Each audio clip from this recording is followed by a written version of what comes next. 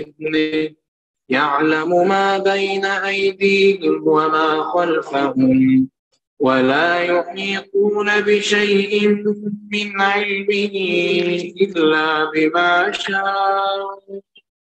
وسع كرسيه السماوات والأرض ولا يؤوده حفظهما وهو العلي العظيم.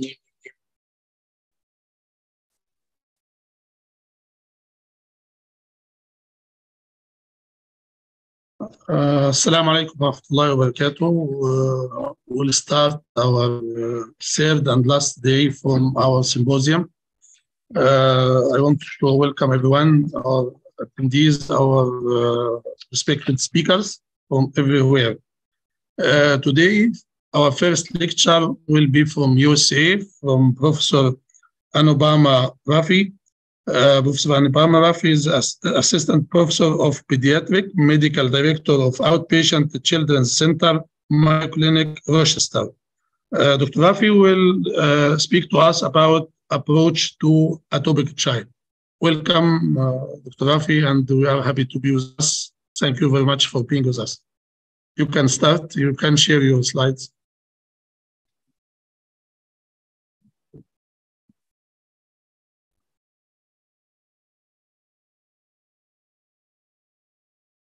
Wonderful. Thank you so much for the kind invitation to speak today.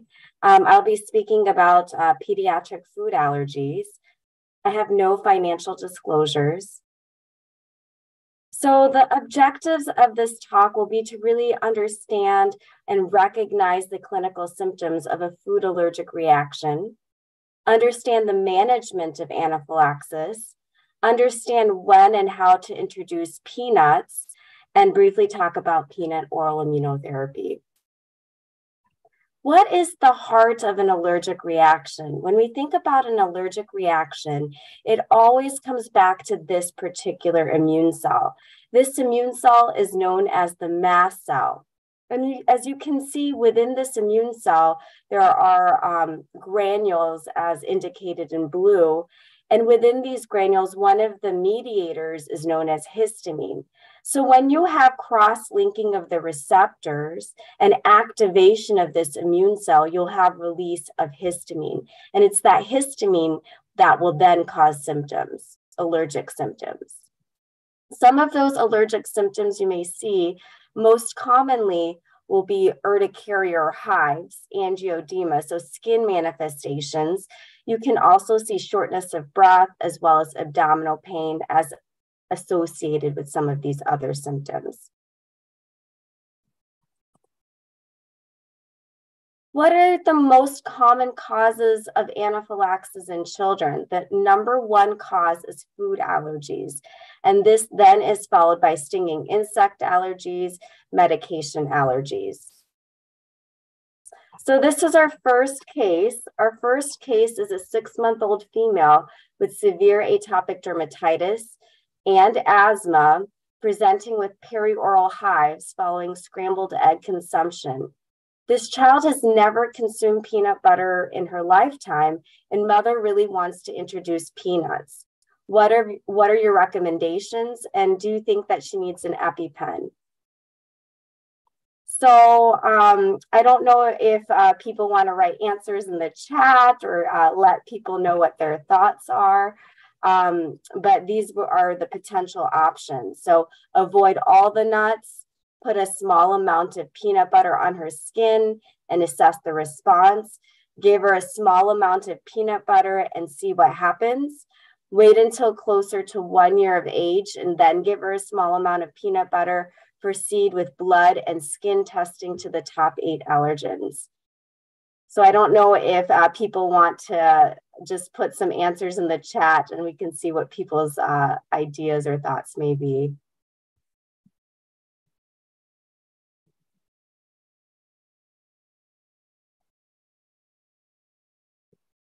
Okay, well, I'll move on. Um, so the top eight allergenic foods, peanut is considered to be the most common overall, as followed by uh, tree nuts and egg. Milk, wheat, soy, fish, and shellfish are also um, highly allergenic. And it's really the protein structure that makes um, a certain food more allergenic. So when you think of peanut, the bonds within the peanut protein are very strong. And so that it, even with um, salivary um, processing, digestive processing, those uh, proteins tend to stay very intact. So this is the reason why these tend to be the most allergenic. And then the ninth one um, is sesame seed. This was a study done at Mayo Clinic um, looking um, at the top allergens. As you can see in the uh, less than one year of age population that um, milk, egg, and peanut were the most common. There's also age-related differences in the way you might see anaphylaxis. So in this study, um, there were children um, and 52% met the criteria for anaphylaxis.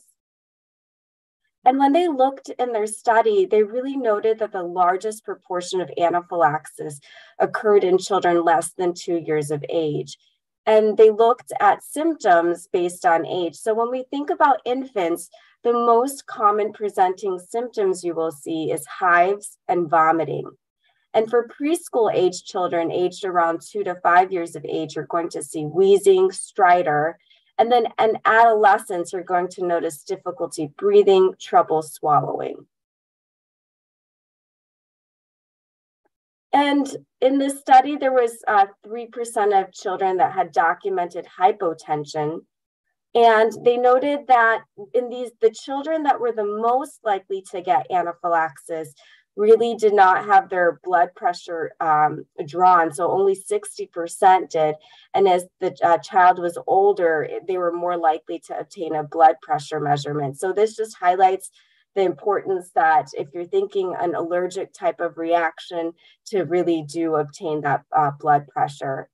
And then um, they also noted that at the time of discharge, how many patients did they actually get diagnosed or labeled anaphylaxis? And it's a very small percentage 14% um, in children and then 6% in the infants. So it's really important to recognize anaphylaxis, obtain blood pressure measurements, um, and really educate the family that it was anaphylaxis.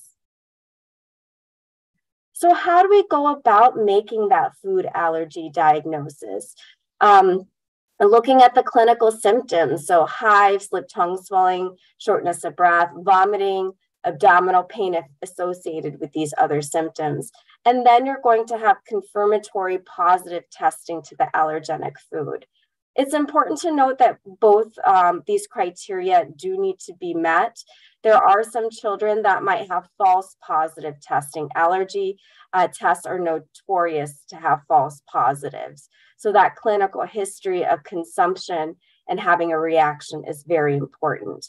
There might be another clinical scenario where um, you might be able to diagnose food allergy, and that would be in a child with severe eczema, and then you know that wow, their their peanut testing is markedly elevated, and in that scenario, you can diagnose peanut allergy. Let's talk a little bit more about what these tests mean. So we have um, IgE tests, and those are things that you can obtain via the blood.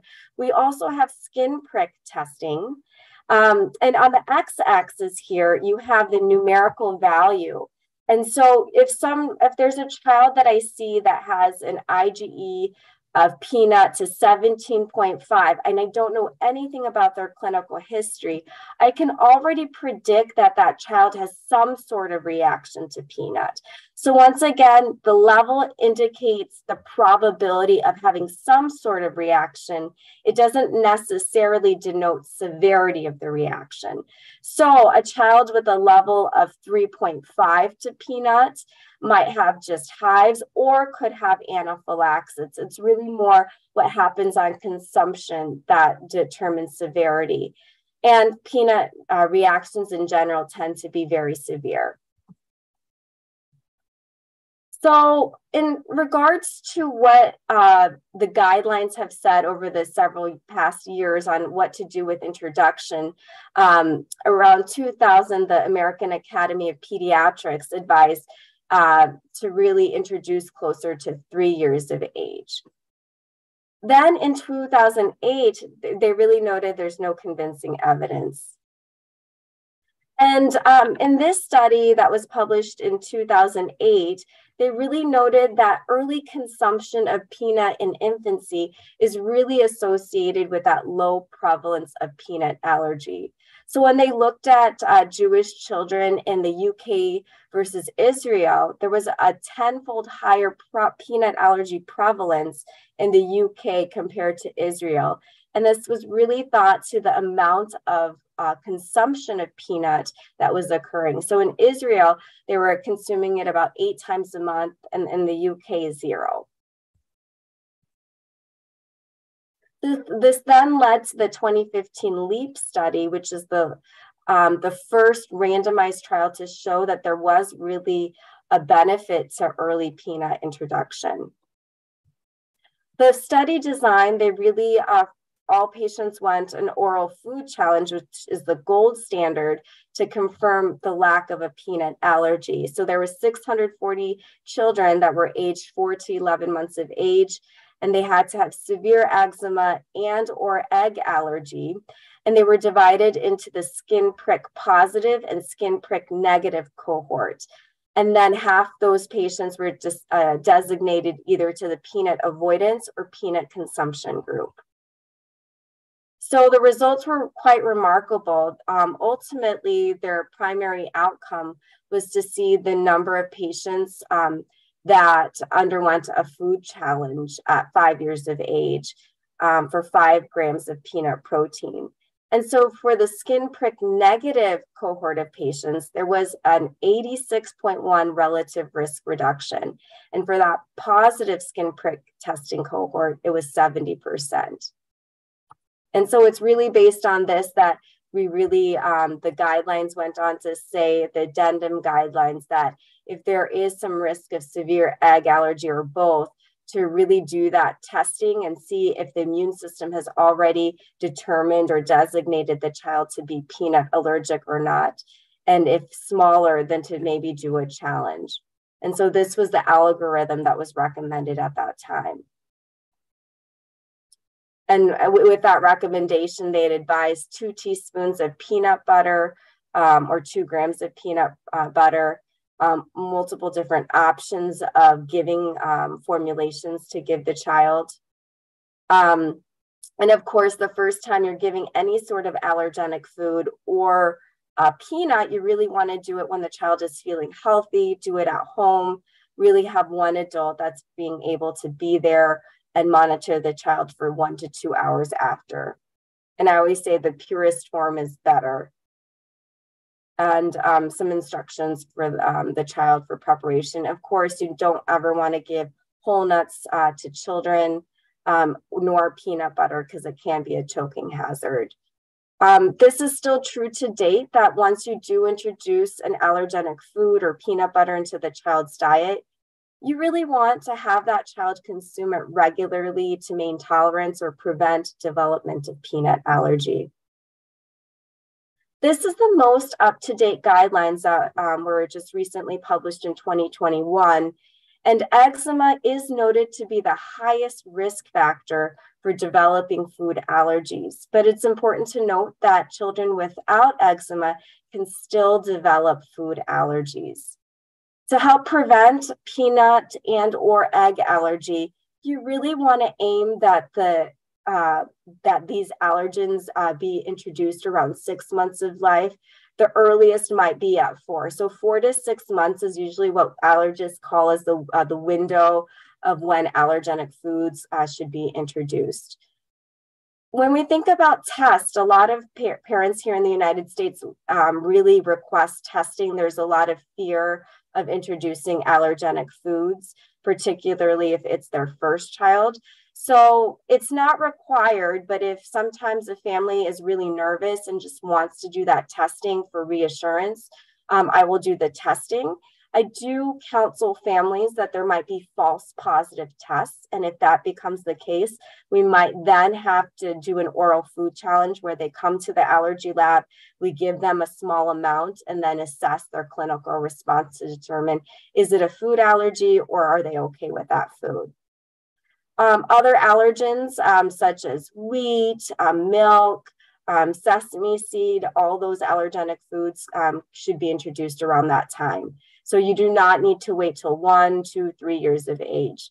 Um, and then it's really important for children to have a diverse diet. There are studies uh, to show that um, diversity of food allergen um, can help prevent um, atopic disorders and food allergies.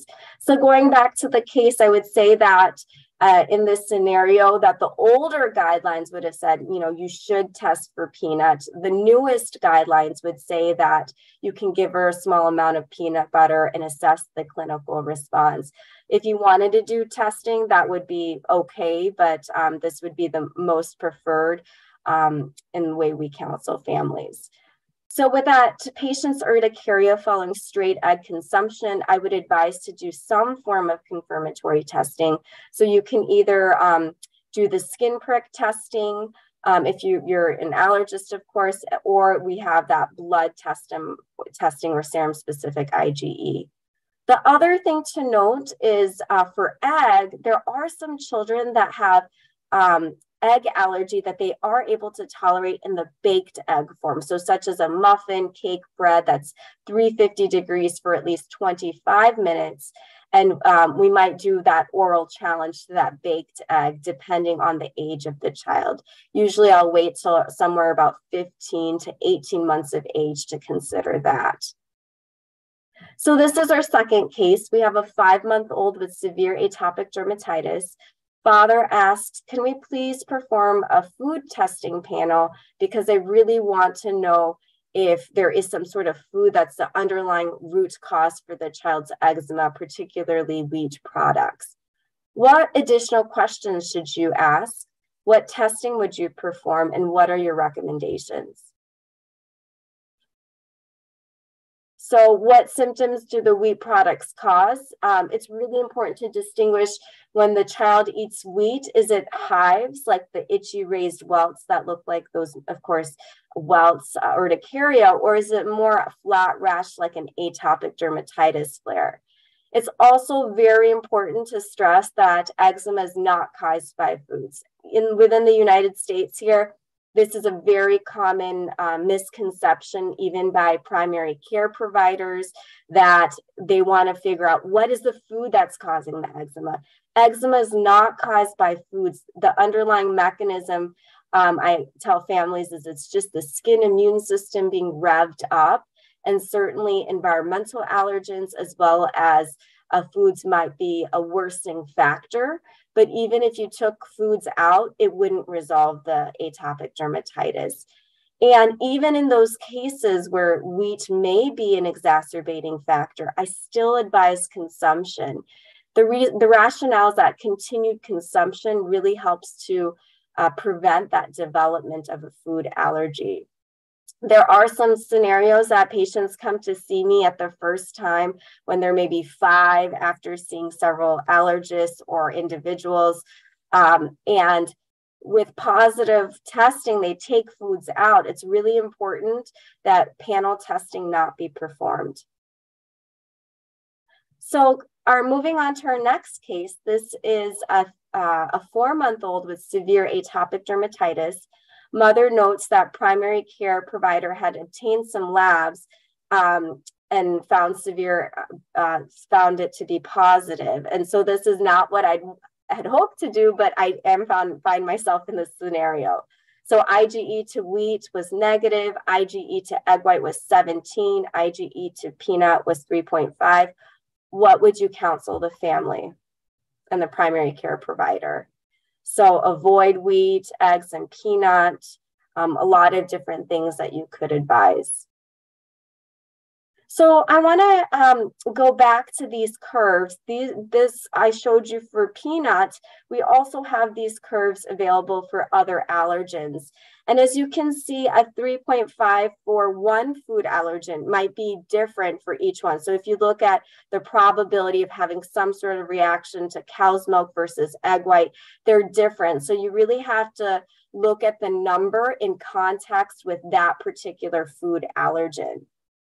And once again, it tells you the probability of reacting to a food. It doesn't tell you the severity of the reaction.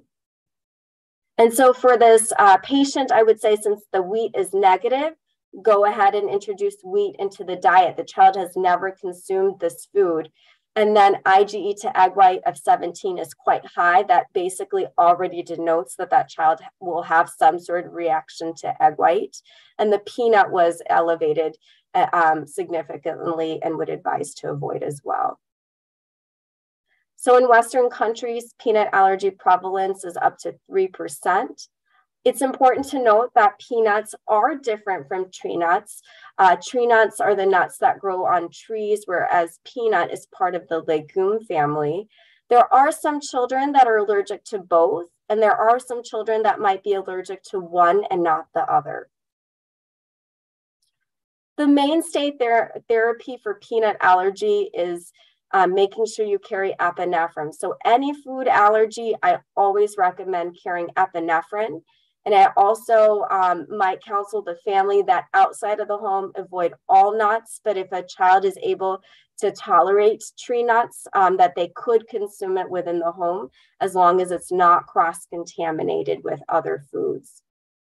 Um, it's important to note that peanuts is in a lot of foods. It can be hidden in foods, and it's important to avoid foods that are cross contaminated as well.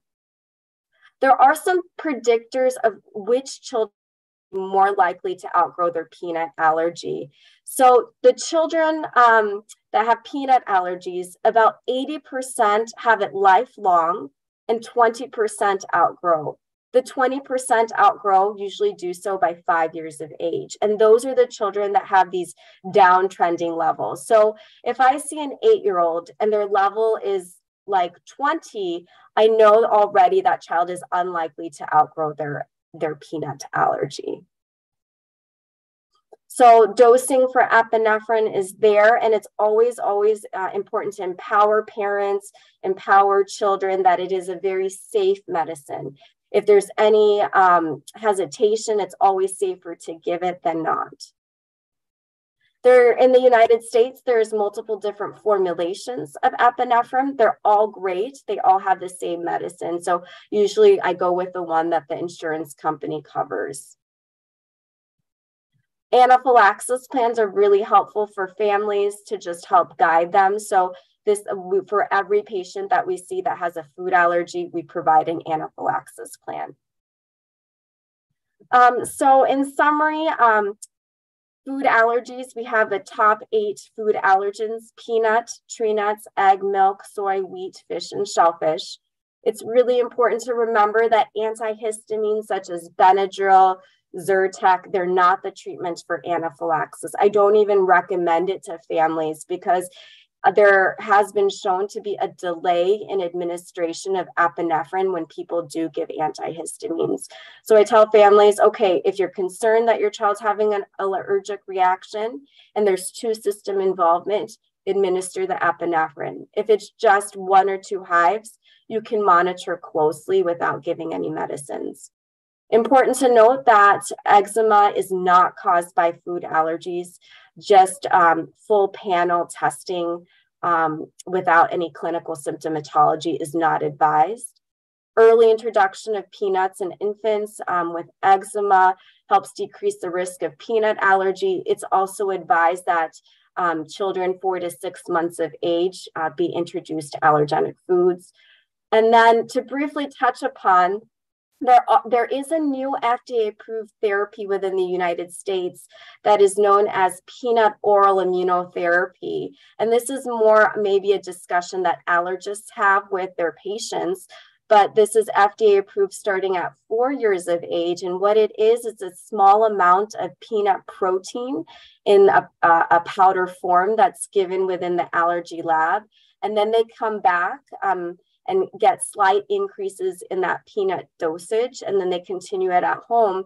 And this is really um, a new profound therapy for many of our patients because then they may, um, if they have an accidental ingestion, the severity of that reaction is markedly decreased. So that's so there is hope uh, for patients that have peanut allergies, and they are working on um, therapies similar for other foods.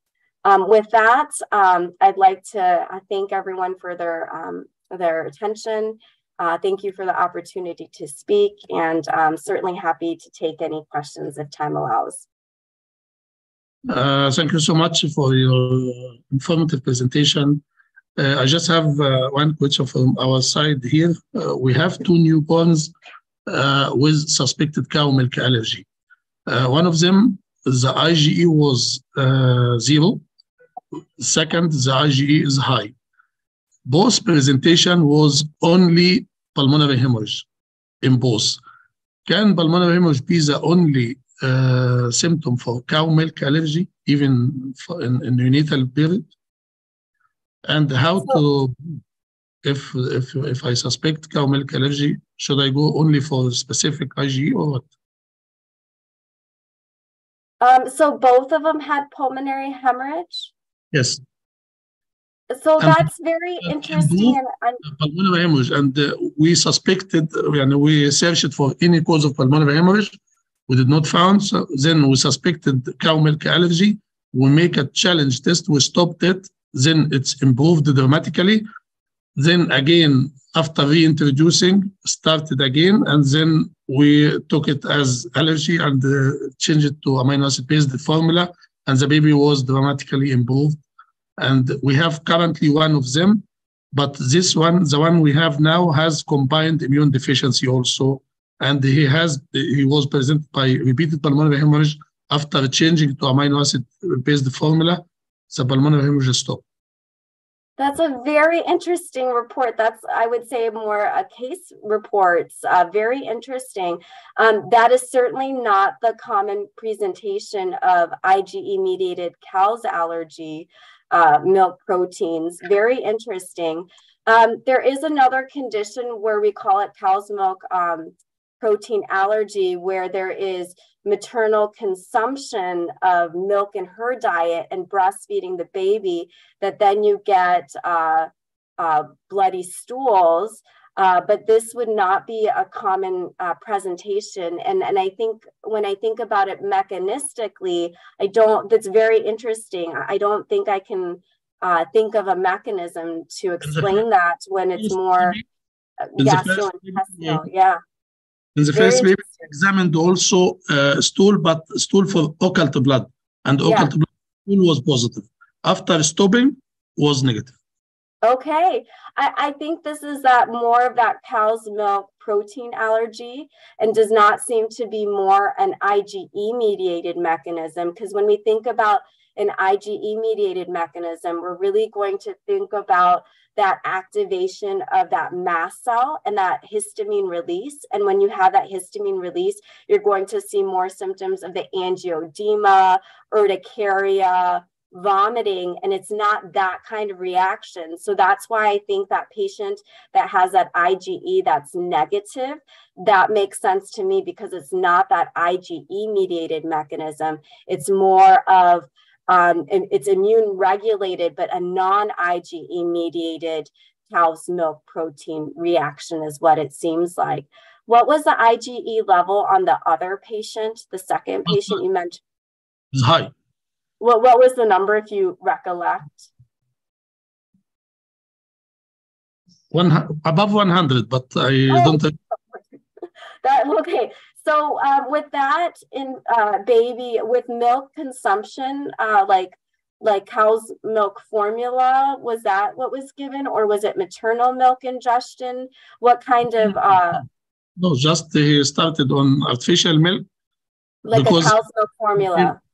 From far, the father is not from uh, the mother is not from our city, Okay. Uh, we started when we observed this, and uh, based on the last experience, we just make a challenge to stop and see, and Yes. it was dramatically improved when we stopped the milk and when we changed it to acid base uh, to amino acid based formula. Yeah. It appeared completely. Wonderful. Um, so, in terms of the IgE level to uh, milk, at what point was it obtained? Was it obtained after it was changed to amino acid, or, or what point in the process? It was before. Before, and then what not gave? further investigations, and that's why I just wanted to ask you if we, if we have to go to a specific IgE or do anything. The baby still with us now. If we can further investigate him, and also if you don't have too much time now, I can make it as an e-consult and uh, send it to you if you want. Oh, I'm happy to answer it right now because I think it's such an interesting case. Um, Mm. I think that the IgE to a, a, a hundred basically says that there is at risk of having like hives, uh, angioedema, lip tongue swelling, but it sounds like the baby did not experience that.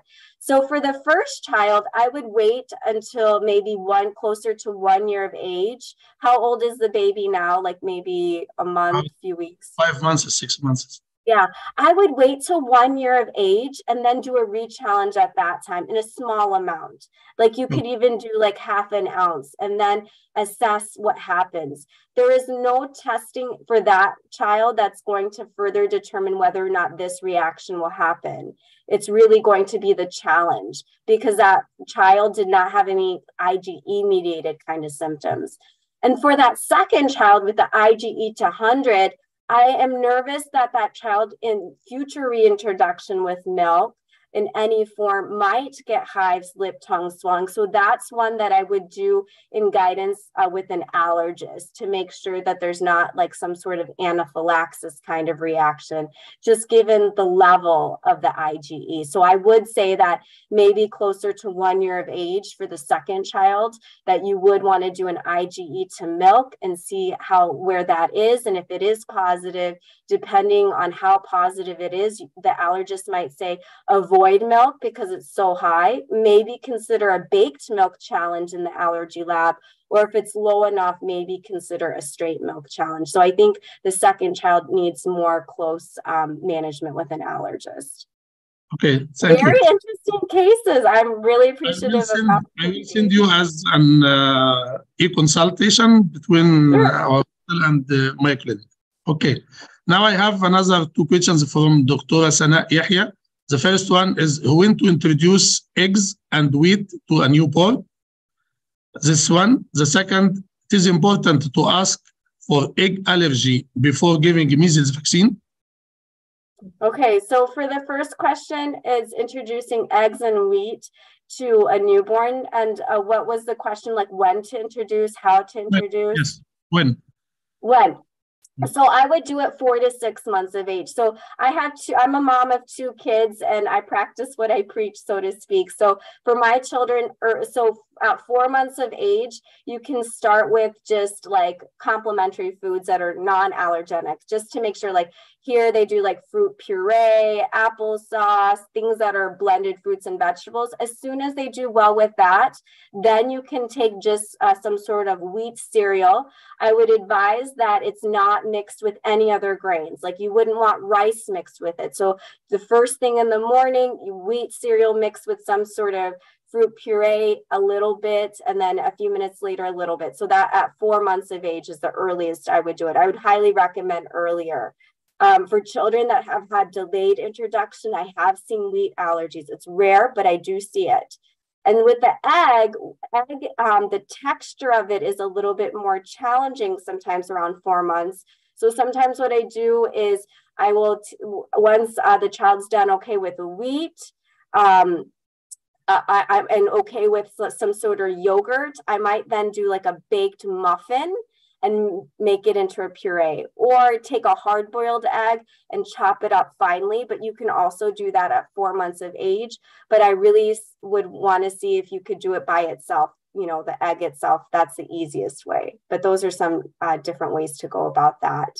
Um, the second question was in the setting of a child with an egg allergy, whether or not to administer childhood vaccines and influenza is a big question I get.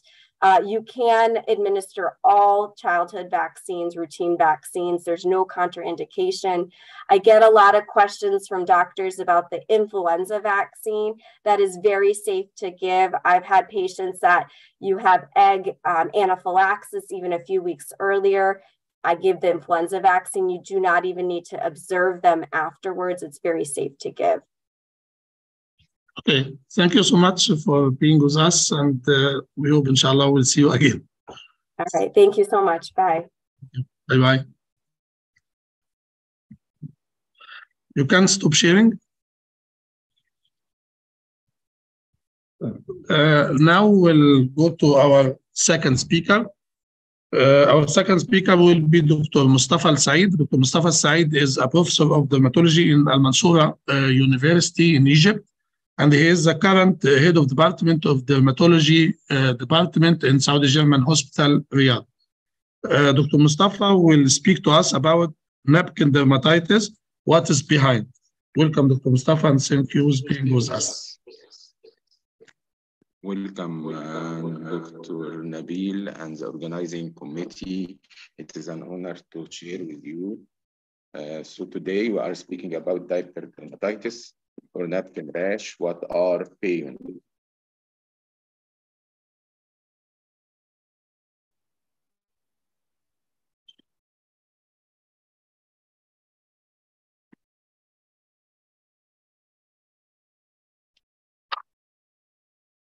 It. So, uh, having a child, having a child fall asleep in your arm is one of the most peaceful feeling in the world. So we are aiming to have a sleepy child without any complaint. Diaper rash or napkin rash, dermatitis is a general term describing any of a number of inflammatory skin condition that can occur in the diaper area. They are classified according to directly or indirectly caused by the wearing of diaper, including irritant contact dermatitis, miliaria, intertrigo, candidal diaper dermatitis, granuloma gluteal infantum. Second, rashes that appear elsewhere but can be exaggerated in the groin area due to the irritating effect of wearing a diaper, including atopic dermatitis, seborrheic dermatitis, and psoriasis. The third rash that appear in the diaper area irrespective of the diaper use, including bullous impetigo, acrodermatitis enteropathica, Langerhans cell histiocytosis, congenital syphilis, and scabies. The incidence, napkin dermatitis is a very common complaint, up to 35% of the infants. Breastfed infants have lower incidence. The prevalence is highest in infants 9 to 12 months. The pathogenesis is a tetrad, including disruption of skin barrier, irritation, microbial contamination, and inflammation. The physical irritation, including increased skin wetness, increased permeability, leading to increased penetration of irritating substances. The chemicals, including bacteria in stool, urease producing, leads to uh, uh, formation of ammonia and ammoniacal scalds. Occlusion of the diaper increase pH, and the fecal enzyme increase direct irritation with bile salts. The microbial, including candida, which 92% of napkin dermatitis is positive culture for candida, including skin and stool.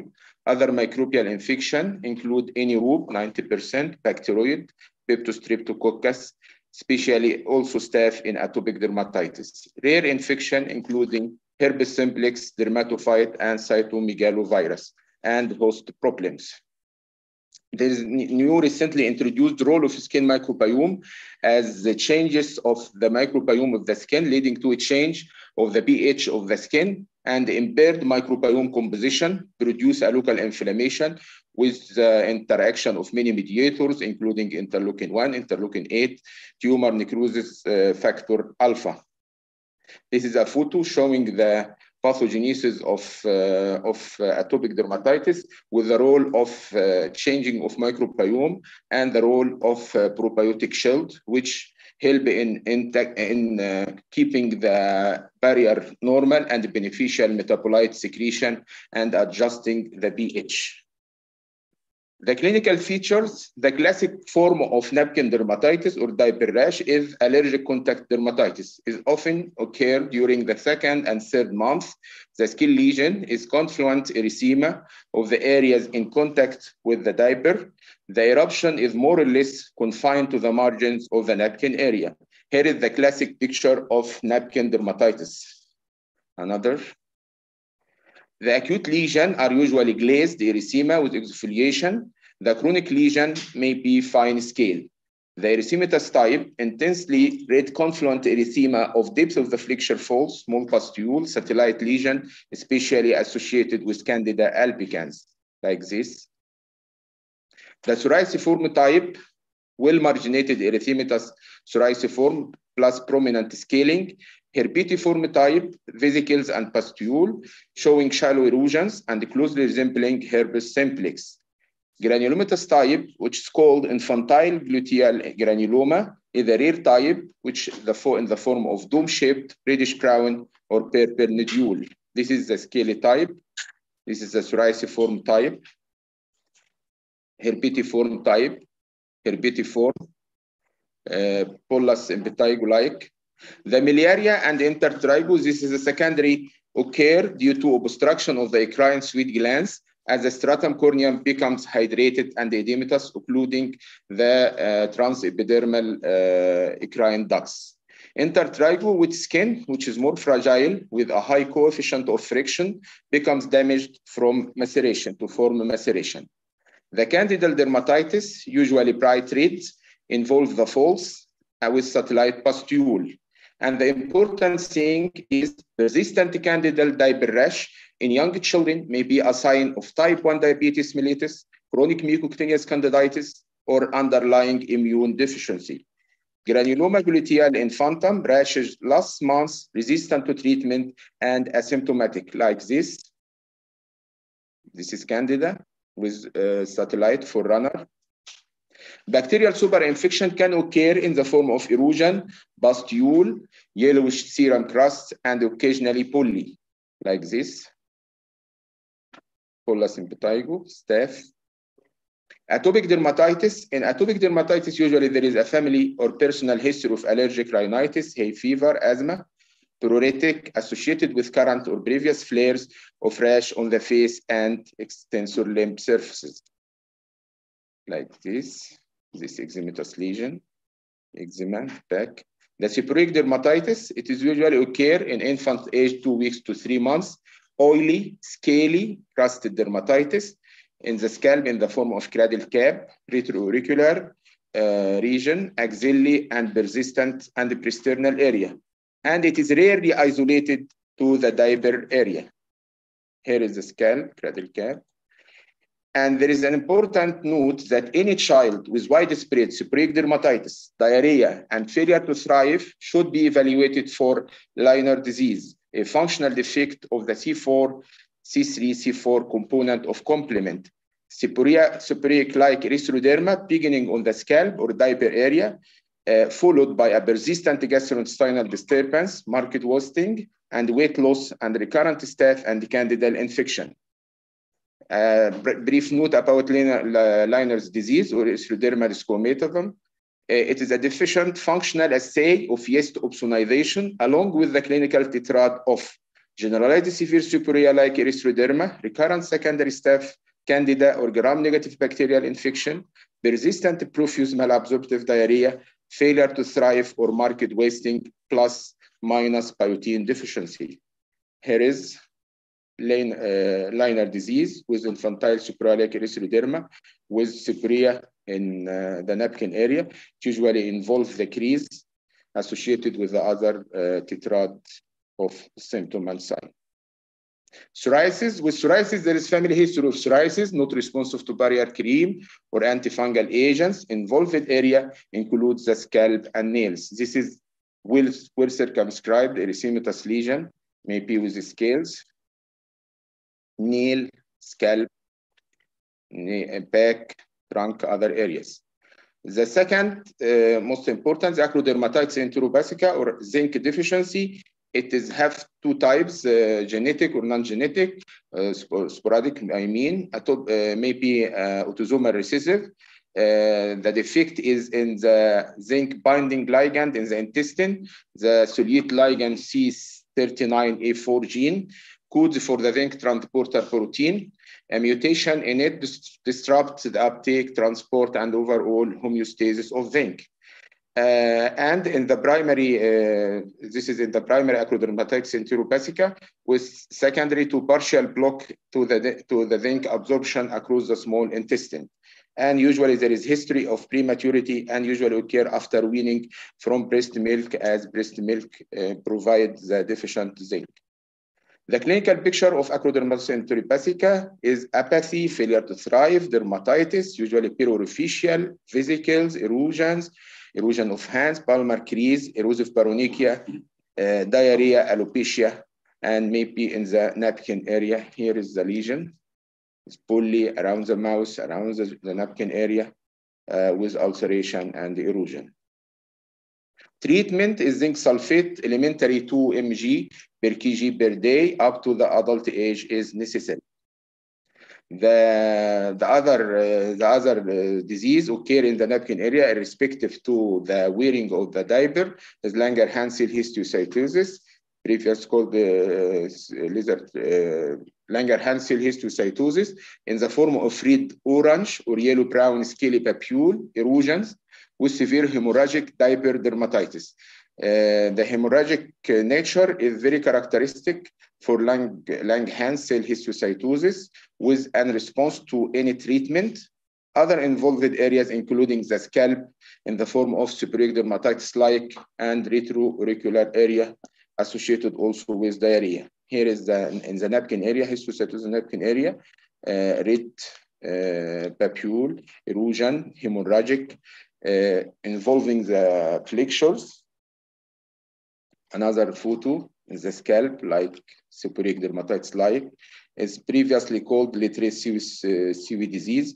Now it's called skin only Langerhans cell histiocytosis in the new classification. Here is the scalp also, seborrheic dermatitis-like. Again, the congenital syphilis is also can occur in the napkin area in the form of reddish, brown, copper, uh, red scaly macules and papules, perianal papular lesion, condyloma on the palms, soles, around the mouth, bullous or erosive lesion in the napkin area, flexural condylomata, rhinitis, hepatosplenomegaly, lupus weight, irregular features. The investigation is using VDRL, TBI are positive, and FTA uh, antibodies, uh, specific IgM is confirmatory. This is the case of scaly uh, lesion in a syphilitic child in the napkin area. Scabies also can occur in the napkin area, uh, including of papule, exucrated papule, vesicles, paros, nodules, and excoriations are found. Uh, specifically in new neonate, the palms, soles are involved, may also face scalp and genitalia. Here is the lesion. It specifically occur in the palms and axillae in the form of papule or papulovesicles. Uh, don't forget child abuse because child abuse is a consideration in severe recalcitrant or atypical diaper dermatitis. Um, appear as resistant to treatment may actually be the result either by neglection or uh, abuse by parent or caregiver. The diaper area also is a possible site for scalds, burns, and bruises in abused child. What are the factors that support or exclude non-diaper associated dermatitis? This is the most important is associated uh, symptoms like diarrhea, systemic symptoms. Uh, information about the diapering should be uh, should be recovered from the parents or caregiver, including the type, how often, methods of laundering, cloth diaper, if cloth diaper is used, information about how the diaper area is cleansed, exposure to contagious disease, either in the family or the neighbors, like scabies, herpes simplex virus, past history of dermatologic, allergic, or infectious illness, family history, psoriasis, atopy, antibi- and antibiotic use, which predispose to microbiome change, uh, leading to uh, candidal dermatitis and diarrhea. What, how to prevent and treat? The, health, the healthiest skin is the non-occluded skin, and breast milk is a preventive factor. As the incidence in breastfeed uh, neonates, uh, the napkin dermatitis is low in breastfed uh, milk babies. Keep skin and clean and dry. Frequent diaper changes up to eight, more than eight a day. Uh, however, the studies about uh, which the best choice for diaper for use in infants is the controversial issue.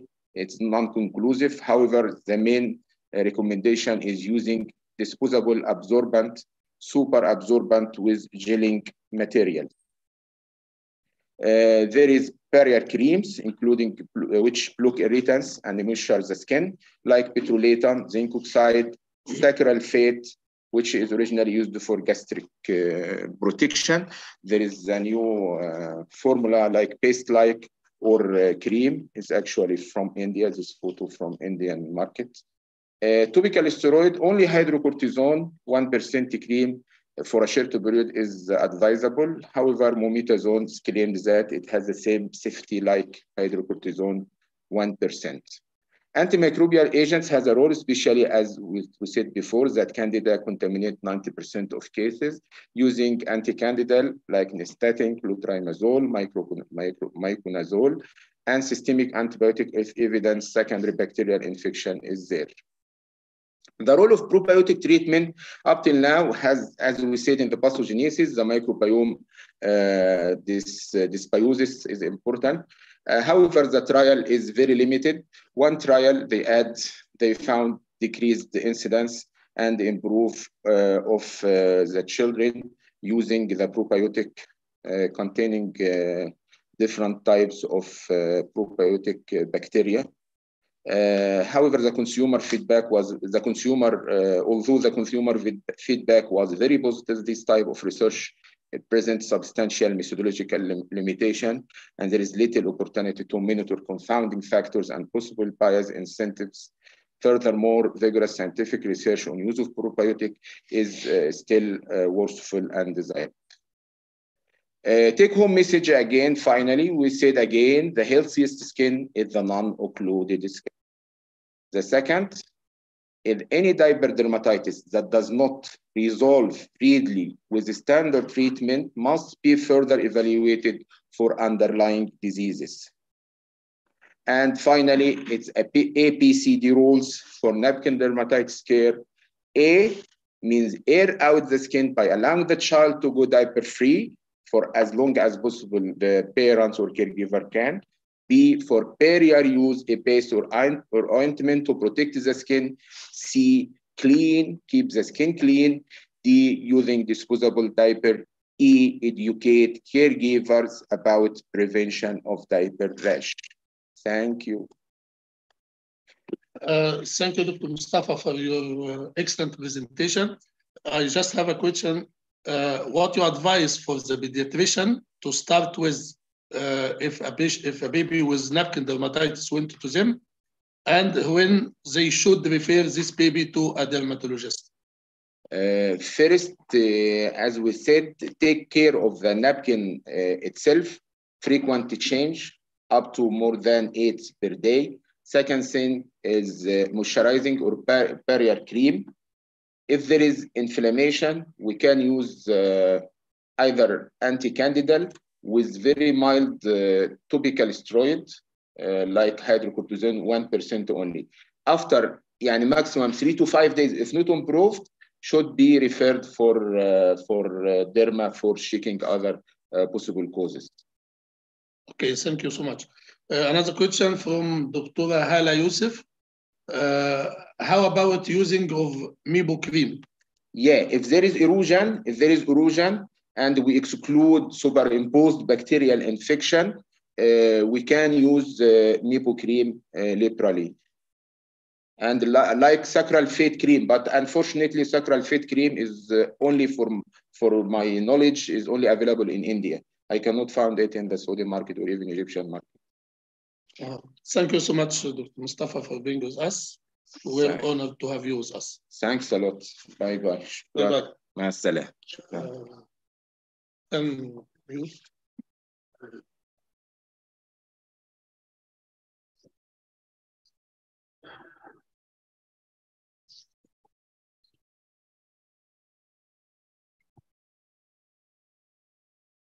So our next speaker uh, will be Dr. Muhammad Hani uh, Temsah. Dr. Muhammad Hani Temsah is a professor of pediatrics in King Saud University Medical City. He is a member of child protection team in KSA. Uh, we'll just wait for him. He just uh, have a problem and he will join soon. I will try to contact him again.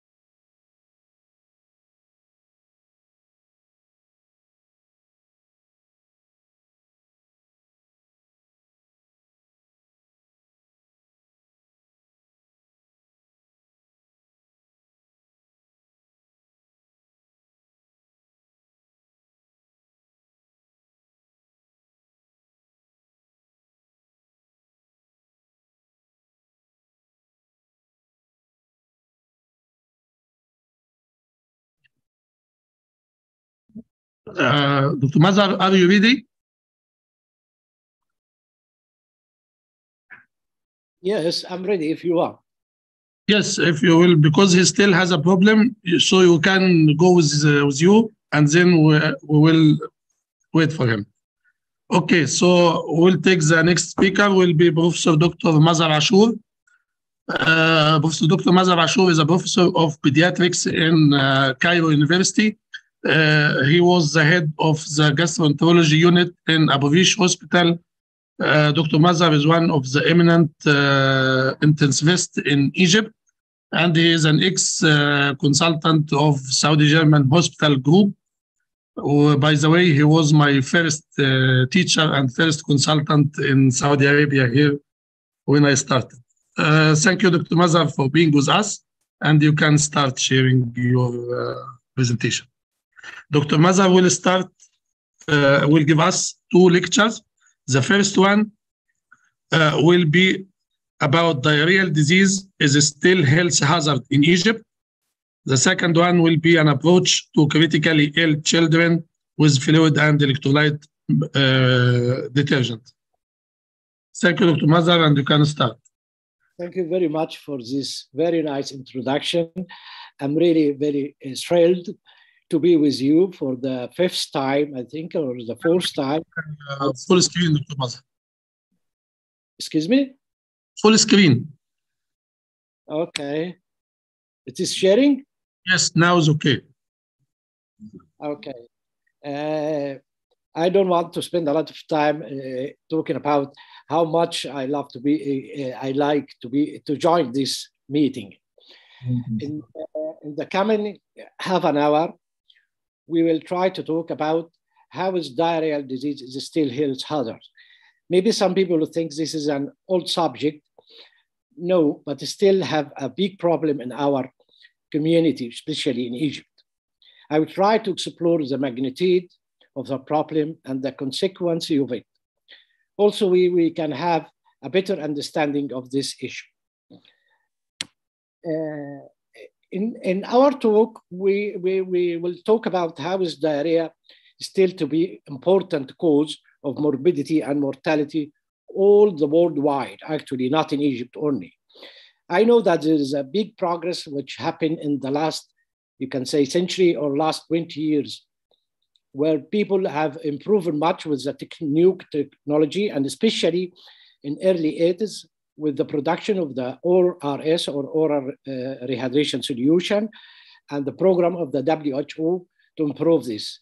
Actually, if we go to the statistic, we found that by 1980, the, uh, the mortality rate, which was related to diarrhea, was reaching up to 4.6 million mortality for children under five years.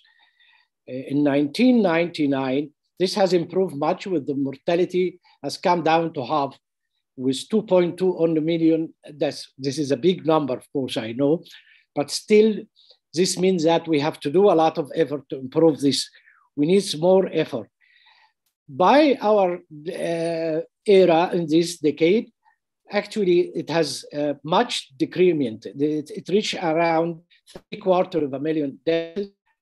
It's, it's still a high number. Something about it.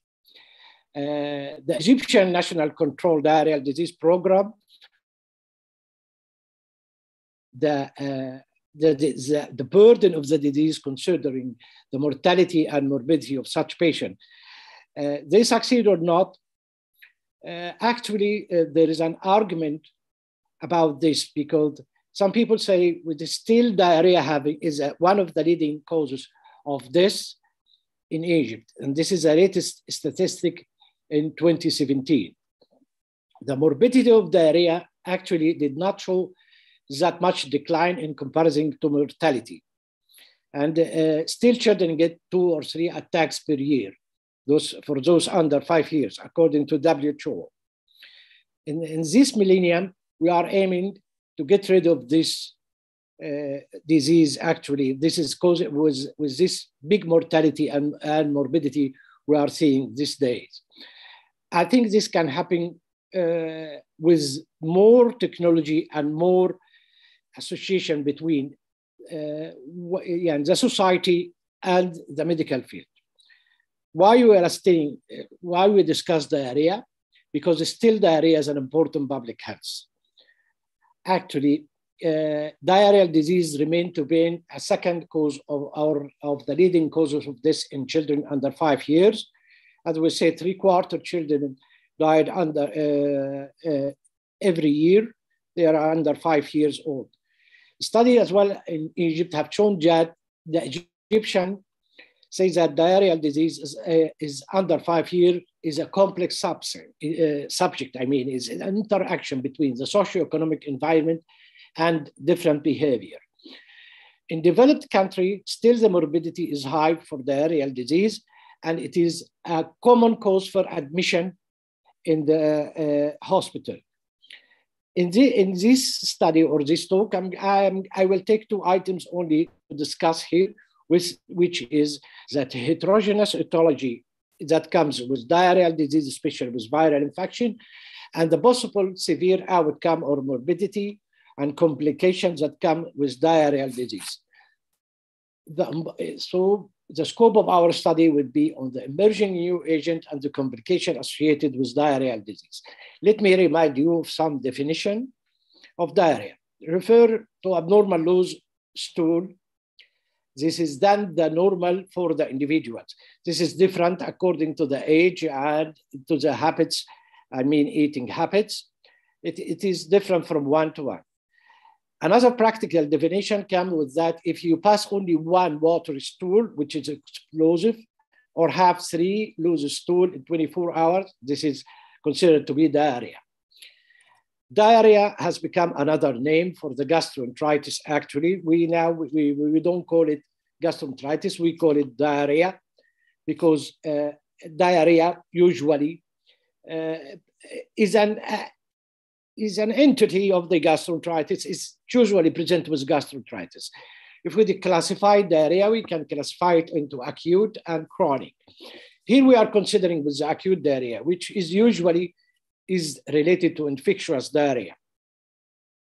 Actually, this is uh, usually this infectious diarrhea has a rapid onset and is commonly self-limiting. It might last for five to seven, year, uh, seven days. Without complication, It can go very safely. Talking about the chronic diarrhea is a very big entity, and uh, this is not our scope here. How's diarrhea is happening? The basis of all form of diarrhea is the disturbed intestinal solute transport. I mean that along the across uh, the intestinal membrane, the passage of water and electrolyte. Electrolyte, which is mean or what the solute is sodium, chloride, and glucose, and this is can cause disturbance in all the electrolyte and the fluid in the body. The mechanism which happened for this diarrhea, oh, we all know this, these four items, the uh, either activation of the cyclic AMP or osmotic or uh, this uh, short bowel syndrome, for example, decreased absorbed surface, which was uh, yeah, discussed very uh, enough by Dr. Samira. Motility disorder, I wish I could have the chance to discuss this next time, inshallah. The etiology of diarrhea, as we all know, could be non-infectious or infectious, and non-infectious is usually related to chronic diarrhea. It can be presented as acute, but usually it, it takes another course of what we are talking about. Infectious diarrhea is an inflammatory or not inflammatory. Usually the inflammatory is related to bacterial invasion or the production of cytokines. The non-inflammatory, this is, comes with various destruction. This can happen by virus or parasite. Infectious diarrhea, the causes for it is either bacteria, parasite, fungi, or virus. I have gone through a rapid review of diarrhea and uh, this is the burden caused by, by, by diarrhea mortality. Unfortunately, I can find that Egypt is taking a big entity or, or a big share in the, in the mortality of that area. I will start with talking about the emerging of new agent. Uh, to me, I think this is uh, could be new. Actually, this is things started in the last decade the uh, in the last decade, we most of us that have uh, been faced with cases of uh, respiratory infection. Simply, usually we say it's viral infection, but usually most of these patients will have diarrhea. Uh, the emergence of uh, investigation have shown that there's uh, another emerging organism responsible for this, which is the parechovirus this parechovirus is emerging as a new associated with gastroenteritis actually. The parechovirus can, we all can have it, and this in, as an adult, you, you can have it with a mild disease. You don't feel much affection. But when it happens in the infancy, it might cause a lot of uh, abnormality and derangement to the child. So uh, in Mansoura University, they done some investigation to get uh, the virus uh, in cases of respiratory infection associated with diarrhea. They did, they did it by the PCR and the ELISA system in stool to detect the virus. They want to detect the, the different causes of viral diarrhea. This is what the result, and it is going as we expect this. You can find that the rotavirus is number one, as all we know that, uh, in, in spite of the admission, administration of a lot of, of vaccination, but still rotavirus is the main cause, followed by the norovirus, astrovirus. Actually, they didn't investigate all the causes for this. Of course, it's, it might be so difficult. But the checks for, for the parechovirus, where they find it in a mixed infection of viral infection, all of them around 19% of the causes of viral diarrhea, but they detect parechovirus in 5% of cases only parechovirus.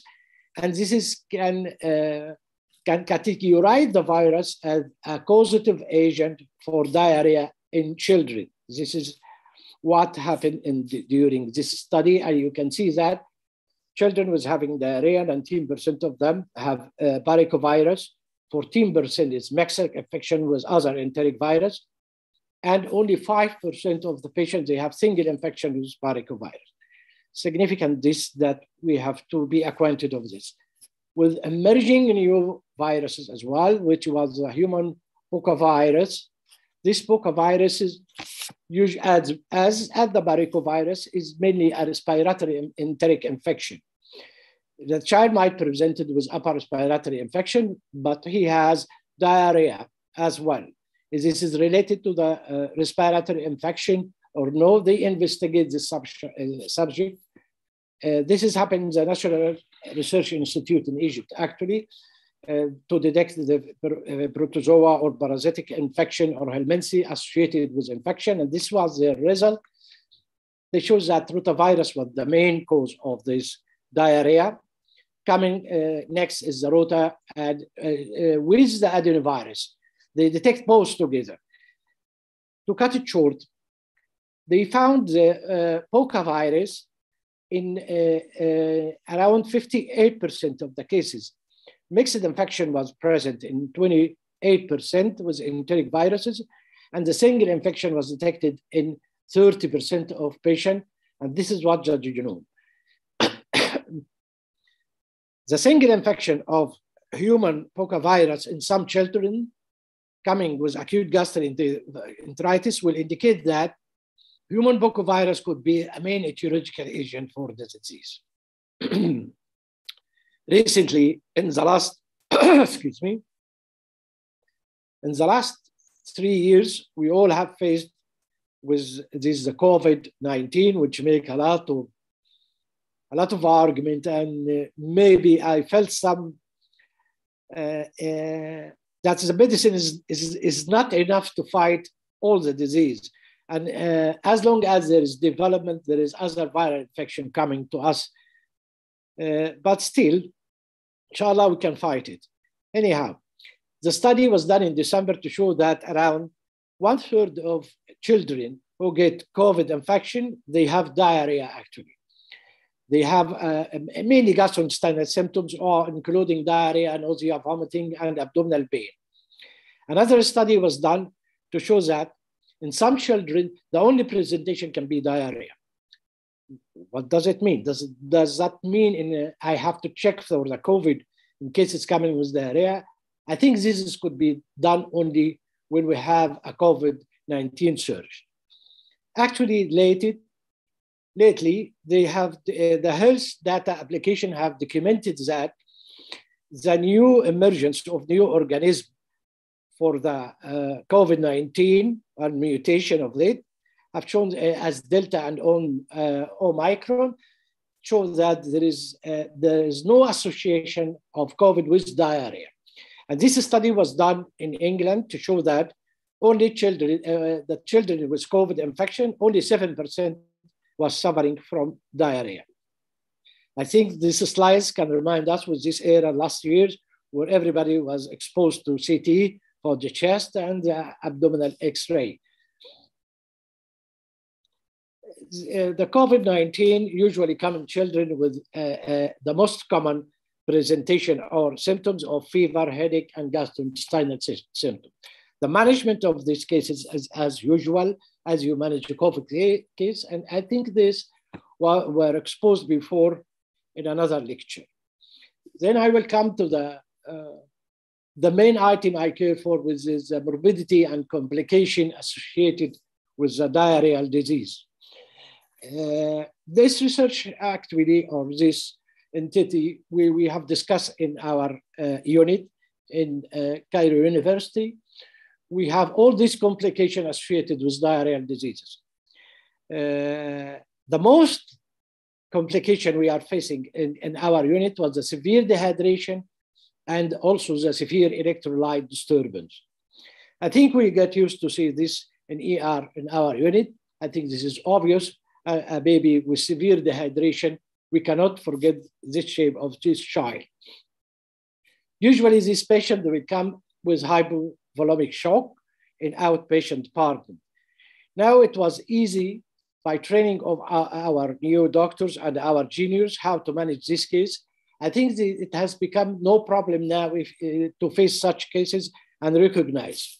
Recognizing severe dehydration, please, is very important and the rapid interference is really a life-saving for such patient.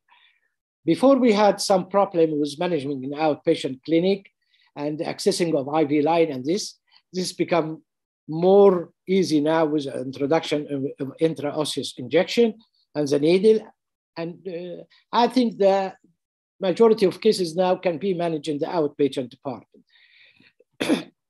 this is a rapid statistic of our admission to the unit.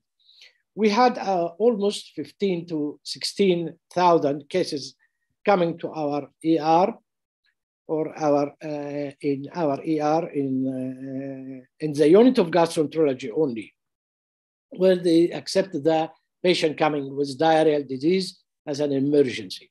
You can find here the admission is very high. You can see in, in months of June, this is the hot weather where there is associated with a lot of complication. Also, we can, we can see a, a high a high incidence which come uh, in months of October, September, October, where there is a, a flourishing of the rotavirus. Actually, it's responsible for a lot of admission. The days of admission, you can find it high in the spring, in March, and you can find it in June. In March, because I think in, in, in the spring season, there is also flourishing viral infection. And in June, we have a hot weather. The hottest weather comes in June, and patients are exposed to complication. I will go to the electrolyte disturbance, which is uh, uh, really a disaster we face uh, as a morbidity, a morbidity sequel of diarrheal disease. Uh, in our unit, uh, patient admitted with electrolyte disturbance was forming around 30%, 36% of all admitted cases to our unit, and 13% of cases admitted to the ICU. You can see the peak here for the admission to the ICU, which comes in months of April. It increased gradually from February to April and then come down slowly. The cases is admitted with electrolyte disturbance, as you see, is high in the June as well as we say the weather is hot and the summer we will have uh, in, in, the spring we will have a lot of cases with uh, diarrheal disease coming to us on flourishing of the virus. The type of electrolyte disturbance we used to have mainly, we, we have all types of electrolyte disturbance, but actually we had two types have seen with electrolyte disturbance. They are the main types presenting to us with what was the hypokalemia and the hypernatremia. The hypokalemia is common because of the losses of the uh, in the stool is very high with uh, potassium. It is mainly potassium loss when you, you, you find the stool. But the hypernatremia here, I think this mainly could be of mismanagement. And we'll discuss this in coming lecture. You can see this photo with a child coming with severe dehydration and abdominal distension.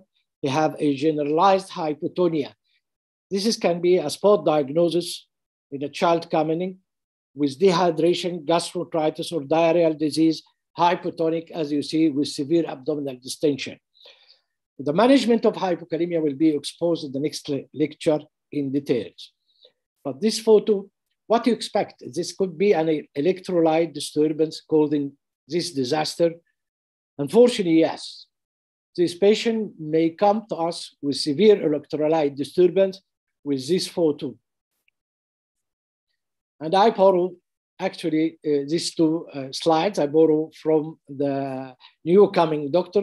We, we used to give lecture to new coming doctor for the type of dehydration and the degree of dehydration.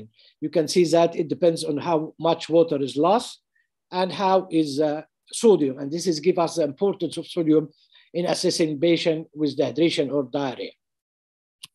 As sodium make the main cation in the extracellular fluid. This is very important. Sodium is very important uh, cation in the extracellular, uh, the intravascular space. Hypernatremia. This patient you have seen before with this gangrene affecting both legs and the face was coming with hypernatremia, unfortunately. Our study and investigation have shown that the main cause for hypernatremia to occur was the abuse of oral rehydration solution. In, in Egypt, we do have packets for rehydration of children. Unfortunately, the, the, the mothers think that the, the, this packet is a medicine. And if she concentrates the solution, she will have a better outcome. They do, they give the, the, the, the solution in a concentrated form so that the child will get better soon. And this is, was a big disaster and lead to a lot of cases with hypernatremia, according to our statistic. The second cause was uh, intravenous rehydration of cases of gastroenteritis without proper electrolyte management. You should, uh, during the other causes, this is an excuse, yani. The third one is that they manage cases with severe dehydration. They usually come as acidosis and they give them bicarb actually for and give them fluid for shock and this is will raise the sodium unfortunately it was realized this patient comes to us in a worse condition and in a very bad condition with disturbed conscious level this is a simple review of what happened with hypernatremia this is the normal cell we should see with the extracellular fluid containing many sodium osmolarity is 280 and uh, intracellular osmolarity is 280 as well. When we raise the sodium here to 160, the osmolarity will rise to the double. It will be around 320. The cell has to fight this because otherwise it's, it's, it will shrink and shrink and shrink and it get become apoptosis will happen then. So the cells start to lose water and it shrink. It might get dead if, if it continues this way. So the cells start to, to make what's known as osmolyte. Osmolyte, this is to rise the osmolarity and to fight against this shrinkage. So there will be balance between this, between the uh, intravascular and intracellular space. Now, the doctor come and correct the intravascular compartment, or extracellular space, and he drop the sodium to 140 with the osmolarity of the uh, uh, serum osmolarity coming down as well, but still the osmolarity is high intracellular. And this is can bring the water inside the cell and lead to edema. And unfortunately, this is edema of the cell, I mean, and this is can lead to apoptosis as well and death of the cell. What happened to, due to this reaction we, we showed before? The effect of hypernatremia. There will become high, uh, the blood or the, become hyperosmolar intravascular space. The mainly affected cell is the brain cell because they are vulnerable to complication, result in cell contraction, as we show in the first in the previous slide, as well as the, the, the, the lining of the vascular wall cell lining will become affected, we got we can have a generalized vasculitis of wide and narrow vessels. And this is lead to uh, the severe hypernatremic dehydration affecting mainly the brain. The organ which is really affected usually the brain and the patient will start to develop seizure, he might get paralysis and then we get encephalopathy, unfortunately.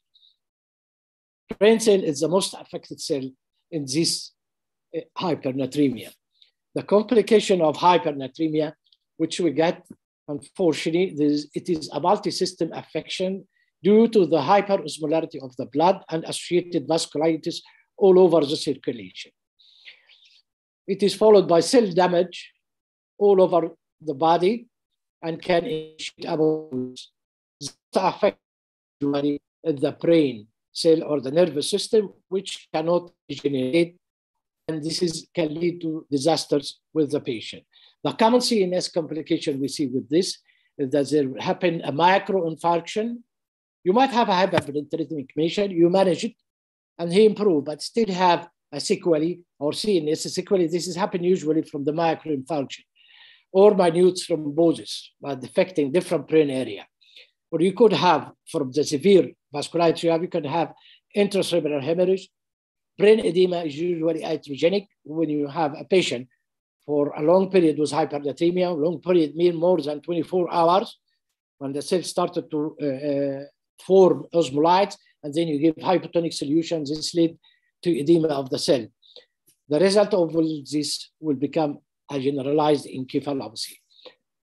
This picture of uh, uh, brain edema, and this is a picture of massive infarction. This is for this patient. I'm sorry to show this photo, but I think I have to show it because of the, the disaster of the hypernatremia, how it can lead to. This patient was coming to me with this photo. He was referred from a hospital. He was actually suffering from pneumonia. I will go for this later. And this is the shape of the child. He's not dehydrated, actually. And, but he has this form and his sodium was very high. And this is the, the, uh, the previous slide we have showed before with another child coming with hypernatremia. He was referred as well from a hospital with this photo. And this is what was MRI finding. How to manage such case? This is what do everybody care about this. Usually, as we said, all this patient will come in a very bad condition. And usually they might require shock therapy. Did you, do you give shock therapy? Rapid infusion? Uh, there is a rule in management of all our patient is that there is priority. Patient in shock should be managed. Otherwise, you're going to lose the patient. We use uh, in our uh, department what's called Bansol. This is a solution contain uh, 90 milli equivalent of sodium. Not only this, the patient with uh, uh, diarrhea, with hypernatremia, usually come with acidosis. Do you correct the acidosis, this metabolic acidosis, by giving sodium bicarb? Still, there is priority. It depends on the uh, le uh, level of acidosis and the pH of the patient. Uh, we usually have a cut point if the patient is having less than 7.1, you may have to interfere. Otherwise, you manage hypernatremic dehydration as usual, as we will expose. The key point of management of hypernatremia is that we plan to correct the deficit in a long period. Instead of six to 12 hours, we might correct the dehydration in 48 to 72 hours. We use a solution contains 60 milli equivalent. Actually, in our unit, we uh, train our uh, staff for a certain, uh, this is, you can say this is a preparation of sodium bicarb with glucose 1 to 18. They, so they become ready to infuse the patient when they have it. And uh, mind you that you should plan to correct the deficit in 48 to 72 hours. This patient, unfortunately, our, I mean, it is uh, our luck that we face cases with uh, hypernatremic dehydration. So we have a space to correct the fluid and subsequently we can lower the level of the sodium gradually. But if you are faced with a patient like that, this patient is uh, edematous and he is not dehydrated. This patient actually was referred to our unit from another hospital he was suffering from respiratory uh, problem. He was, has pneumonia.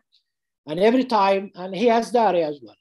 But every time they check for his blood gases, he has metabolic acidosis, so they, they give him bicarb, unfortunately. He was given bicarb many times, but they, they, they, they lately check for the sodium and they find the sodium is very high. Uh, so they refer to us with this food. What we will do then in such patient, how we can manage? And you don't, the patient is edematous, he doesn't need fluid, any more fluid. What you will do, you have to manage according to the level of the sodium.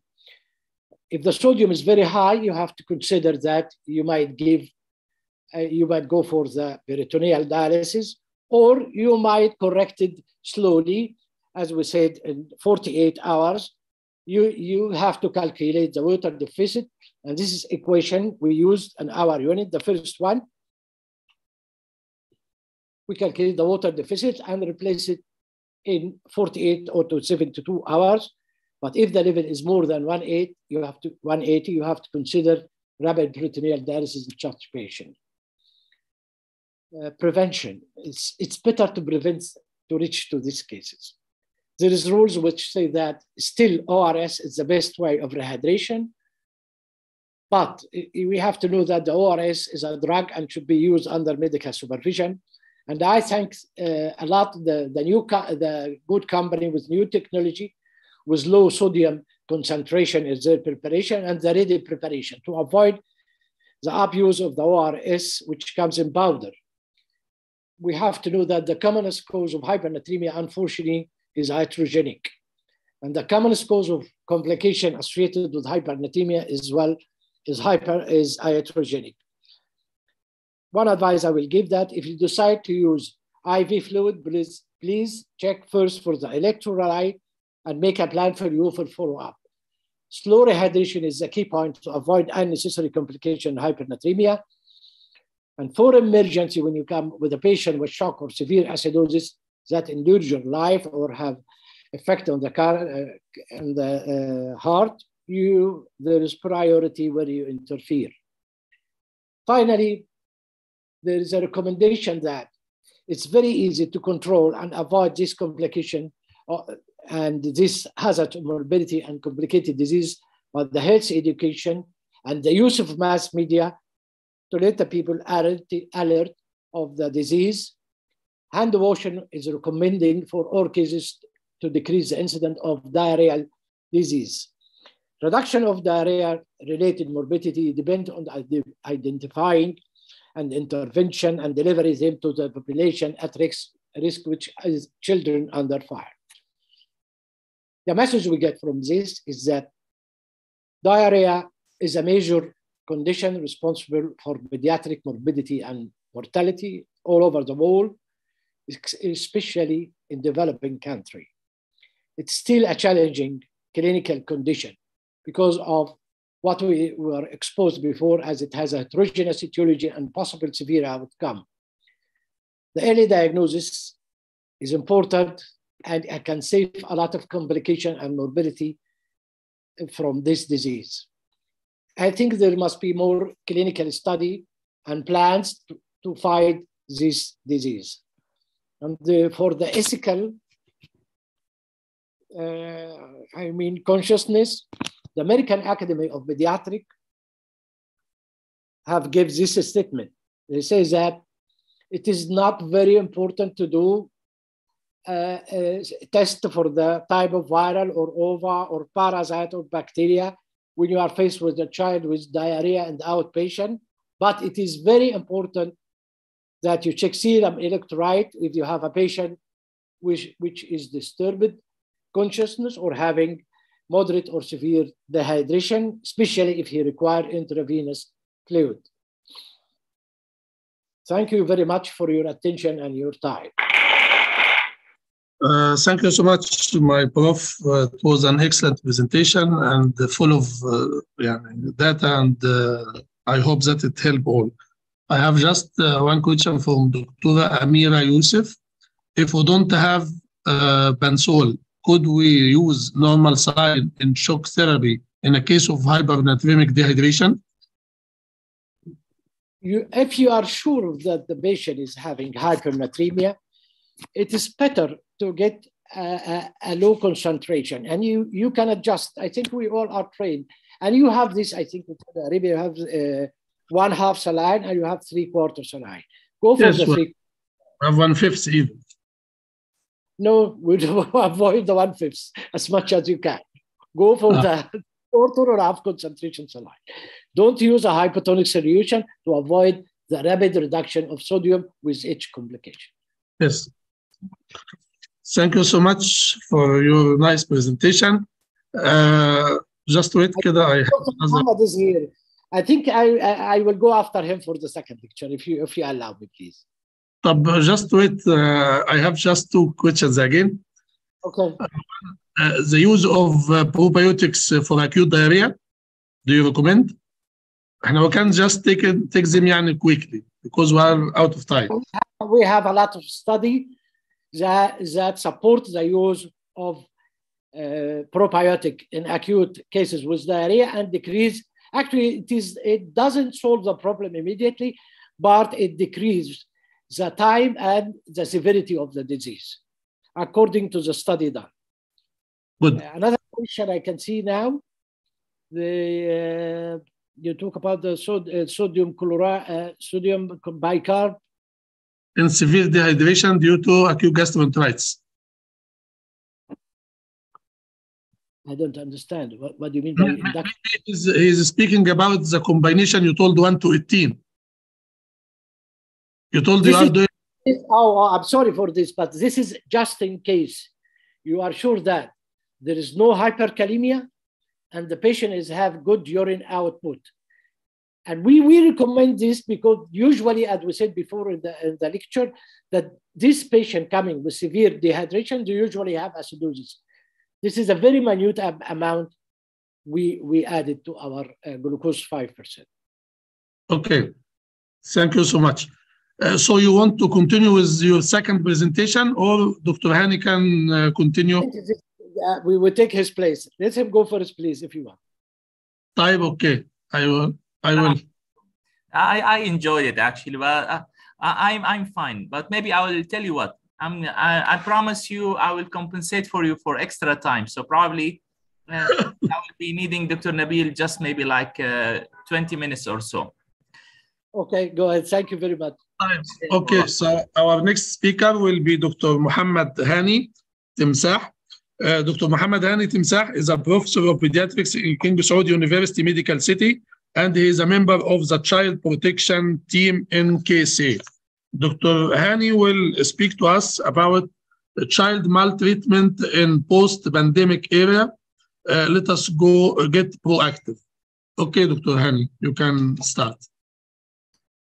Okay, so Bismillah ar-Rahman ar-Rahim. Again, uh, thank you for the organizing committee for this kind invitation. And I'm, I promise you uh, it's gonna be very interactive and quick session for, for all of us. Okay, take your time. I was you. And I will show you something really unique about uh, how to tackle. I like the theme that you have chosen, uh, that let's get proactive and what's after the pandemic uh, era. So this is something that we really uh, have to think about at this stage.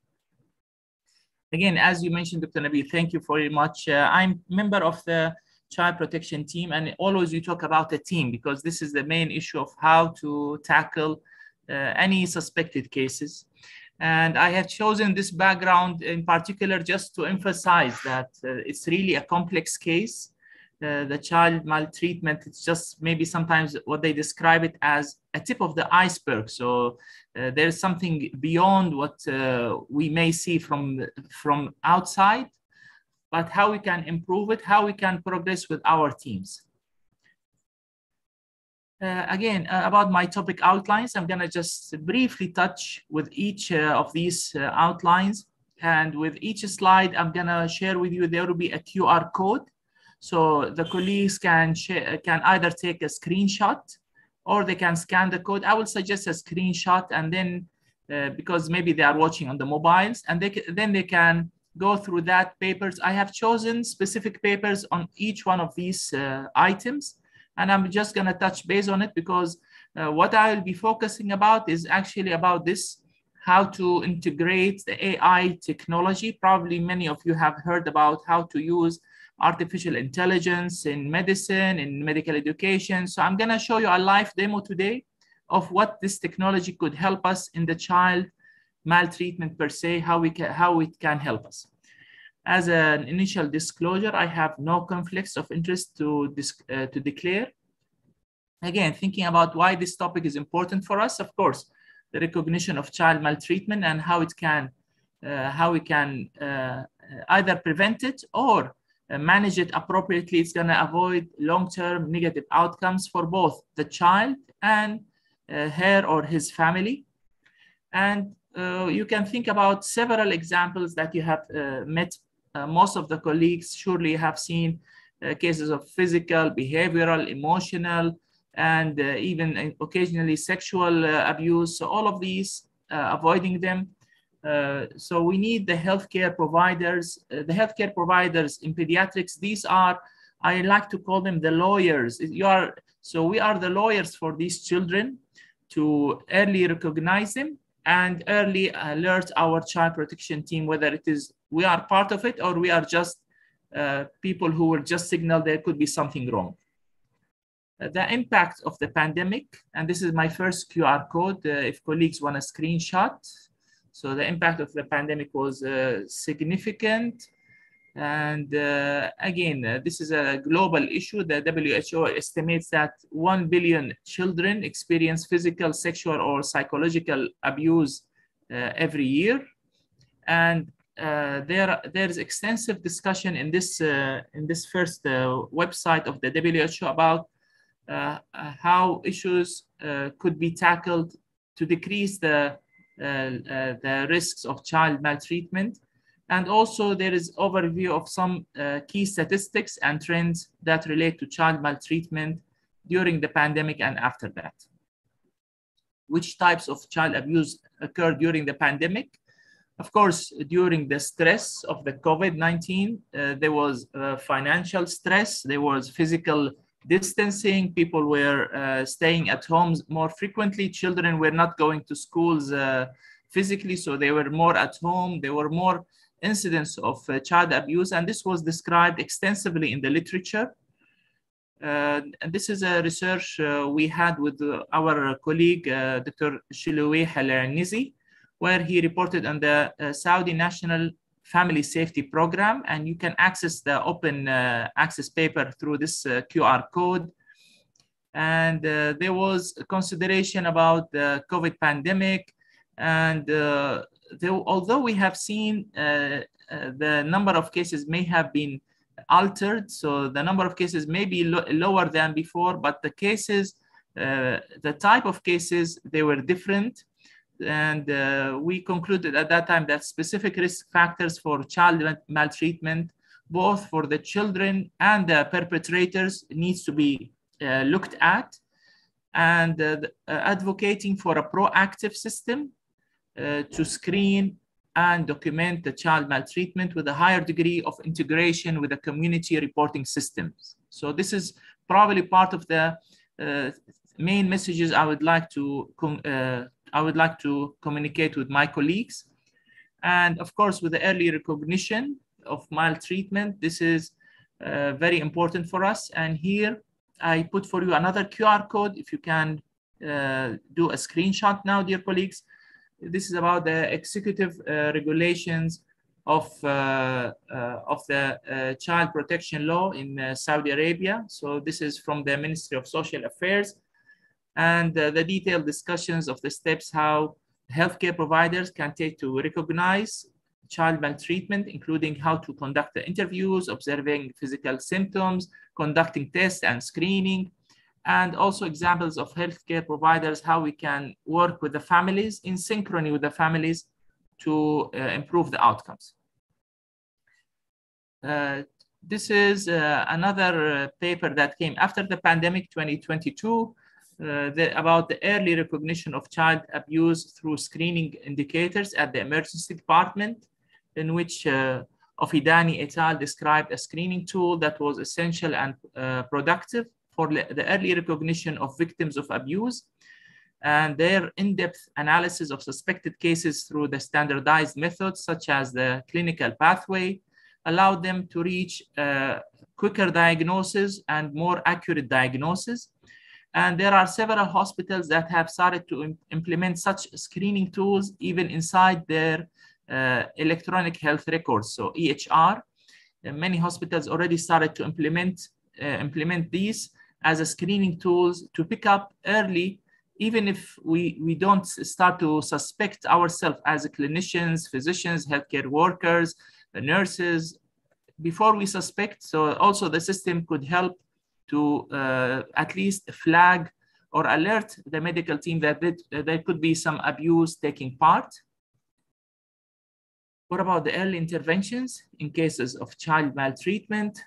Uh, the, of course, uh, we need uh, some overview of the steps uh, in which we can take whenever we suspect abuse, including the reporting to the appropriate authorities and providing the support and resources to the child and his or her family with discussion of how early intervention can prevent further harm and improve the outcomes of children.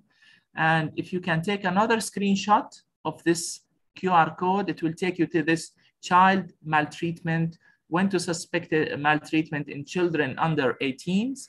And uh, this is a nice uh, clinical guidelines, which was originally published in 2009, but the latest update was 2017.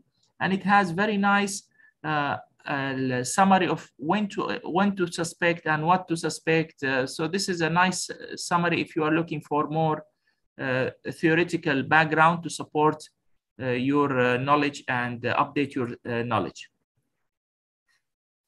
So what about preventing child maltreatment? Uh, let's imagine now I'm going to take you to a new chapter, totally new chapter. And here is the interactive session. I promise you that uh, hopefully will be brief and I will share with you uh, what it will show. So this is if you can screenshot uh, this or uh, if you can screen this QR code in your mobiles, if you can and open it, open this link. It's gonna take you to an overview of prevention so uh, I'm gonna just switch the screens here to another screen and I will show you what do I mean by that. So I'm gonna take you now to uh, a QR code, uh, to an AI model. And uh, where is that AI model in my screen? Okay, so this is the AI model I'm talking about, uh, which is, this is a, one of the artificial intelligence search engines that you may start to utilize in your clinical setting. So you just open, and it's open access. You can just open here You.com and uh, type your question here at the start. For example, I put it here. The question is the same that what we have put in my uh, PowerPoint. Uh, I would like to have some overview of prevention strategies.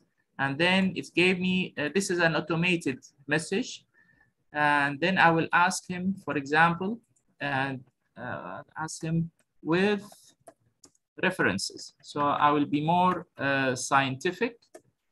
So, and immediately, if you can see now, this is a live demo. This is now what the AI is telling me about uh, the question I asked with some suggested references. The only caveat here, the only issue to keep an eye, just double check that these, these references are accurate because sometimes the AI it can give you a fake or not accurate references. So this is the only issue I will alert my colleagues to keep an eye when you are using such an AI model. Let me take you to another AI model. Uh, so I'm gonna switch the gear to another. Uh, uh, this is the chat GPT. Probably many of you have heard about it. Okay, this one requires some uh, uh, subscription, uh, subscription just mainly to, to link it to a mobile number. However, when you put here, for example, I asked for prevention strategies. And this is what the machine learning told me uh, or uh, verbalized for me. Now this website, it may give you less, uh, less likely to give you an accurate references. Here, I will try to ask it to generate references. I'm just gonna type references here. If you can see with me the screen. Okay, and then the AI now it's typing with me. If you can see, these are the references, but I would rather just keep an eye and double check if the references are accurate or not. So uh, with this, I'm gonna just uh, end the demo here and go back to my slides with your permission. Back to my slides. I hope it is smooth. Okay. So this was just a demo of what in the future, what we may see again. So the future directions with the NI, AI integration, I think we're gonna see more advancements in the technology including the AI integration, uh, not only in uh, our knowledge how to prevent and intervene in cases of, of child maltreatment, but also how the AI can help us to identify children at risk. As I told you, many hospitals, they have now in place uh, models, uh, EHR, electronic health records models, which can pick up early this child abuse uh, potentials. Again, we are just talking about suspicion of child abuse, of course. And uh, if you can screen, please, another screenshot for this uh, survey. This is a two minute survey about the chat GPT, the one I just show you now. And at the end of the survey, you will be directed to more information if you want to know more about this uh, artificial intelligence models, the ChatGPT. It will, after the two minute survey, it will take you to that specific video. I'm sure it's uh, in the next few months. You will, you, it will be very useful for all of us as a healthcare pro uh, providers, whether in pediatrics, child abuse, or other fields in our medical practice. So in summary, and uh, I promise you I'm gonna be very brief and I'm happy to take any questions or comments. In summary, it is important to take a proactive approach. So proactive as uh, the model says that I need not only active, I need to be more proactive in improving my uh, medical expertise and my team's expertise and experience and skills and how to, uh, how to report any suspected cases to the uh, to the appropriate uh, uh, agencies. Also, as, healthcare providers, all of us play a vital role in this early recognition and intervention. And I do hope we have more, more and more society campaigns just to explain to the people that if, it, if a newborn is crying, she needs to know that this is normal for uh, babies to cry, even if it is infantile colic. So the, the main issue is uh, how to how the people can uh, really know how to uh, manage any child's behavior without doing any harm or maltreatment. And the advancements in technology, including the AI integration, may hold promise for the prevention and intervention of suspected cases of child maltreatment and as uh, I, I, I will just conclude here with this is my email if anyone wants to have any further questions. And thank you for protecting our children. Thank you all. And uh, I will just silence my mic for a minute, Dr. Nabil. Thank you. Salam alaikum. Thank you so much, uh, Dr. Muhammad, for your interesting presentation. And also, actually, for for me, I was searching for you since a long time, but I did not know that there is a protection team. Uh, just my comment here is the reporting in Saudi Arabia is going well, and the reporter is protected. Yes. So the reporting, as you mean, as a team for suspected yeah. cases. Now, for example, I am in the ER I faced a case with a high suspicious of child abuse, and I wanted to report the case. In Europe, it was very easy to call the team and the report, and you will not face any problem. Now, I'm, I just want to ask, what about the situation here?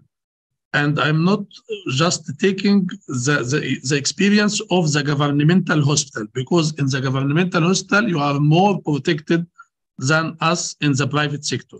I see. I will I will put myself now in the situation that I'm in ER of a private hospital.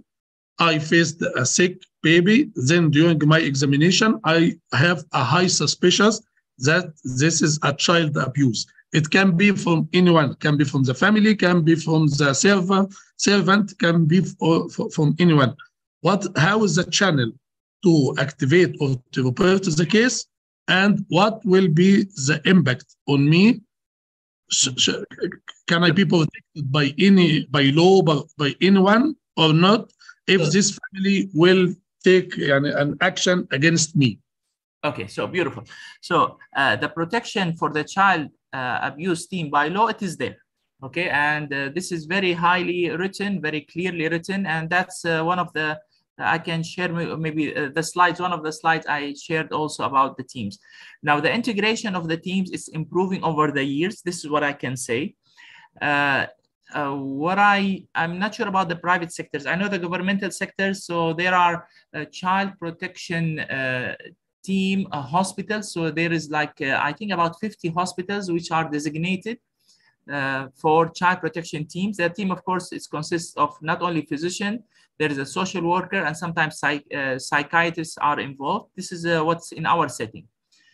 The, there is a reporting system, but about the going into any disharmony with the, with the family, what I know, if there is anything which could be what do you call it uh, life risk for the life of the patient so something impending risk which could uh, Yeah, life threatening. Life threatening. yes, you are fully protected, and uh, even the, the family cannot sign uh, DAMA, even or LAMA, depends on what the hospital call it. So if it is life threatening, if it's not life threatening, I will just suggest to go with the social workers channels, and there is a reporting, even if it is uh, the abuse, neglect. So the reporting, once it's reported, it's followed up.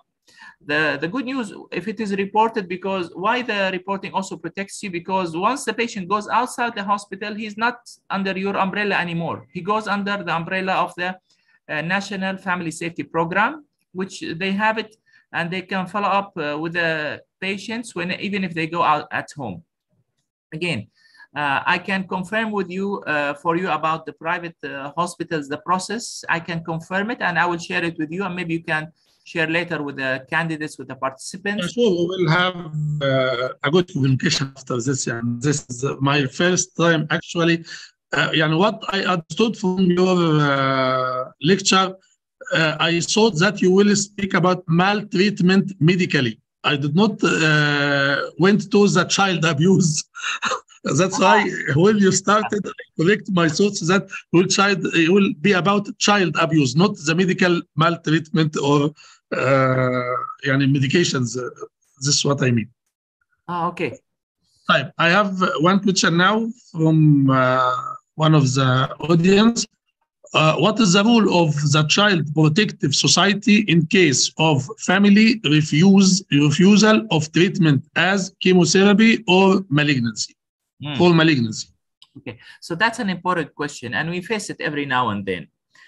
Uh, again, uh, uh, especially if it is advanced malignancy, uh, sometimes, uh, uh, let me give you, share with you one example about a patient uh, who was advanced, uh, advanced uh, one form of malignancy, and the treatment was only uh, palliative care. So, what part of the palliative chemotherapy to be given. However, the family was asking, no, we don't want that treatment. I want to take him for alternate medicine, uh, you know, like uh, herbs and the others. So alternate medicine. So the family was not actually refusing the treatment, but they were switching from one treatment, which I cannot prove that it is helpful, to another treatment, which uh, again, I cannot prove if it's helpful, but I don't want something harmful. So something if the family wants to go to cautery for the patient and I think that could be a, a physical abuse for the patient. I can uh, bring the team, uh, the team on board. Uh, uh, of course, there is no one size fits all. So I cannot give an answer which will be universal answer. Each uh, abuse or suspected abuse case, we tackle it for each patient per se. So some, even sometimes it happens in families, of course, as you know. So we'll have to take each individual sibling and tackle his uh, problem alone. Now, if that uh, if that treatment is life-saving, like a chemotherapy, let's say for an early stage leukemia, so that could be a life-saving. Uh, then, uh, of course, there is re- recounseling, and sometimes we have asked even the social workers to bring us uh, some support from the ministry to give more more uh, informed informed consent for the parents. Uh, but again, the parents' rights uh, override uh, our right to. We cannot force them to give chemotherapy, but we have to have uh, again counseling and counseling, and several times it is successful. So I hope that answered the question to the best of my ability. Uh, anything else, Dr. Nabil? Sorry, you are muted, I guess. Uh, Yeah, yes, okay, well, it's uh, it's clear now. Uh, I don't have any other questions so far. Thank you so much for being with us, and uh, inshallah, allow me to have a personal contact with you in uh, many. and any colleagues uh, who are willing to uh, anything uh, they have any questions they have my email there with best wishes of all of you Thank you, sir. Thank you so much, and thanks for being with us. and thank you all. You can, thank you. So now we will go back to our professor, Dr. Mazhar Ashur. He will continue with his second lecture. Uh, it will be uh, with an approach to critically ill child with fluid and electrolyte uh, arrangement. Okay, Dr. Mazhar, you can uh, start, make just full screen and start. Thank you. Yes, uh, good evening again. It's me again here. Uh, I would like to thank all the attendants again for their attendance and their patience with us for this for the last long lectures. In the previous talk, we have talking about how is electrolyte disturbance can make a hazard in patient with diarrheal disease. We exposed the commonest problem happen with uh, diarrheal disease considering electrolyte derangement. But all of us known as an intensivist that we face a lot of electrolyte disturbance associated with other systemic infection, uh, systemic affection in uh, critically ill patient. Usually they have a sort of electrolyte derangement. And this is, can be a key in management of these cases who are critically ill. Uh, but uh, I, I, want to give a note here that this lecture was made to be an interactive lecture. According to the instruction of Dr. Nabil, he want the, the, the talk to be mainly practical and applied clinically. Uh, um, after the last lecture, we heard from uh, Dr. Hani that there's a lot of technology that we can make it interactive, but actually I didn't have this technology. I wish I can have it uh, like how he exposed this to us. Uh, so allow me to talk uh, about uh, cases I we faces in the ICU and the PICU.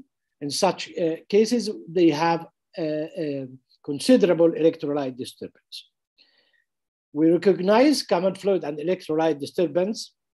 We will try to list a diagnostic strategy for this disorder and we'll go through with management principles. Principles only will not go into details. I will start with the first case. This is a three months old child in the PICU. He is coming for shock following a two day history of fever.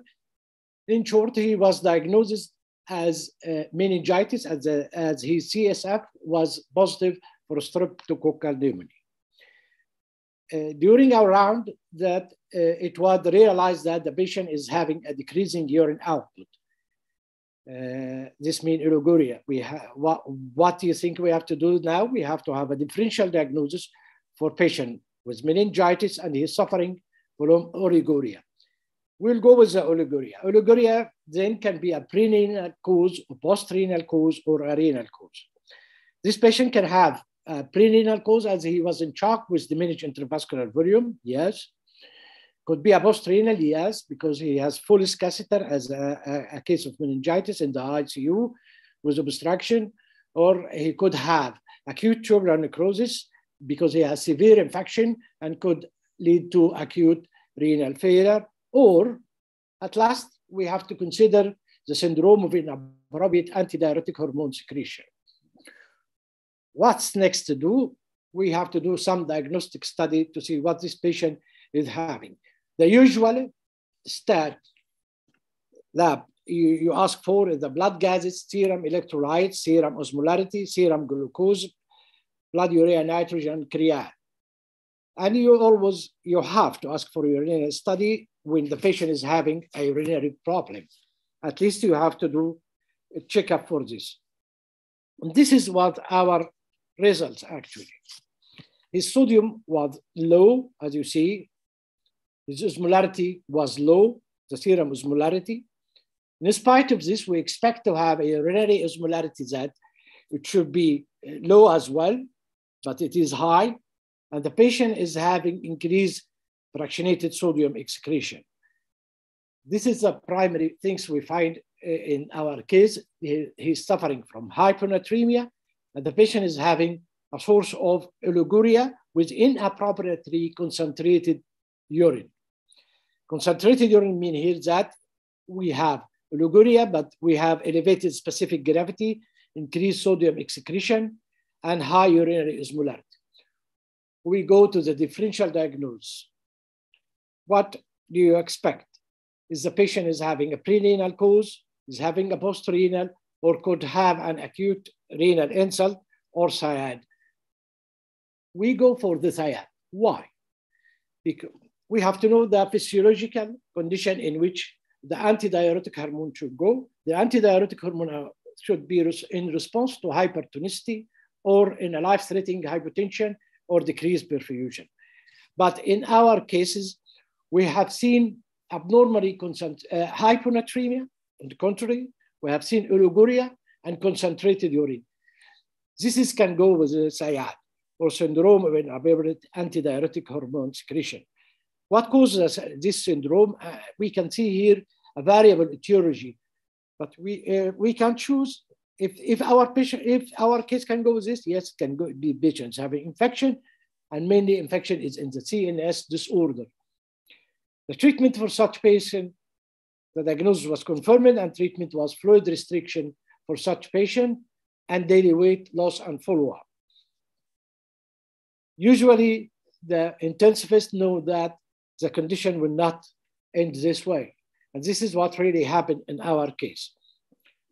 Four hours after beginning of fluid restriction, we are called because the patient developed seizure. And he actually received two doses of midazolam and a loading dose of phenytoin, and he's still seizuring. What do you expect them to be? It could be a systemic or symptomatic seizure, either due to hypertension medication, or the patient is having another electrolyte disturbance, or the patient, the meningitis is worsening, or he have intracranial event. Maybe he have intracranial hemorrhage or thrombus or fracture, or actually he could, the, the hypernatremia is getting worse. Why you should suspect this? Because the patient is not responding to uh, uh, uh, anticonvulsive, conventional anticonvulsive uh, therapy. It's not responding well. So if I were you, I will ask for the serum sodium as a stat emergency uh, call. And this is what really happened when we asked for the serum sodium, it was very low. It was 170. What do you expect to do next?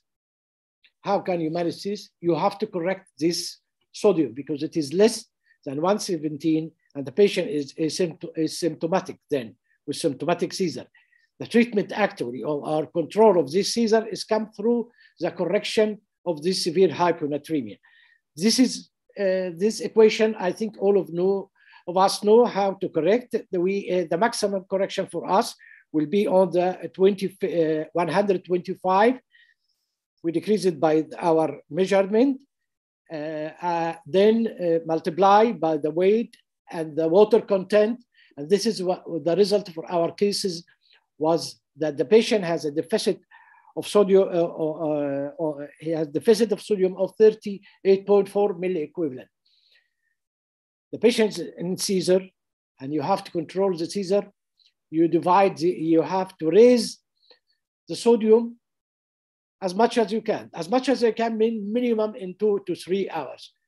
So we go the equation and we, the, uh, and supposing that the defect is only five, sorry, multiplying by the weight, by multiplying by the way, uh, uh, the water content of the body, you will need 24 mill equivalent of sodium.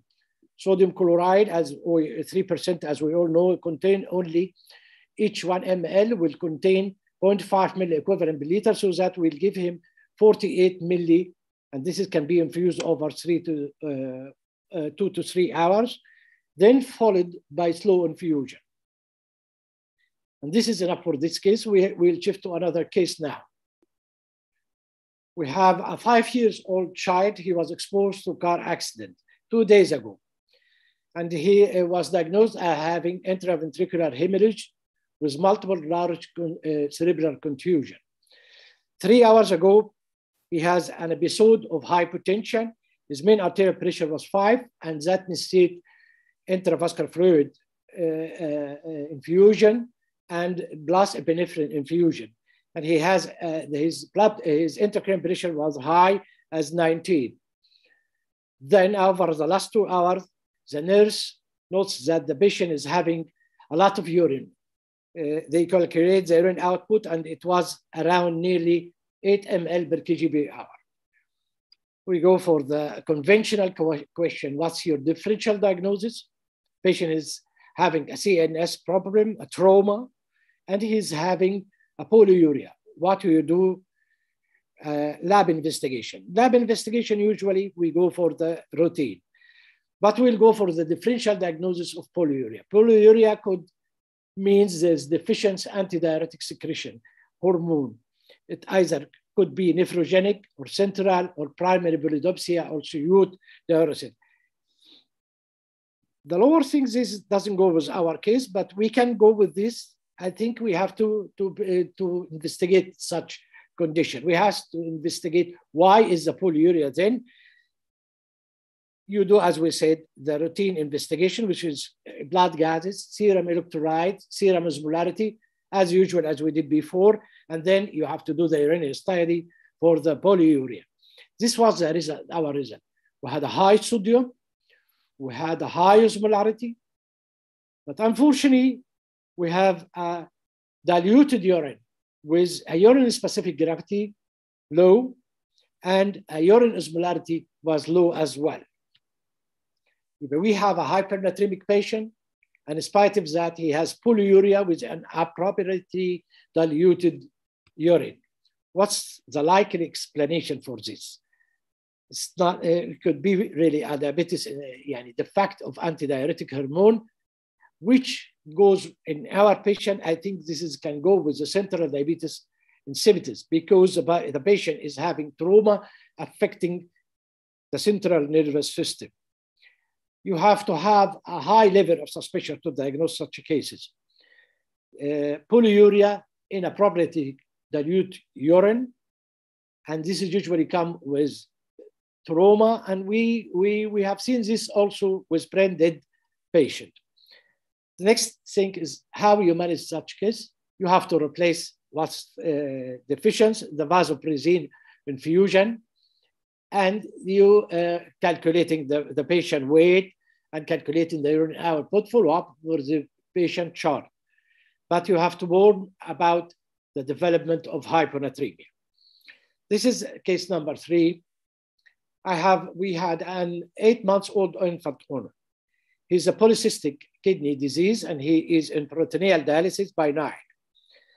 We do lab investigation before the dialysis and there was an alarm coming for us from the lab technician that the potassium is 7.1 milli equivalent and uh, uh, uh, the sample is not hemolyzed.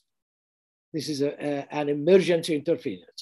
What we'll do usually in such case, immediately we have to interfere because this is a life-threatening condition we'll repeat the serum sodium immediately, as well as we'll ask for an ECG for such patient. And if you have any potassium in infusion or oral intake, you have to stop it immediately. This is a hyperkalemic patient. And this is what the ECG finding. We have a tall peak T wave, shortened QRT interval, typical case of hyperkalemia. And this is his ECG uh, we have seen. This is a hyperkalemia with ECG change. You have to interfere immediately to treat the hyperkalemia. First thing that you have to do is to antagonize the effect of the hyperkalemia on uh, the cardiac uh, membrane that can lead to arrest of the patient. You, you can start to give the patient calcium gluconate. Then we'll try uh, what's rapidly done to decrease the intravascular potassium content is that all, all know this procedure is a glucose insulin uh, technique with alkalinization of the blood. Some people would go with using of beta agonist, beta 2 agonist, which is uh, salbutamol. You can use it by inhalation or you can use it by IV. In my own experience, it, it gives good result for controlling of the disaster effect of the hyperkalemia. But actually, body to on such cases. Either you do the dialysis or you go for the sodium Kayexalate. Uh, to my experience, in patient with, with high potassium and uh, ECG changes, if you have the ability to do immediate dialysis you, and use other uh, protective measurement, you will succeed to control this patient. Otherwise, you're going to lose the patient. The, the fourth case here we have is a child coming to us recovering from septic shock. uh, during this shock, he received 150 ml per kg intravenous. But unfortunately, the patient developed anasarca. So he was started on Lasix infusion. But uh, unfortunately, the patient started to, severe, to suffer from severe weakness up to hypoventilation. And uh, he was on monitor. So we have realized the presence of PVCs in the cardiac monitor. As uh, this is an emergency, of course, uh, PVCs in the cardiac monitor means that you have to, to interfere immediately. We ask immediately for test. Actually, this is, was the shock that we found the potassium is very low in such patient, reached to 2.4. And this is, was really mainly related to the infusion of diuretics. This is the ECG of, of our patient, the flattening of the and inversion of T wave and the appearance of the U wave in such patient is diagnostic of hypokalemia. Excuse me.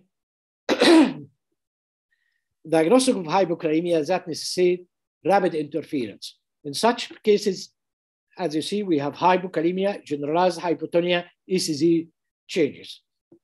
We treat with, uh, I used to give, if the patient is alert and can receive any volume of uh, potassium serum you give him, but be worried about the diarrhea and the uh, disturbed gastrointestinal movement that can be associated with such patient. Get an IV line as much as you can. We all know that you are not only allowed with uh, a concentration of potassium in the solution of 40 to 60 milli equivalent in the peripheral line. But if you have a central line, you can give the patient uh, around 1 milli equivalent per kg over one or three hours. You have to correct the hypokalemia immediately and worry about the magnesium. Deal with the magnesium as well in patient according to your result.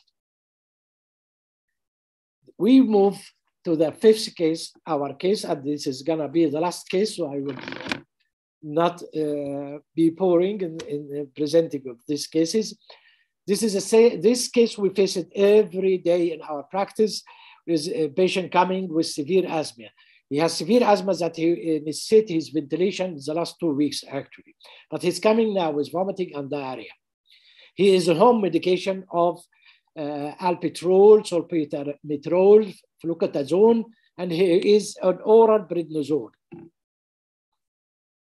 The physical finding of this patient is that his blood pressure is low, his heart rate is high, his respiratory rate is around 40, and he has fever.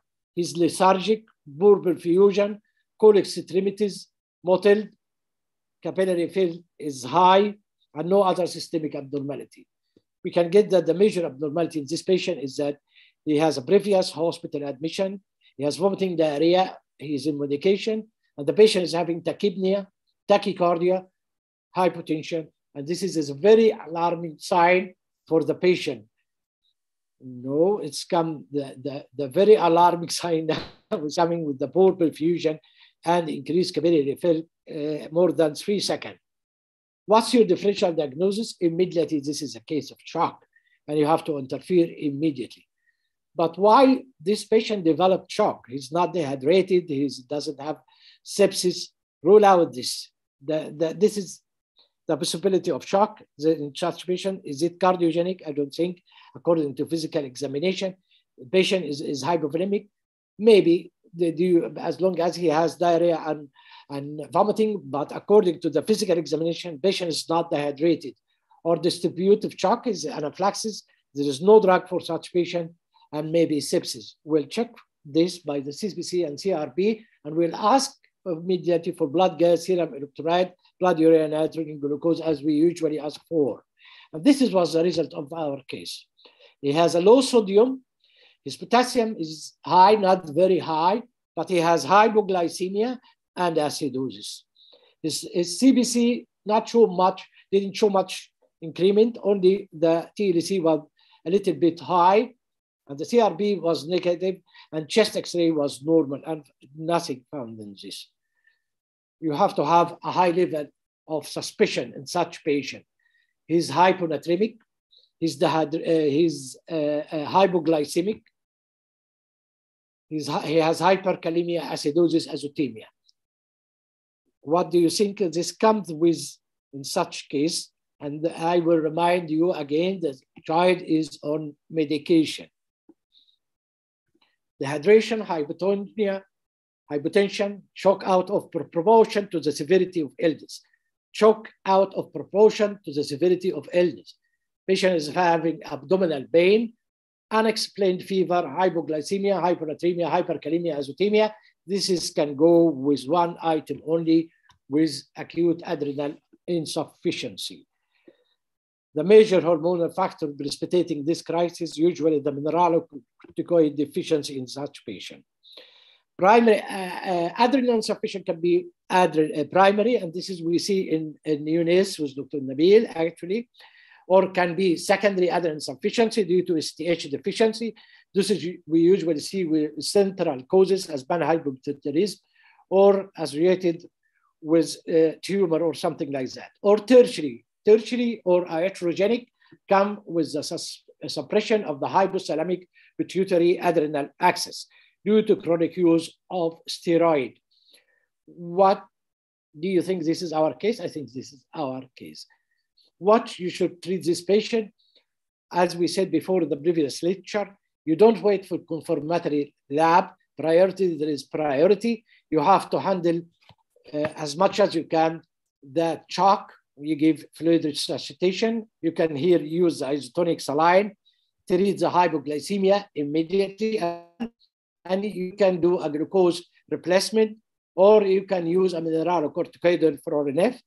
And ask at this point, you have to ask for the help of the endocrinologist.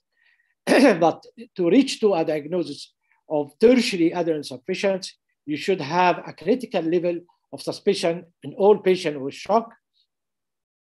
If it is not explained with the severity of disease you are facing in patient. Uh, our message we want, I want to give that disorder of sodium and water and potassium is common in critically ill patient. Diagnostic approach must consider carefully for each patient. Strict attention, attention to details is important in providing effective therapy. Thank you all for uh, tolerating me for uh, this lecture. Thank you all for your attention and for your time. And I hope that it was beneficial. Uh, I would like uh, uh, to thank the fellow panelists for their valuable effort to make this meeting valuable to everybody and we'll see you next year, inshallah. Thank you, everybody. Thank you so much, uh, Professor Mazhar, and uh, I hope, inshallah, we will have you all the time with us. Uh, maybe next time we will be physical. Uh, we enjoyed uh, too much your uh, presentations and your lectures. Uh, it can be a little bit uh, difficult for general pediatricians, but it's very important uh, that uh, the take-home medicine uh, you start early and treat electrolyte imbalance and the shock. And it's better to refer any patient for those who are to the subspecialty early. Uh, don't take time until the patient will lose and is about to lose his, his life, then you will transfer. So I don't have so any questions. So I thank you so much and uh, thank you for, for being with us. And I hope, inshallah, everything will be uh, good and the, everyone will take your uh, advice seriously. Thank you very much. You. See you next year, inshallah. Thank you. Sir. Can stop sharing. So we will continue. Our next speaker uh, will be Dr. Yasser Qazzaz. Dr. Yasser Qazzaz is a pediatric critical care and cardiac critical care consultant with a subspecialty fellowship in extracorporeal life support uh, at King Abdullah Specialized Hosp Children Hospital, Riyadh, Saudi Arabia. Uh, he is the program director of the Pediatric Critical Care Fellowship uh, in uh, Saudi Council, and he is a member of Pediatric Critical Care Fellow Fellowship and Pediatric Cardiac Critical Care Fellowship Scientific Committee in Saudi Commissions for Health Specialists. Dr. Yasser will speak to us about the traumatic brain injury in PICU. Welcome, Dr. Yasser, and uh, I hope that we did not disturb your uh, off day and uh, كل سنة وانت طيب بمناسبة uh, يوم التأسيس. يعطيك العافية وانت طيب. Uh, thank you very much, Dr. Nabil. Uh, I would like to thank you first for giving me the chance to be here with you today uh, and present uh, about traumatic brain injury. It's it's really my pleasure. So I'm just going to take the next half an hour to go over the evidence base uh, with clinical uh, correlation of what we do with patients with severe traumatic brain injury, the patients who come to the ICU. So uh, traumatic brain injury, Yes, you sir. can see my slides, correct? Full- But make full screen, please. It is full screen. Not yet. أيوه. Oh, Oh, oh, oh. Now is it full screen? Yes. Oh, perfect. Yes. So, Thank you. uh, traumatic brain injury uh, still remains the most common cause of death and disability in children. So, basically, one out of five children with severe traumatic brain injury uh, dies, unfortunately. And the data from Saudi Arabia, actually from King Abdulaziz Medical City, where I work, where they looked into the pediatrics trauma in general. 40% of trauma patients in the hospital admitted were actually pediatrics below 18 years of age. One third of those had traumatic brain injury. And the most common causes were, of course, motor vehicle accident and pedestrian injury, and the mortality there was 15%, so almost one out of six. When we talk about severe traumatic brain injury, it's basically based on Glasgow Coma Scale, who patients will present with a Glasgow Coma Scale of eight and below. And when they're 9 to 12, it's moderate, and it's mild, 13 to 15. So just before we we go into the, the evidence based on how we manage, just few principles. So uh, the, the the cranium or the skull has three main tissues inside them, which is the brain 80%, CSF 10%, and blood 10%. And it's a closed, closed space. So, however, if there's one space that needs to expand, a bleeding, for example, or, or brain that swells, there's not a lot of space. So, if, if volume has to increase, there's going to be increased dramatic in pressure. So, it's not one volume is going to increase the pressure by one. Actually, at some point, any volume is going to increase the pressure dramatically. Uh, in terms of the other uh, factors that we looked at, the perfusion and uh, pressure autoregulation. So our brain is completely isolated from our body in terms of autoregulation. If we're really hypertensive, the brain is going to decrease the blood flow going uh, to the brain. If we're really hypotensive, the brain is going to dilate the brain vessels to get more blood into the brain. So there is what we call an autoregulation. So our brain maintains its own perfusion on its own through a blood-brain barrier. So if there is a pressure anyway, and this is adult from 50 to 150, the brain is going to manage its own perfusion with no problem. However, if we exceed the 150 or below below 50 for blood pressure, then the brain cannot do anything about it. And basically, what happens that the, the brain is going to lose its, its blood perfusion, either too much blood or not enough blood. And in cases of trauma, around 40% of patients with severe traumatic brain injury are going to lose this autoregulation. So they cannot control how much blood and how, they perfuse their brain anymore. And that's where ICU comes in to try to control the blood pressure in a certain range to perfuse their brain. The pathophysiology, so as you know, initially when there are trauma initially occurs, the, there is an injury that occurs, we cannot do anything about it. It's the focal brain injury, where there's a brain contusion or a bleeding, interparenchymal, subdural, epidural, subarachnoid. That's already occurred. We can't deal with it surgically to drain the bleed, but that has already done, or a diffuse brain injury.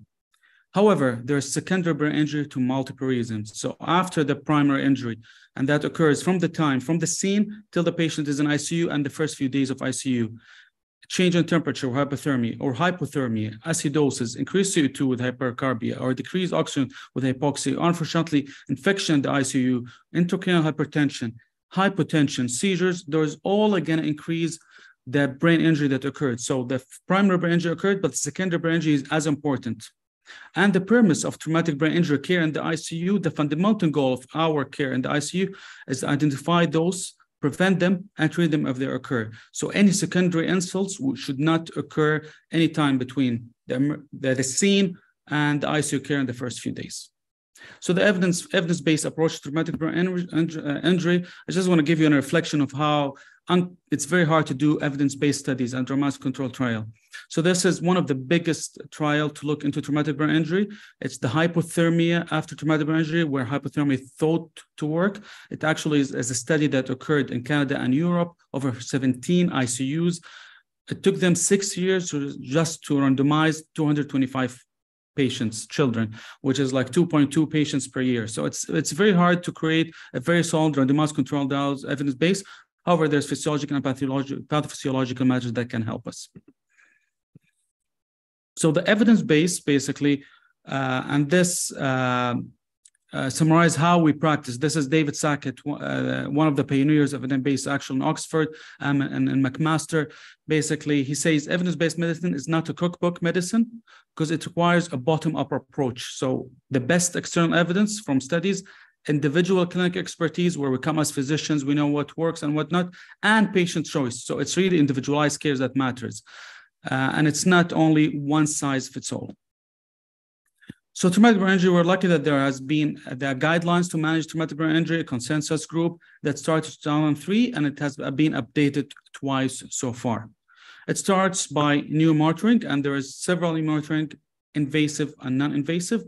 So what the guidelines say about intracranial pressure, again, it's a level three recommendation, not backed up by a of evidence. It's, they say it's ICP is suggested to be used. So if you have a patient whose GCS is eight and below, and you're managing as a case of severe traumatic brain injury, a bad traumatic brain injury, what they recommend is intracranial pressure in any form, either an EVD, extraventricular drain, or interparenchymal drainage.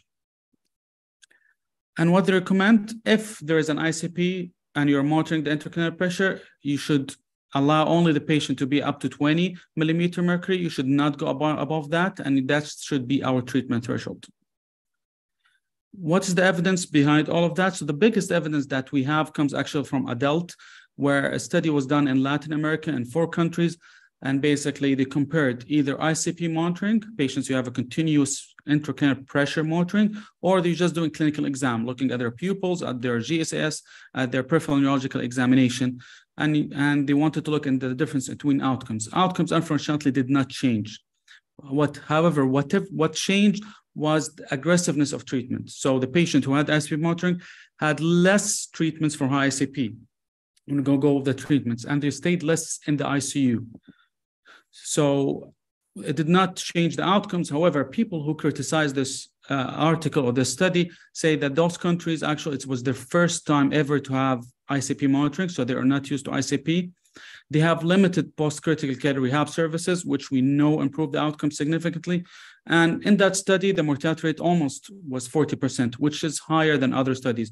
So they say the funding of this study cannot be generalized to the whole world. Cerebral perfusion pressure, what, what the ART1, what cerebral perfusion pressure is, is the mean blood pressure. So you need an arterial line to measure the mean blood pressure minus the intracranial pressure. So if we have a mean blood pressure of 70 and your intracranial pressure is 20, the cerebral perfusion pressure is 50. So what what is the cerebral pressure that we target? Again, if we have intracranial pressure monitoring. So they, the guidelines says, you know what, we recommend anywhere between 40 to 50 based on age. So if you, if you have a neonate or young infants, you should go for 40. If you have younger, older children, you should have 50. It's not backed up with a lot of data. In addition, there has been a, a recent article in 2021 that comes from Pittsburgh that looks on what threshold patients had and they survived actually. And those ranges were much higher than what we actually practice and what people what the guidelines recommend. So for below two years 45 was rated with better outcome. For two to eight 57 and above eight 68 which is really high cerebral perfusion pressure.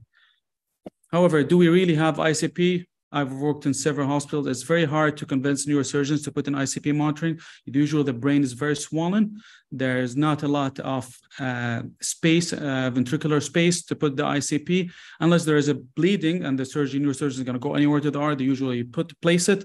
So surveys from US and United Kingdom show that actually 60% only of the surgeons will agree with putting ICP and uh, in the UK, only 60% patients uh, with severe traumatic brain injury will have ICP monitoring. So it's not common to have ICP. Whatever, if you don't have ICP, what we do, so we just come with a calculation based purely on mean blood pressure, and that comes from CHOP. Um, basically, we just target a certain mean blood pressure according to age taking into consideration that the ICP is slightly going to be high. So uh, those are the targets just to replace the CPP. What about non-invasive monitoring? So we've spoken about CT scans. So any patient with traumatic brain injury uh, from emerge is going to have a CT scan. First of all, to look into any neurosurgical intervention that needs to be needed, a patient who has epidural, subdural, any bleed that can be drained, and look at the brain, how swollen it is. And when we say the brain swollen, like this image, you see there's no sulci at all the peripheries. So the gyrion sulci is totally effaced. So the brain is totally swollen and the ventricles are very small. So if you have these findings, is it recommended to repeat CT scan again after six hours, 24 hours? Actually, it's not. So once you have the first CT that draws everything, it's not recommended to do a routine CT scan. So when do we do CT scans? Again, if you don't have an ICP, and you have a change in your clinical exam. So the GCS drops more than two, change in the pupillar activity or there's pupillar asymmetry, there's a new motor deficit, or you have a patient who you have a herniation syndrome, not ICP, high ICP. High ICP is basically tachycardia, hypertension, but even beyond that, herniation is beyond that when you have um, the pupils are dilated and reactive. That's really an emergency uh, to do imaging and to act upon it actually. Other things that you have electroencephalograph, so like a continuous EEG, and it has been found that 20% of patients with severe traumatic brain injury will have seizures, and unfortunately, 50% of those are be non-convulsive. So one out of 10 patients with severe traumatic brain injury is going to have seizures that we cannot see clinically. And unfortunately, some of those patients, their management is heavy sedation and paralysis, so they might be seizing underneath, and we cannot tell.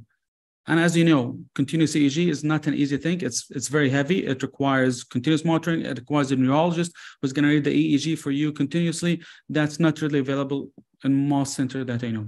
So what has been replaced with is quantitative EEG. So it looks into this the same EEG, but it compresses the data and it makes it easier to read for bedside critical care team.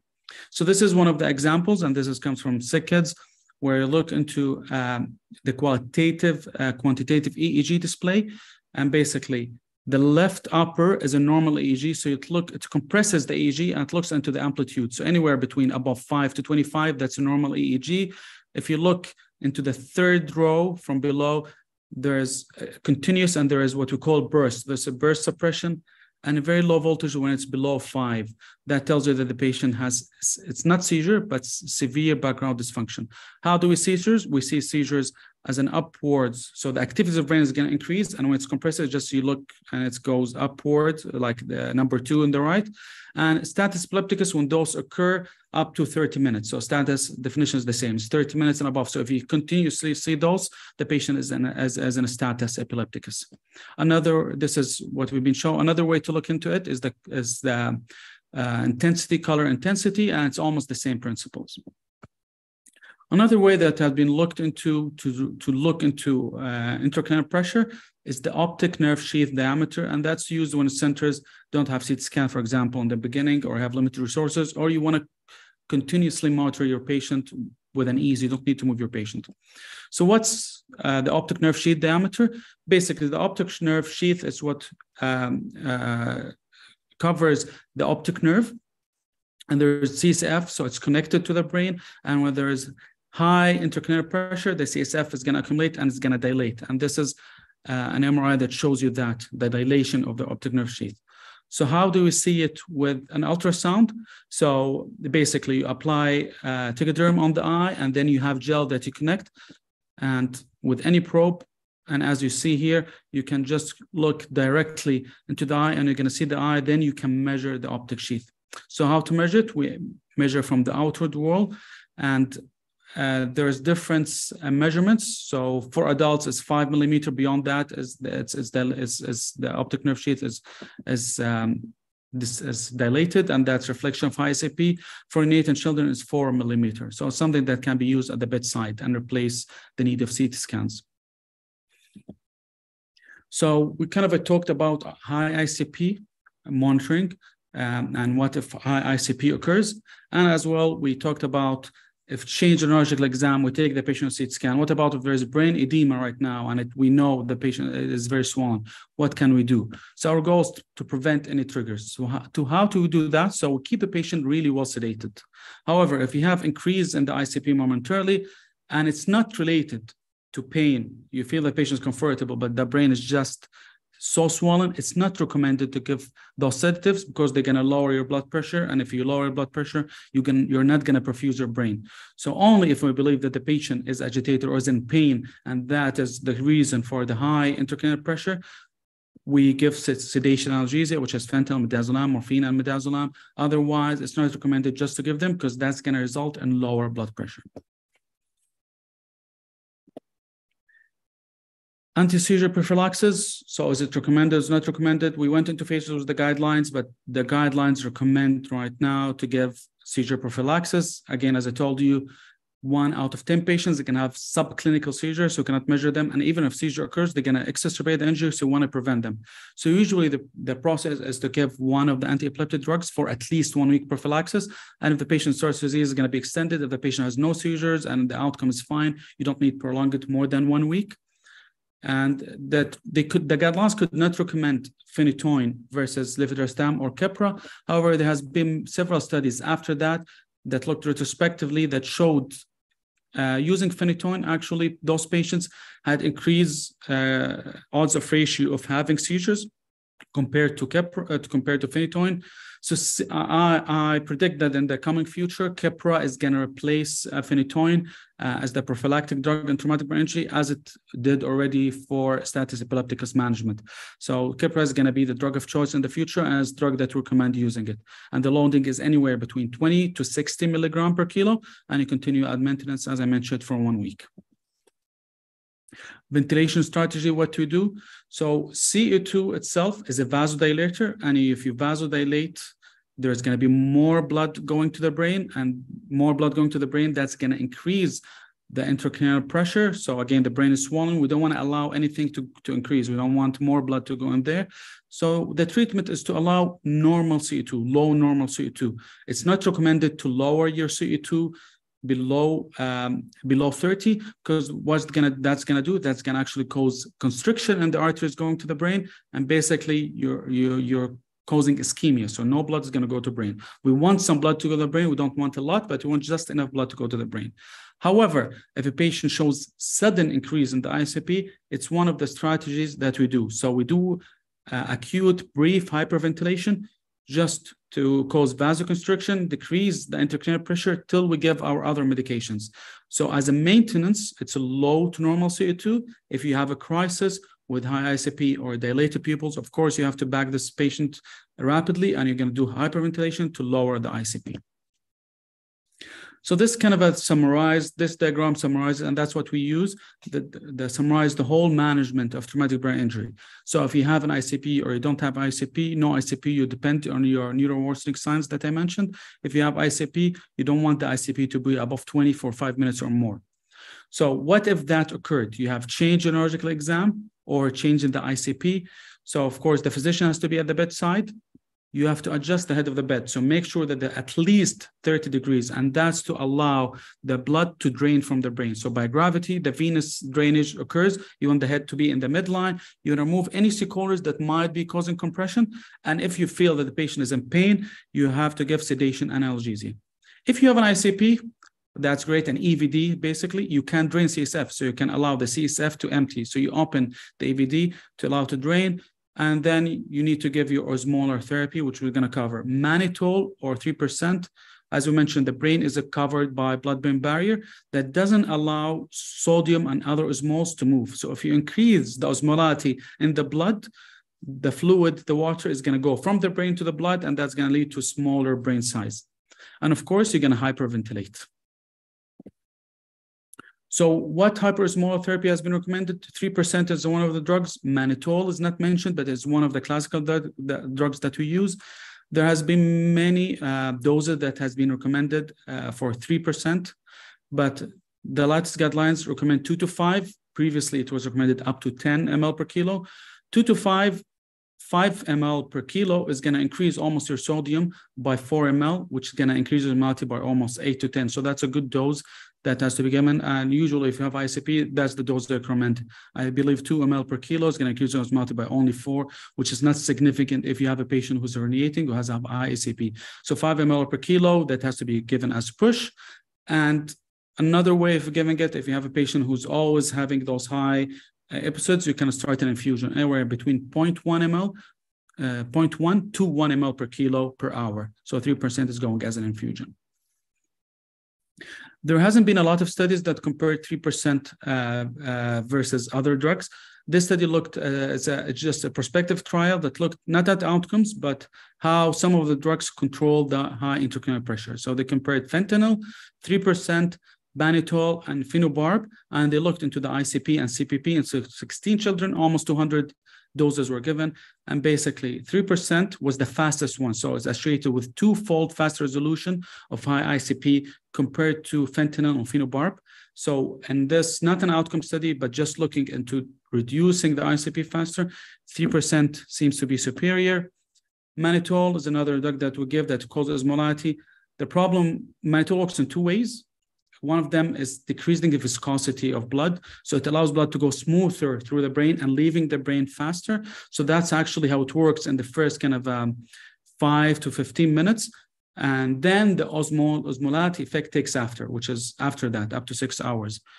Uh, the issue with osmannitol, as you know, is, is diuretic. So if we're going to give it, we have to be careful with the urine output because we don't want the patient to be hypovolemic and having low blood pressure. So blood volume has to be replaced if the patient has is diuresing. So if we have to choose, if we have the luxury to choose between 3% or mannitol, we're going to go with 3%. If mannitol is the fastest and easily available, I'm going to give, gonna give mannitol uh, to help. And hopefully soon, we're going to have some more insight on 3% benefits of mannitol. This is a study that's going to come that actually Saudi Arabia was part of it, the hospital I work at. And actually, we looked into traumatic brain injury in Asia, Asia, and in Latin America. Uh, it's more than like 30 ICUs uh, across the world.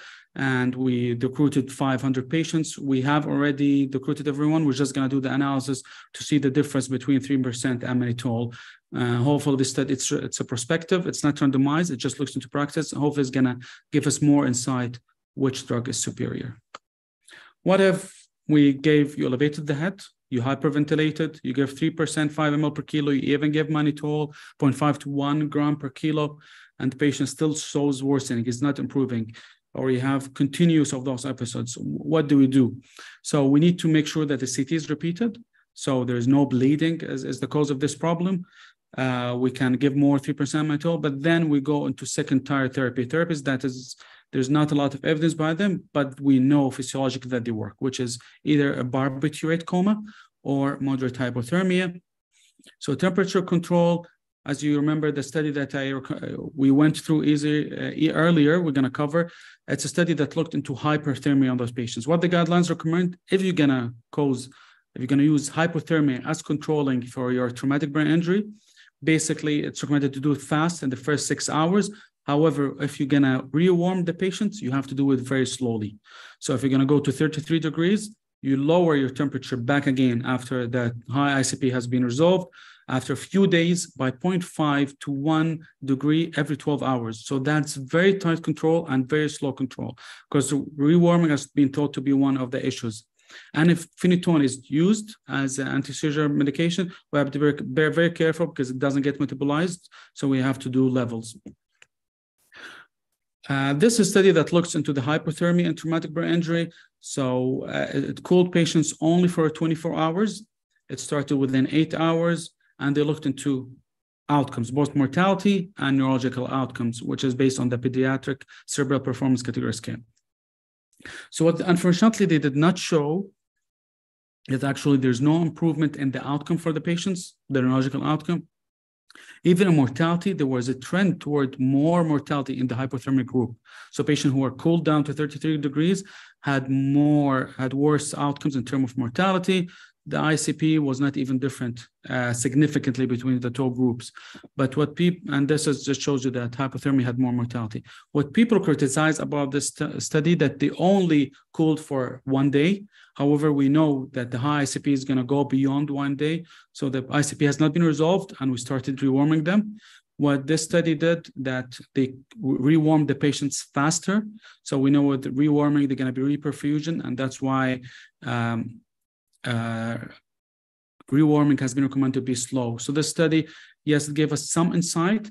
However, it, it, it doesn't um, tell us that hypothermia is not good. It just tells us that don't use it. And maybe what we should do is controlling of the temperature. And if we forced to use the hypothermia, it has, you have to warm the patients very slowly after that.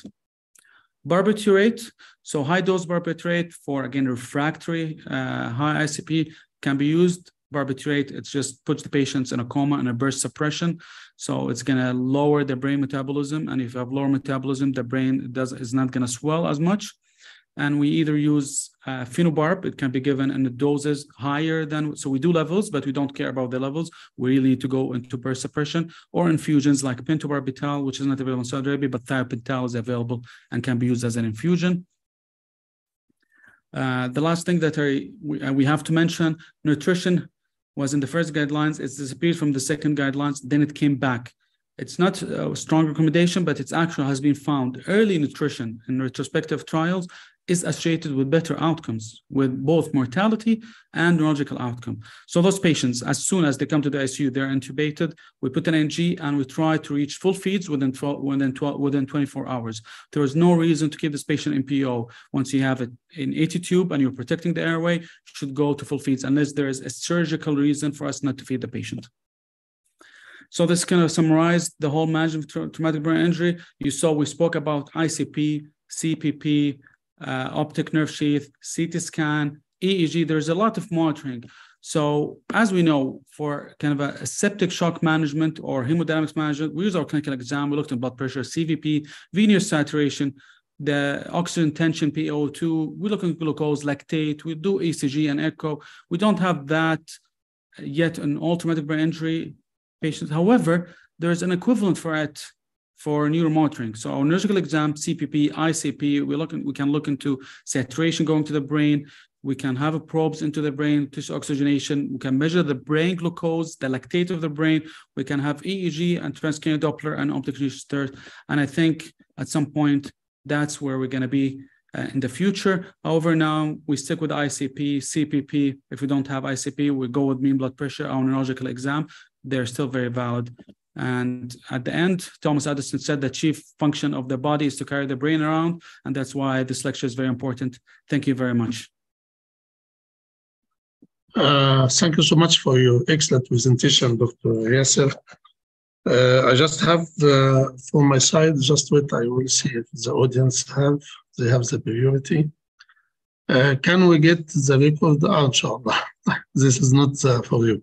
Right, for you, I have. Uh, if the child uh, received mannitol and started diuresis, and you want to replace, how you will replace? You will replace after fixed amount of urine, and then you replace more, or you will replace uh, what is stored the uh, fluid, the intravenous fluid, or how you will replace. So there's different practices. There's nothing wrong, but what I would do if the urine output is more than four ml per kilo, I'm going to replace anything that's above that, four ml per kilo. Above I'm going to replace it for a few hours. Yeah.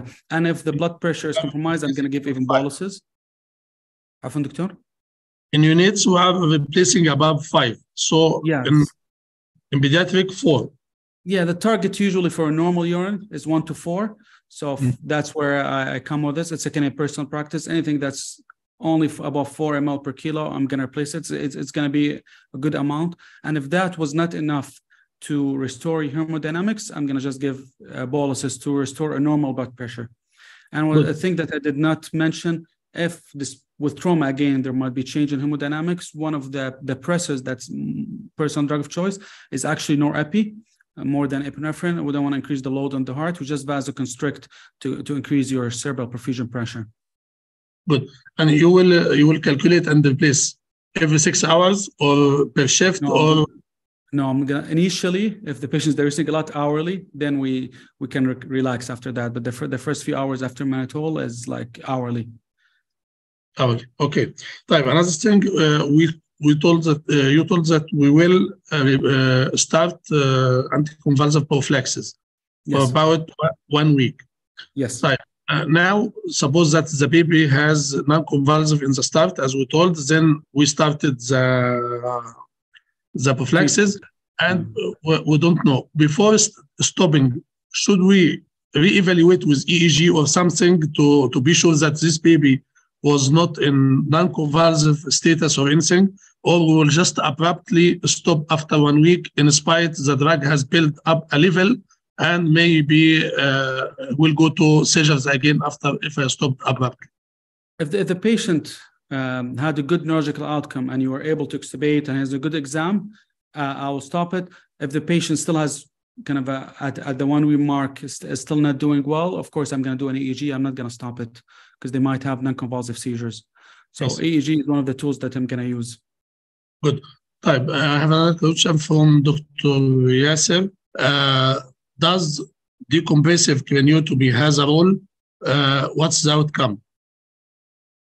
طيب um, so th- there's there has been a lot of studies looking into that even in, in Saudi Arabia co- including multi-center trials for adult patients uh, in the guidelines it's it's still mentioned there that it's decompressive craniotomy for refractory ICP however when you look into the adult studies they shifted patients with who the mortality decreased However, they had more vegetative patients in the decompressive craniectomy.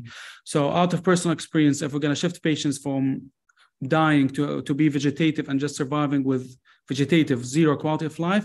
Uh, I personally I do not go with the compressive craniotomy to control high ICP.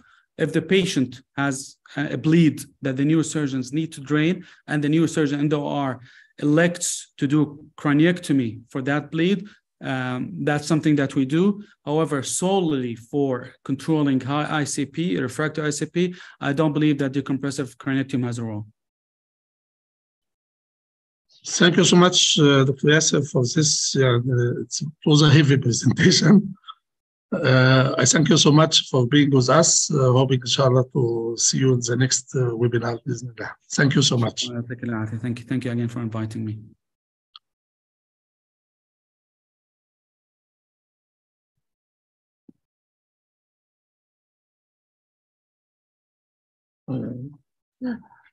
Okay, now we will continue with uh, the next speaker. Our next speaker will be Dr. Anada Al Qadi. Uh, Dr. Anada Al Qadi is a consultant physio pediatric physiotherapy and she is the chairman of the uh, neonatal uh, physiotherapy team. Uh, also, she is the chairman of the swallowing training team in our NICU. She is uh, she's working with us in Saudi German Hospital in Riyadh. Uh, she will give us uh, a comprehensive overview uh, over the rehabilitation for patients with CP. Okay, Dr. Anada, you can share your presentation and start.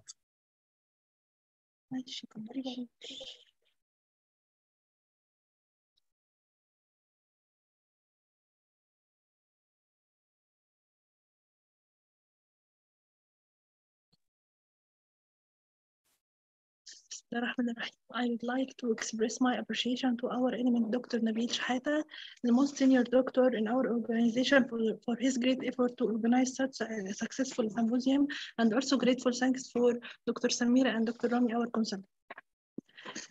Uh, Physiotherapy has a great role in all pediatric cases at different ages, but my talk will be specific today on rehabilitation for cerebral palsy. Outlines for the lecture, what is the cerebral palsy, classification of cerebral palsy, difference between spasticity and contractures, uh, physical problems of CP, what is the benefit from physical therapy to uh, CP, uh, some approaches used in, in physical treatment of CP. First, what is the cerebral palsy? Cerebral palsy is neurodevelopmental impairment caused by non-progressive lesion in single or multiple location in immature brain. The lesion leads to persistent disorders of movement and posture appearing in early in the infant's life. It's not a specific disease, but a problem of group neurological disorders of right causes.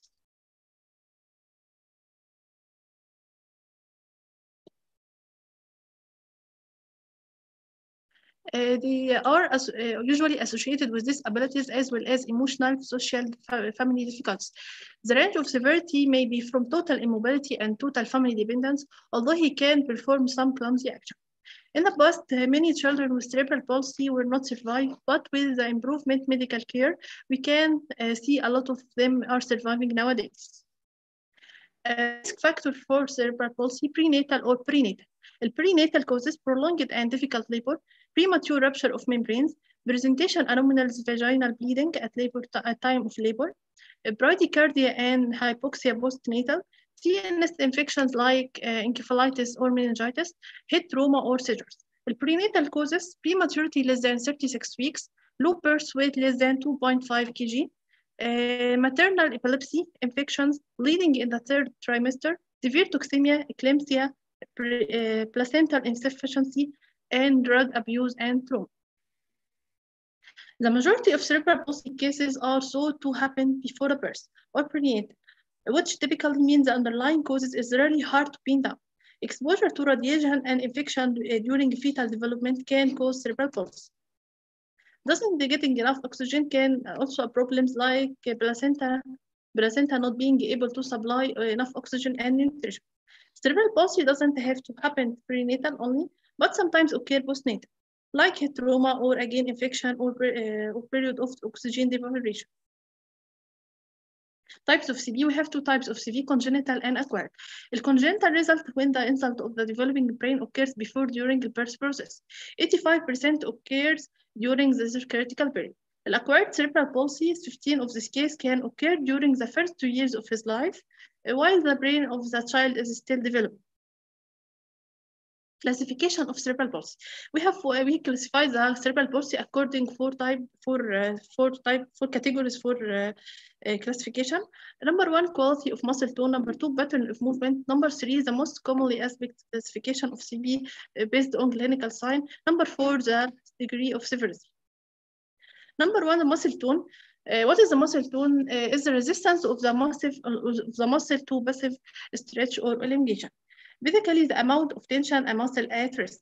Normal tone uh, is high enough to resist the effect of gravity in both posture and environment and movement, yet low, uh, yet low enough allow to freedom of movement. The hypertonia is the resistance of passive movement. It's not depending on velocity, can be with or without spasticity. What is the spasticity? Spasticity is an increase in, is in the resistance to sudden passive movement and is velocity dependent. The faster the passive movement, the stronger the resistance. Spasticity considered to be a form of sustained efferent musculature hyperactivity dependent on the continuous supraspinal drive to the alpha motor neuron. The muscle tone is dynamic and can be influenced by the body position and hip position, if emotional factors like anger, systemic factors as illness, or fatigue, uh, uh, environmental factors like uh, temperature and behavior factors, including effort. Spasticity is characterized by increased muscle tone hyperactivity, reflexes, and possible clonus or rigidity. The increased muscle tone may, may result in the loss of joint motion, leading to contractures. Treatment of established contractures is very difficult. Prevention of contractures by joint mobilization is based on the goal in the management of patients with spasticity.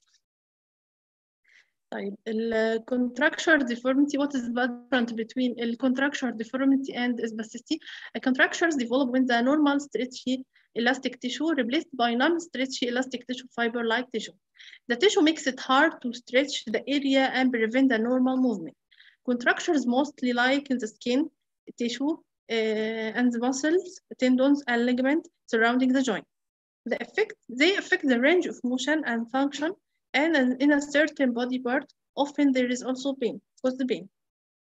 This is modified Ashworth scale. This is a scale which we use to measure the spasticity. We have five. Um, uh, we have five grades for measuring the spasticity from zero to four, which is uh, zero is no increase in tone, which is the muscle is normal. Number one, uh, grade one, slight increase in tone, catch and release at end of range of motion. One plus, slight increase in tone, catch and release, and resistance through the rest of half of range of motion. Uh, grade 2, marked increase in the tone through the range of motion, but affected parts moving, moved easily. Number 3, grade 3, considerable increase in tone, passive movement will be difficult. Number 4, uh, or grade 4 affected parts in rigid flexion and extension. Uh, there is difference between how to measure spasticity and how to measure muscle power. The muscle strength we, uh, we use to evaluate uh, muscle power we use to evaluate the muscle strength can be effective in different weakness from the imbalanced or poor endurance. We have we have also five grades for measuring the muscle uh, power or muscle strength from zero to normal. Zero no muscle or no contraction in muscle seen. Uh, grade one trace flicker or contraction is seen. Grade two poor active movement only with gravity elimination. Uh, grade three fair active movement against the gravity with no resistance. Grade four uh, good uh, active movement against gravity with some resistance. Number five and normal. This is the normal muscle activity, full range of motion against gravity with full resistance. The second category for classification is pattern of movement we have four uh, we, have, we have five uh, we have four, uh, five we have five categories for pattern of movement. Category number one is spastic type, including hemiplegia and diplegia, quadriplegia. It's about 70 percentage of the cases. Dyskinetic type from cerebral palsy include the acetosis, dystonia, chorea. Number three, ataxia. Number four, hypotonic. Uh, number five, mixed type.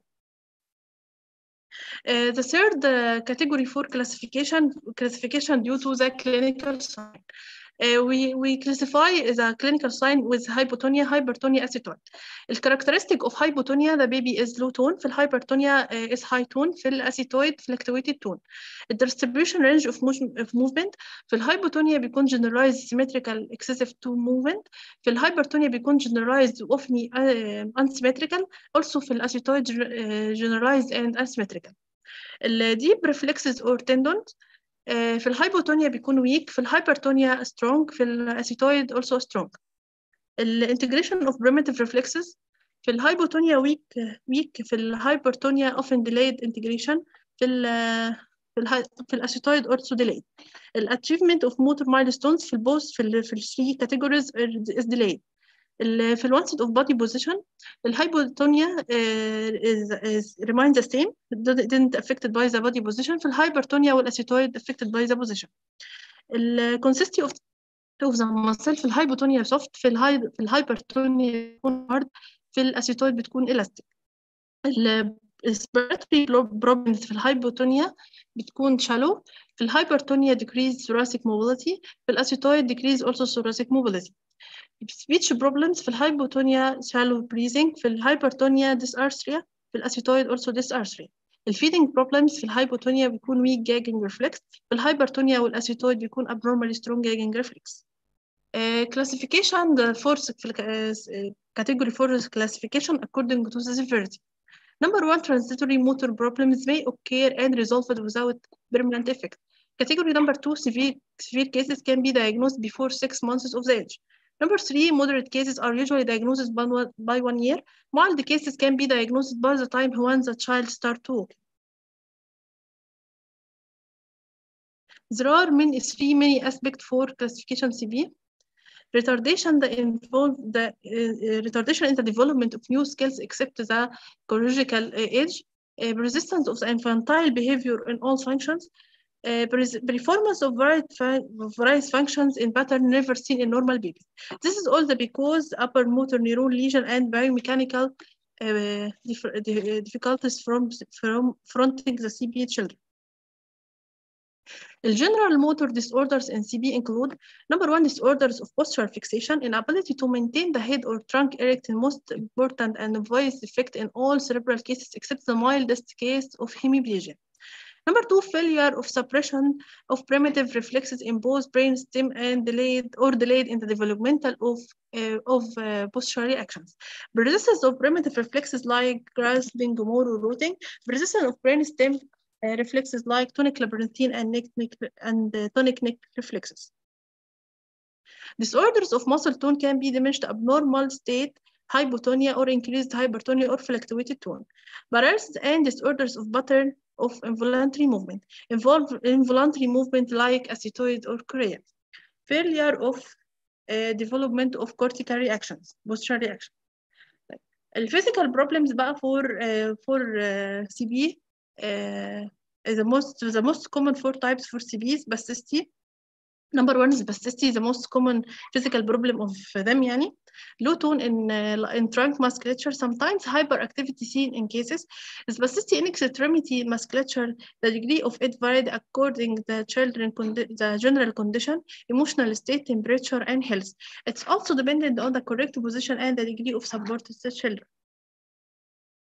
Severe degree of co-contraction uh, of and parts, especially around the uh, proximal joint. Maintain, maintaining extremities in mild, in mild range, stereotyping pattern of movement and lack of isolated or discrete movement and fine coordination, motor coordination. Slow movement, associated reaction present, incomplete development of postural reaction. Some muscle appears weak due to reciprocal inhibition by spastic antagonist, like uh, dorsiflexors of the trunk by uh, spastic triceps surae. True weakness may be developed in some muscle from long uh, standing disuse, fearful of movement. At risk of orthopedic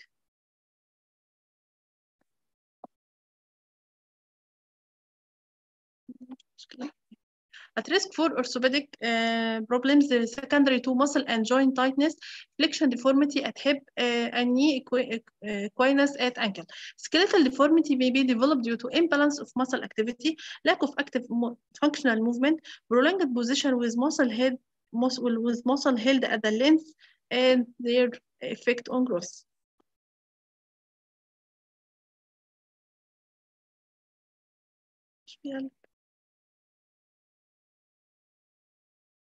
Uh, physical problems of the child with dyskinetic type. Involuntary movement may be slower fast. Activating level of the muscle started with early hypotonia, then become hypertonia. Muscle spasm, sudden flexion or extension, lack of co-contraction of muscles and trunk of muscle girdle. Uh, inability to hold segment at various points which uh, within the range of the motion. In, uh, impairment of postural fixation of the head and trunk. Asymmetric in both posture and movement. Head, trunk, and upper extremity usually moved involved than lower extremity. The movement of the head affects the trunk and lips, lack of postural control, incomplete development of postural reactions. The dyskinetic type changes with the time. They may be floppy in the babyhood and, and only exhibit the involuntary movement when they reaching two years of age. Problems may be present. Acetoid, acetoid may find difficult to look upward. Speech difficult and breathing. Uh, paralysis of gazing movement in, uh, may be occur. So the acetoid may find it difficult to upward and sometimes to close their eyes voluntarily. Poor head control disturbs the use of eye. Physical problems of the child with ataxia. Uh, usually hypotonic is uh, hypotonic, there is excessive flexibility of joints and poor muscle power, but sometimes have increased tone. Uh, poor contraction, co-contraction and sustained holding of posture. In coordination, clumsy movement, dysmetria, postural reactions are poorly uh, controlled, uh, difficult to be balanced and, uh, and difficult balance and stretching gait, nystagmus. physical problems with the child with hypotonia, ex ex extend excessive hypotonia for all the body. It may be persist, but is often transition within two years. Sometimes be, will be re reclassified again with spastic or acetoid ataxia or ataxia. Loss of head control and, and trunk uh, and kicking movement. Very poor trunk stability and control. Uh, joint hypermobility, absent of postural reactions. Developmental delay, the child may have respiratory problems, dysphagia and drooling are common frog position. This uh, the gait disorders in spastic cerebral palsy differ according to the involvement. We have three types for gating. Number one, uh, crouch gait. As you see in the video, the bilateral impairment typically by excessive hip flexion and extension, plantar flexion, uh, flexion and uh, anterior pelvic tilt. A second type is plastic genu recurvatum is the opposite clinical picture of crouch gait. The knee moves into hyperextension during stance, and the ankle has excessive plantar flexion. The hip still may have resistant flexion as the patient leans forward to balance over the plantar flexion foot.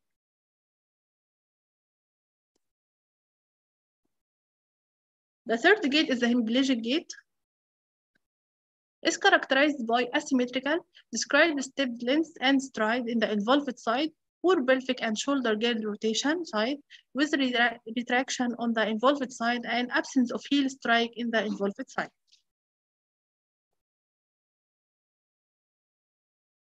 Involuntary movement occur with TB. Uh, we have four uh, involuntary movement. Number one, dystonia. It means slow rotational movement in the torso of the torso, arm, or leg. Chorea. Uh, بتكون sudden involuntary movement, especially in the fingers and toes. Acetosis writing movement mainly in the fingers and the faces. Chorea acetosis is a combination between chorea and acetosis. Dyskinesia بتكون a general term used to describe the involuntary movement. طيب associated neurological problems with TB Number one, vision problems, mental uh, retardation, communication disorder, dysphagia, drooling, epilepsy, or uh, seizures, growth problems, abnormal sensation and perception, emotional and behavioral disturbance, bladder and bowel problems, oromotor dysfunction, and respiratory dysfunction.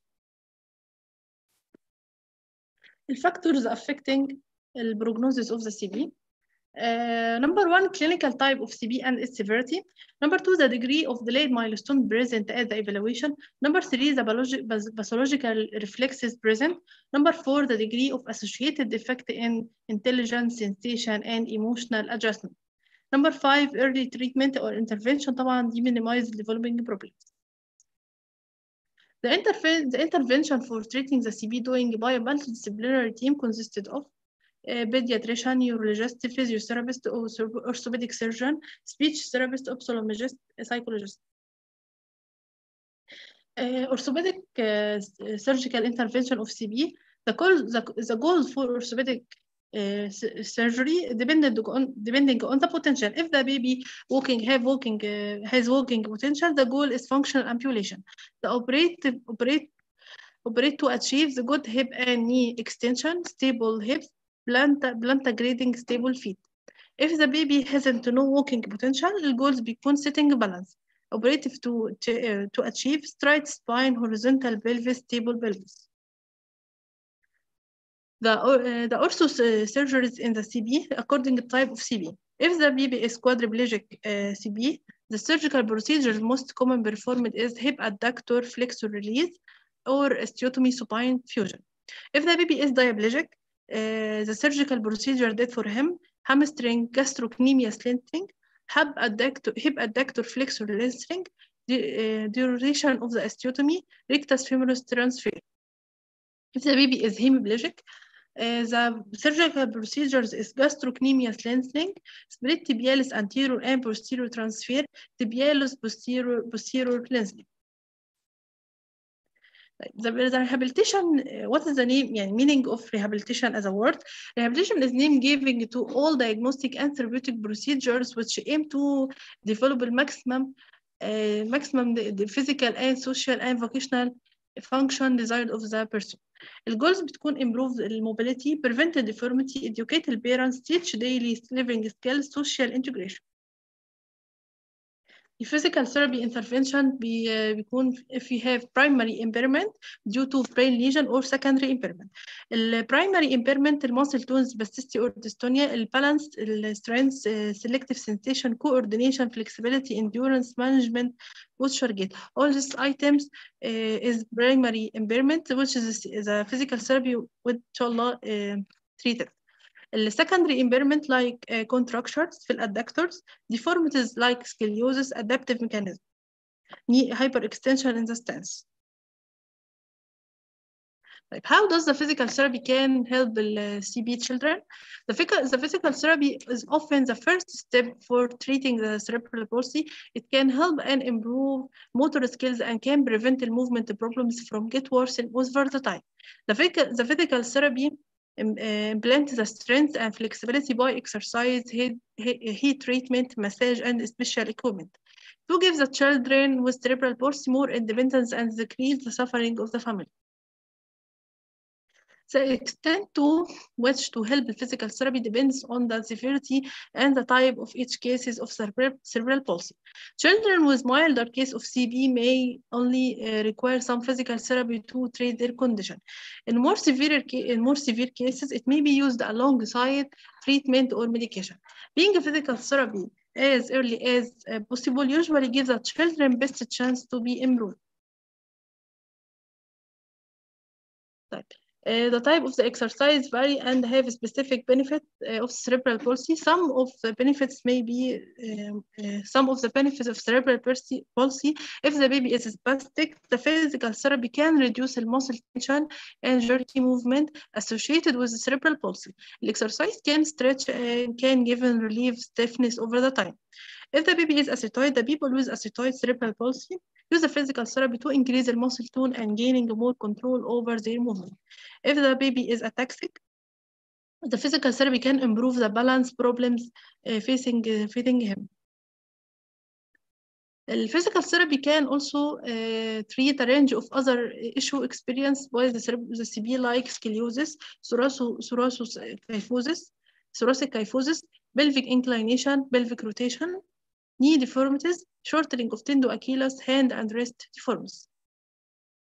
The physical therapy using techniques such as soft tissue mobilization, joint mobilization, uh, specialized exercise, stretching, endurance exercise, designing to meet their therapeutic goals. Equipment we use, uh, we can use mobile, mobile, mobility aids like bracing, spider cage, crashing, Eh, standards, casting, splinting, shoes, uh, canes, walkers. The advantage of this mobility aids uh, eh, to, is to develop a balance, decrease the energy expenditure, improve the posture, decrease the load in the joint. This is some of equipment we use in physical therapy.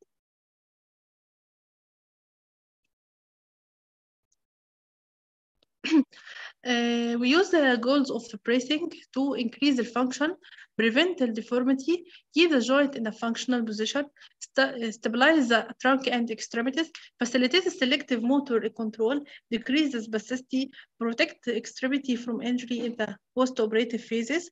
The braces by LCB, we used uh, ankle foot orthosis, knee ankle foot orthosis, hip abductor orthosis, thoracolumbar-sacral orthosis, supra malleolar foot orthosis, hand. Uh, what is the function of FO or ankle foot orthosis? The main function for it to keep the foot in, uh, in a plantar position. For the stand phase, we to use to stable the breast for support. The swing phase, prevent the drop foot. But at night, we used it to prevent the contractures. The function of spinal braces to slow the progression of deformity, to delay surgery, to allow the skeletal growth, to assist sitting balance, to protect the surgical site from excessive loading after surgery. This is a spider cage. Spider cage we used uh, with cerebral palsy baby.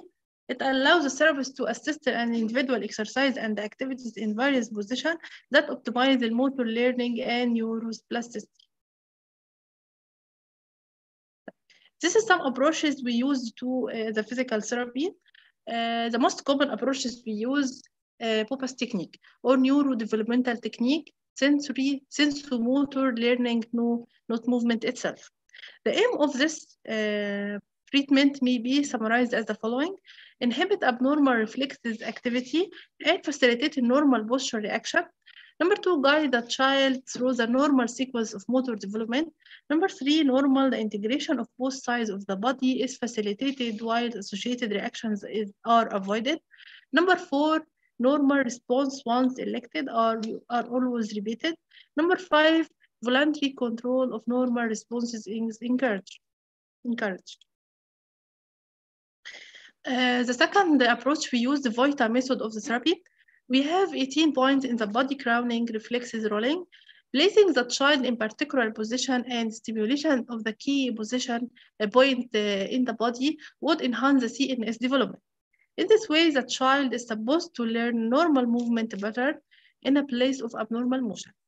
applied by the primary creative at home at least four to five times daily and stop after one year if there is no improvement.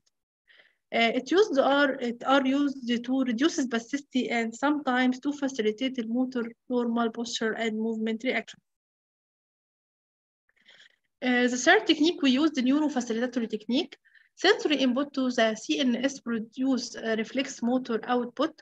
Various neurofacilitation techniques are based on this, this, this basic principles. All of these techniques are aimed to normalize the muscle tone, to establish advanced postural reactions, and to facilitate normal movement pattern. This is the clinical case. Uh, this baby was uh, uh, trans transferred to our hospital.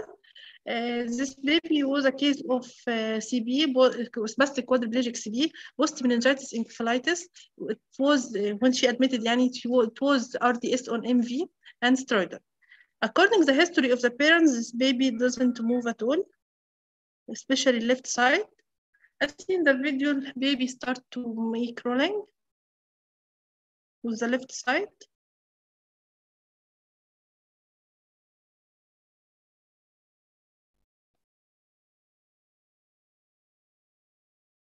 The baby start to raise his left arm to catch the, his bottle.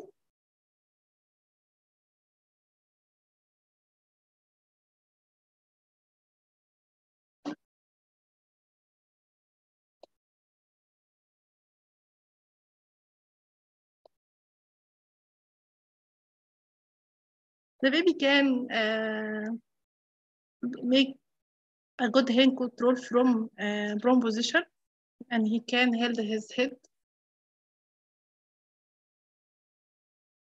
Now the baby can sitting with assistant with goes with an acceptable head control.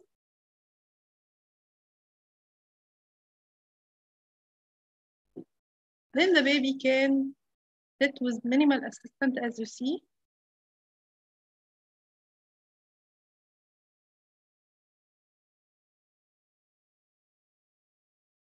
طبعا he need more uh, journey for uh, physical therapy but it's good improvement in short time because early intervention for uh, these babies early will get, get يعني will get more improvement uh, than starting late.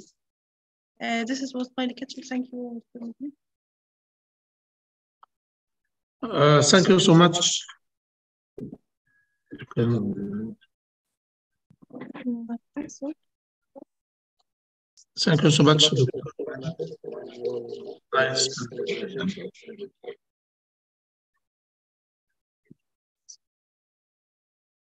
We don't have a chance, so we'll proceed to our next uh, speaker. You.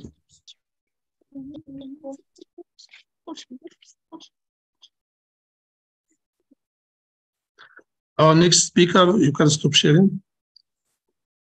Our next speaker will be Dr. Abdullah Al-Fifi.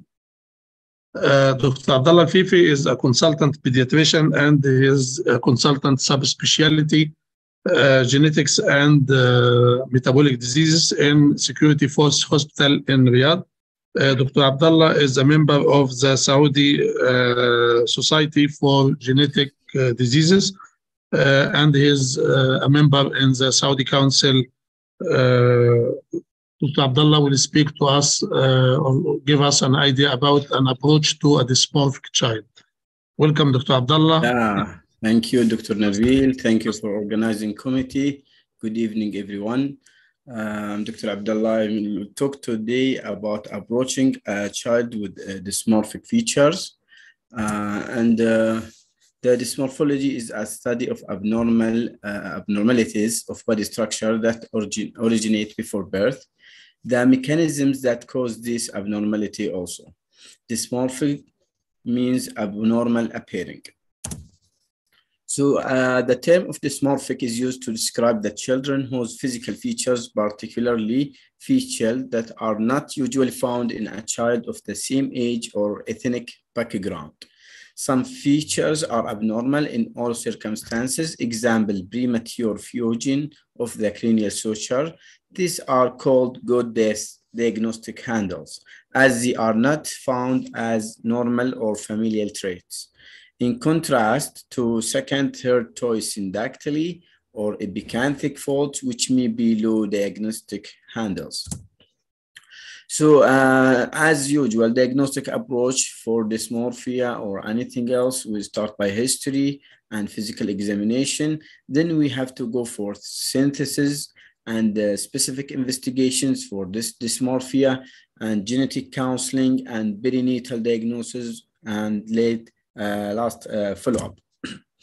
genetic oriented history, uh, pregnancy and, uh, sorry, uh, pregnancy, birth, maternal illness, before and during pregnancy, medications, uh, is there any infections, uh, possible teratogenic exposures, uh, preconception folic acid diagnostic procedures, ultrasound or amniocentesis, any of this done for this baby antenatal. also, perinatal, we have to concentrate on gestational age, mode of delivery, fetal presentation, the complications of labor, growth parameter, and neonatal status, uh, vagal, breathing, and seizures.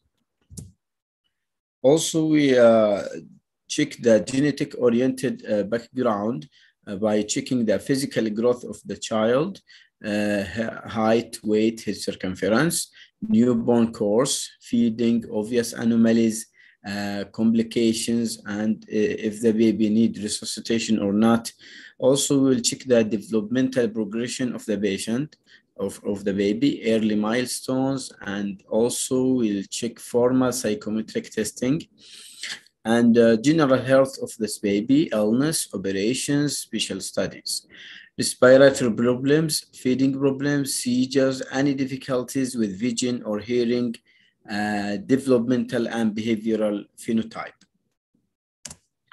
Uh, from uh, family pedigree, which is important to check three generation in the family history, uh, parental ages and health status, consanguinity, multiple miscarriages, and birth defects or other genetic disease. Uh, also, we have to draw the pedigree. Uh, as I said, three generation is required to be constructed, which means child, parents, and grandparents and the related uncles, aunts, and the cousin. Main line on the left or the right if you wish, but be consistent. Roman numerals are used for defining generation. Arabic numerals are used to indicate each individual within a generation. Here is an example for a pedigree drawing.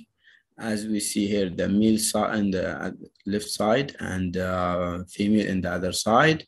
Also three generation and here the numerical uh, numbers. Uh, also, uh, we have to go for physical examination and the dysmorphic child and look for the as general look and do our measurements for the weight and the circumference and uh, for the length. Also to do head to toe examination. Uh, physical examination is of extreme importance and requires skills and eagle eye to pick up any abnormalities. One should use well-defined and uncommon handles for search.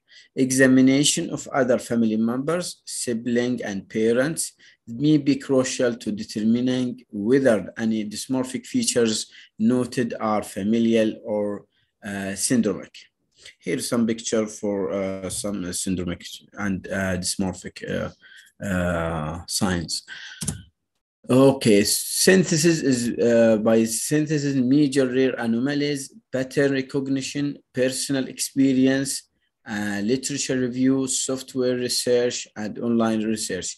Those things are we needed to uh, synthesize our uh, history and examination for a patient. Then we uh, try to put him under which category of uh, dysmorphia. Also, we have to go for special investigation like uh, chromosomal analysis, uh, FISH analysis should be done also, array CGH, specific molecular test for single gene defect at DNA level also. Uh, in, in, cases of neurometabolic or storage disease, we will go for enzyme assay. Uh, we need to do neuroimaging for a dysmorphic child to check the brain uh, malformation and uh, skeletal survey is important and depend on the disorders being investigated. Also, skin and muscle biopsy should be considered, but also mutation analysis and full gene study. Uh, lastly, we will go for whole exome sequencing and check all the genes for any uh, mutation or variants that can lead us to the uh, diagnosing of this dysmorphic child. Uh, growth, uh, taking the child's weight, length, head circumference, assess whether the baby growth parameters are in proportion as well as the percentiles. Also obtain the birth weight if possible. General look. The general look to the child, it may give a direct spot of diagnosis or give a clue for possible diagnosis, like in those pictures. And also skulls, we have to look for the skull by inspecting should be done directly overhead as well as from front and side to permit detection of even minor degree of asymmetry. uh, palpation, especially in young infants, when patency and relationship of sutures and fontanelles can be uh, ascertained. Uh, detect patency of anterior and posterior fontanelle. Detect width, anterior usually one to five centimeter, posterior complete closure to one centimeter. Palpate sutures for the same. If sutures remain wide beyond first month of age, pathological cause need to be uh, ruled out. Frontal bossing uh, in the skull uh, like in scaphocephaly, fusion of sagittal suture with elongation of the skull in AP axis, uh, brachycephaly, broadening of the skull with decrease of AP axis due to bilateral coronal synostosis, plagiocephaly, uh, unilateral coronal fusion, a trigonocephaly is a triangular head and pole-like forehead due to stenosis of metopic.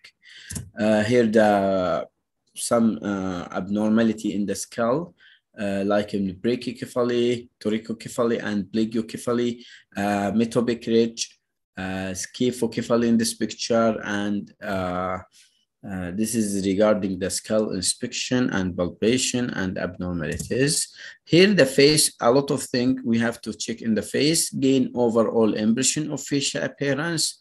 Sometimes overall can be diagnostic, like in Down syndrome. If no diagnosis is made, it is uh, then important to divide the face into sections to examine it thoroughly. You may divide the face into the forehead and mid-face and uh, oral region and to check uh, intrapupillary distance, inner canthal distance, outer canthal, uh, philtral length, uh, upper and lower lip, philtrum, and jaw size and shape. So we have the example for abnormality like in the flat face, uh, usually seen with myopathic disease, uh, broad face in some black families, narrow face in inner east, in near east, sorry, uh, benched face when small facial features clustered close together, uh, prematurely aged face, the face looks older than the chronological age.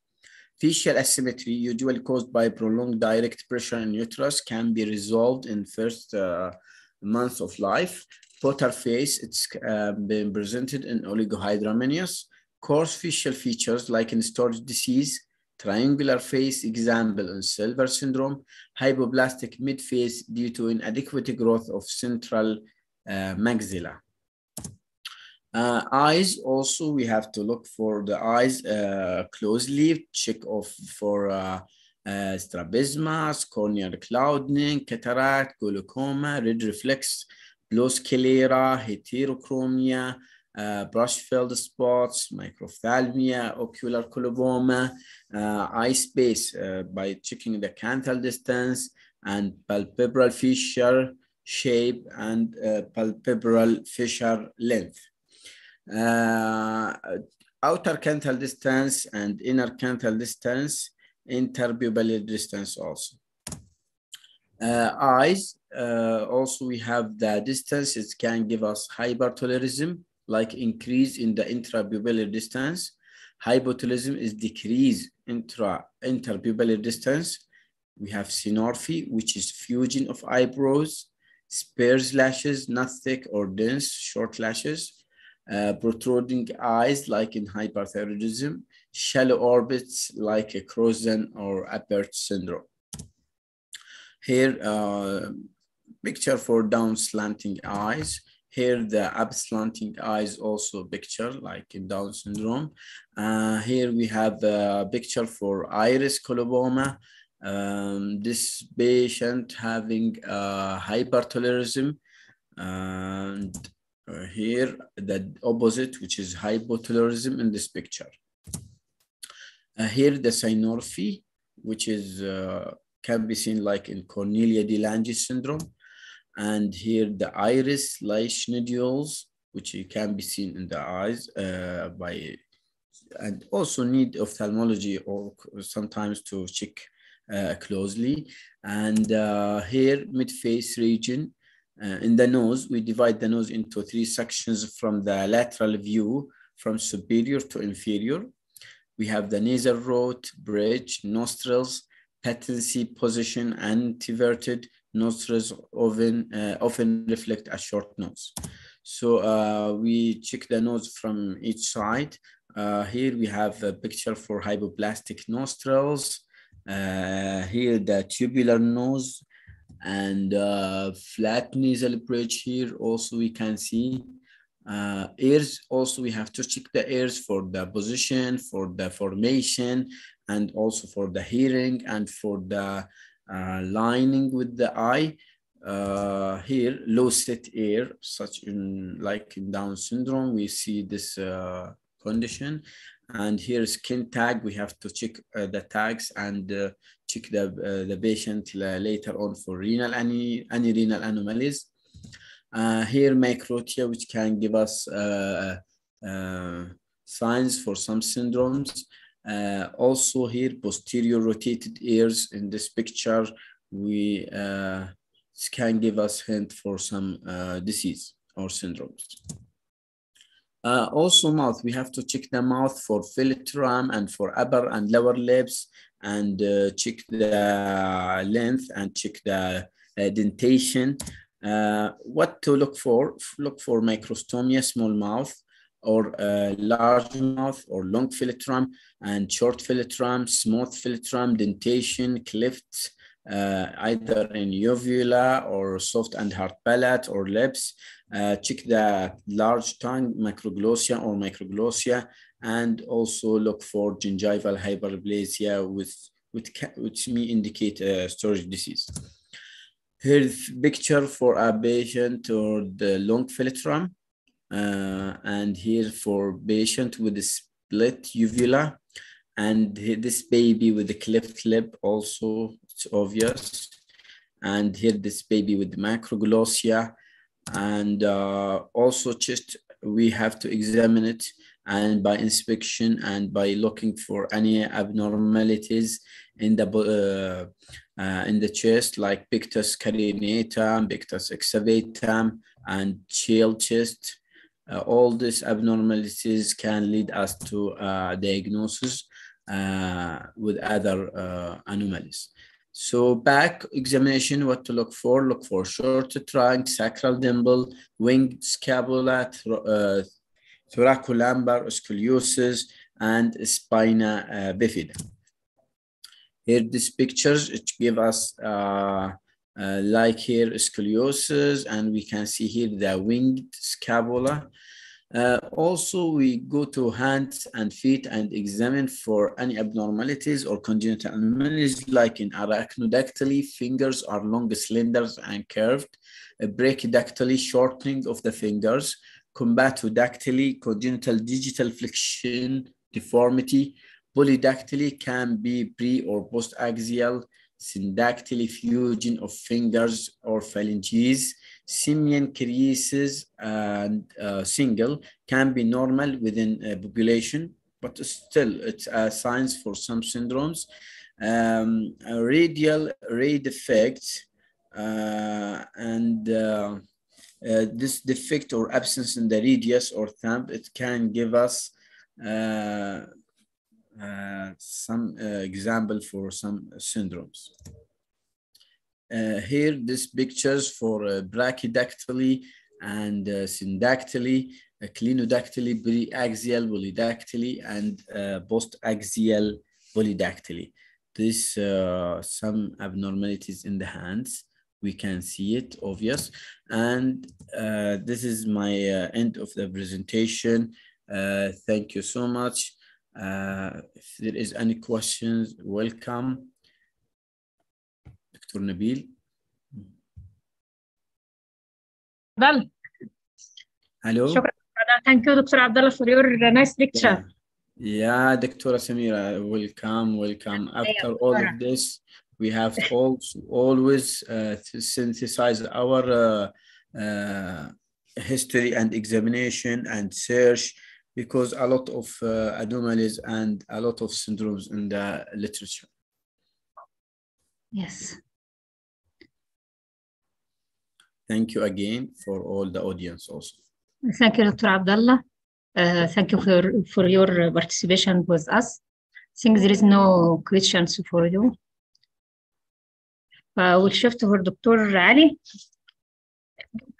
Dr. Ali are you here Dr. Abdullah you can stop sharing please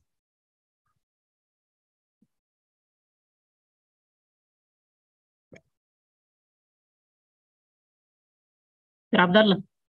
Yeah. Stop sharing, please, Dr. Abdullah. Thank you. Uh, our next speaker will be Dr. Uh, Ali Abdu Nasser. He's a consultant pediatric intensivist.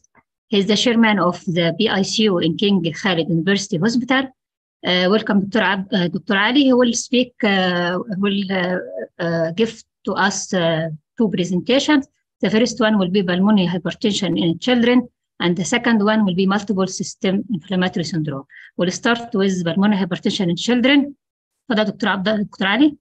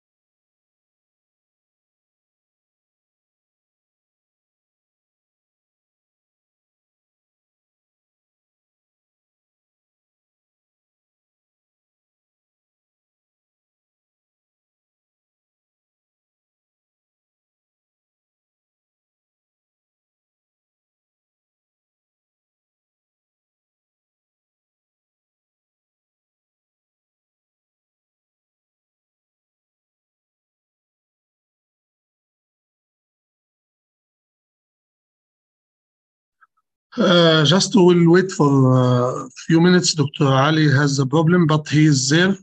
Uh, he will just connect after five minutes or something. Sorry for this.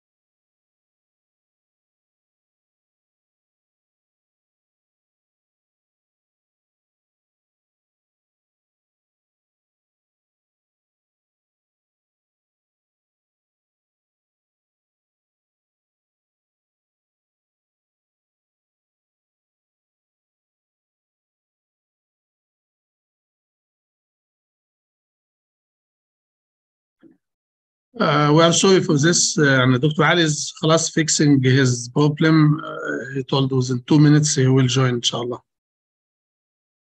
Sorry for this.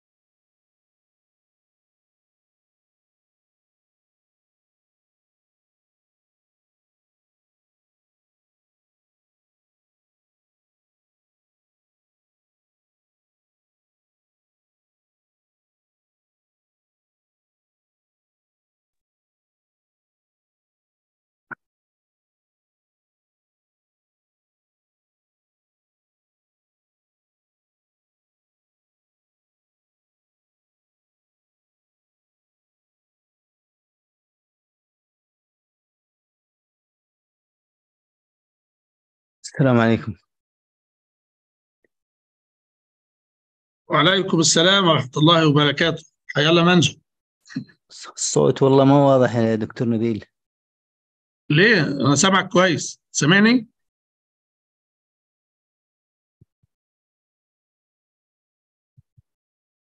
افتح الكاميرا بتاعتك وشوف يكون أنت عامل ميوت أو موطي الصوت عندك. دقيقة بس بحاول أسوي شيرنج ما أنا قادر أدخل مع الشيرنج ثواني بس. افتح البرزنتيشن لوحده وبعدين اعمل شير كيف؟ افتح البرزنتيشن الأول وبعدين اعمل منه ش... اعمل شير عليه.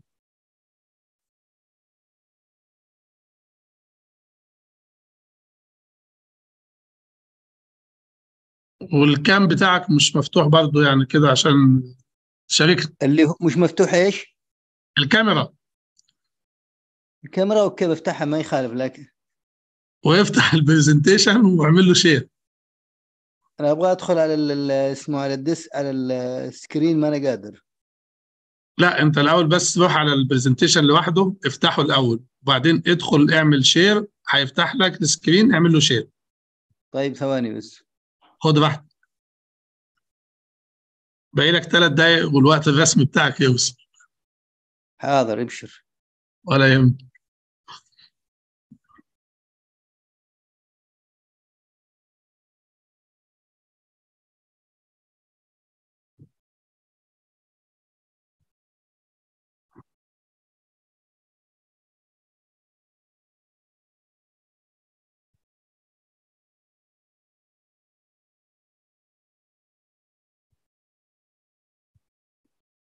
دكتور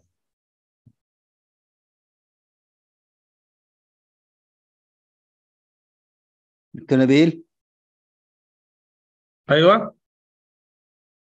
ظاهرة الحين هذه؟ لا. لازم تدخل تفتحها الأول وبعدين تدخل تعمل شير منها. ما فتحت؟ أوكي طيب. كلمة كلم أه؟ آه، دكتور علي بعد إذنك حضرتك افتح البرزنتيشن من بره الزوم من غير الزوم خالص من بره. أوكي. خلاص كده. آه كده تمام. اعمل فول سكرين بقى. فول سكرين شور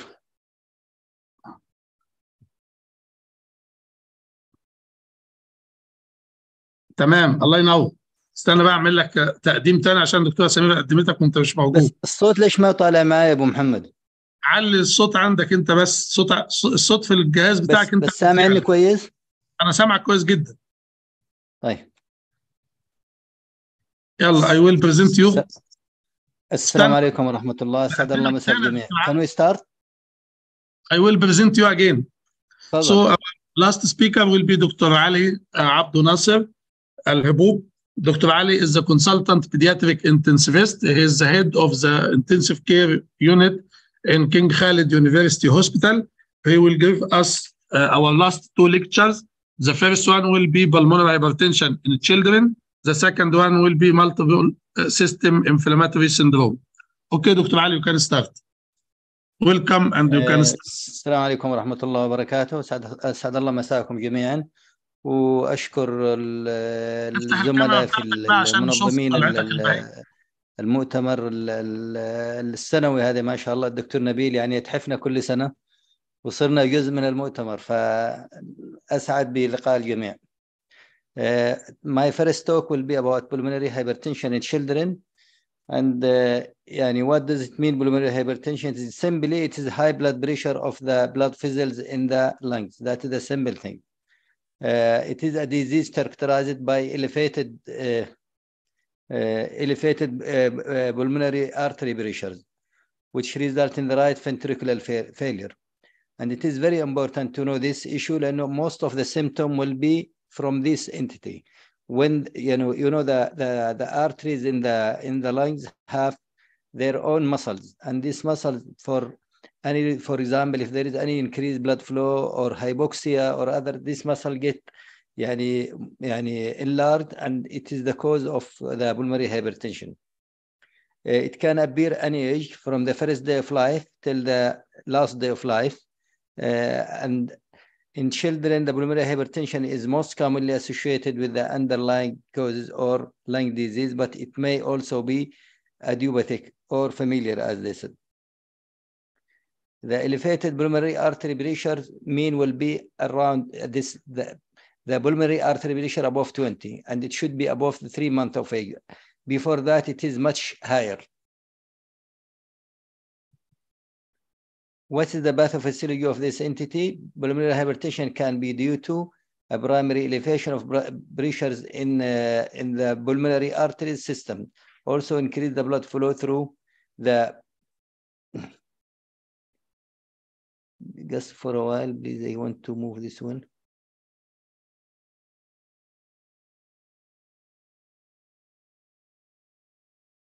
نعم. The pulmonary, yes. معايا دكتور نبيل؟ Yes, دكتور yes. نبيل؟ Yes, أنا سامعك. Okay. So the pulmonary hypertension can be due to a primary elevation of pressures in the pulmonary artery system alone, or increase the blood flow through the pulmonary circulation, or elevation of the pressures in the pulmonary vessels. What is the classification of this entity? Either it could be transient as pulmonary hypertension of the newborn, or uh, pulmonary hypertension with the diaphragmatic hernia, or pulmonary hypertension with the acute pulmonary disease, or pulmonary hypertension with the intracardiac shunt. Other than transient, it could be progressive, and this is usually a idiopathic entity. Pulmonary hypertension with the, inter, uh, with the intracardiac shunt with uh, late repair, and pulmonary hypertension with a chronic lung disease. What are the presentation of this entity? It can present with dyspnea and exertion and fatigue, syncope, cyanosis, and it can also present with failure to, to thrive, as well as cough and chest pain and heart failure. What is the explanation of this uh, exhaustion and cough? Because of yani, yani, the, the lung congestion and also the heart failure. Symptoms may be more notable if there is uh, sub, uh, super, uh, super, uh, super, uh, super infection, super added infection on this uh, pulmonary hypertension. The physical examinations may be unremarkable. The patient come to you totally normal finding, and you need certain investigating uh, tools to uh, prove it.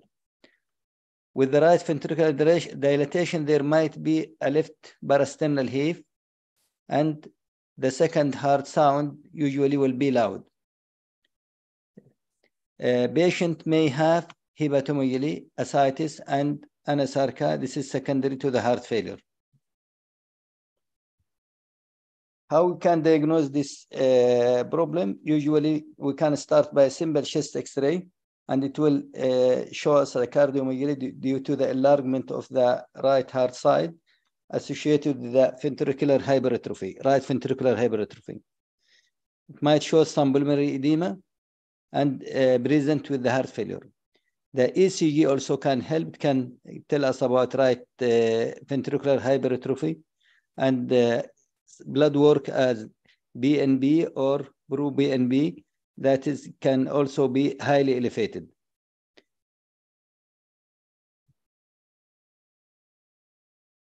Echocardiography is the most helpful test and it is practical yani, way to evaluate the uh, entity because the other one, which is the gold standard or the most yani, definite diagnosis, as we will come to catheterization, but uh, it's not as practical as echo.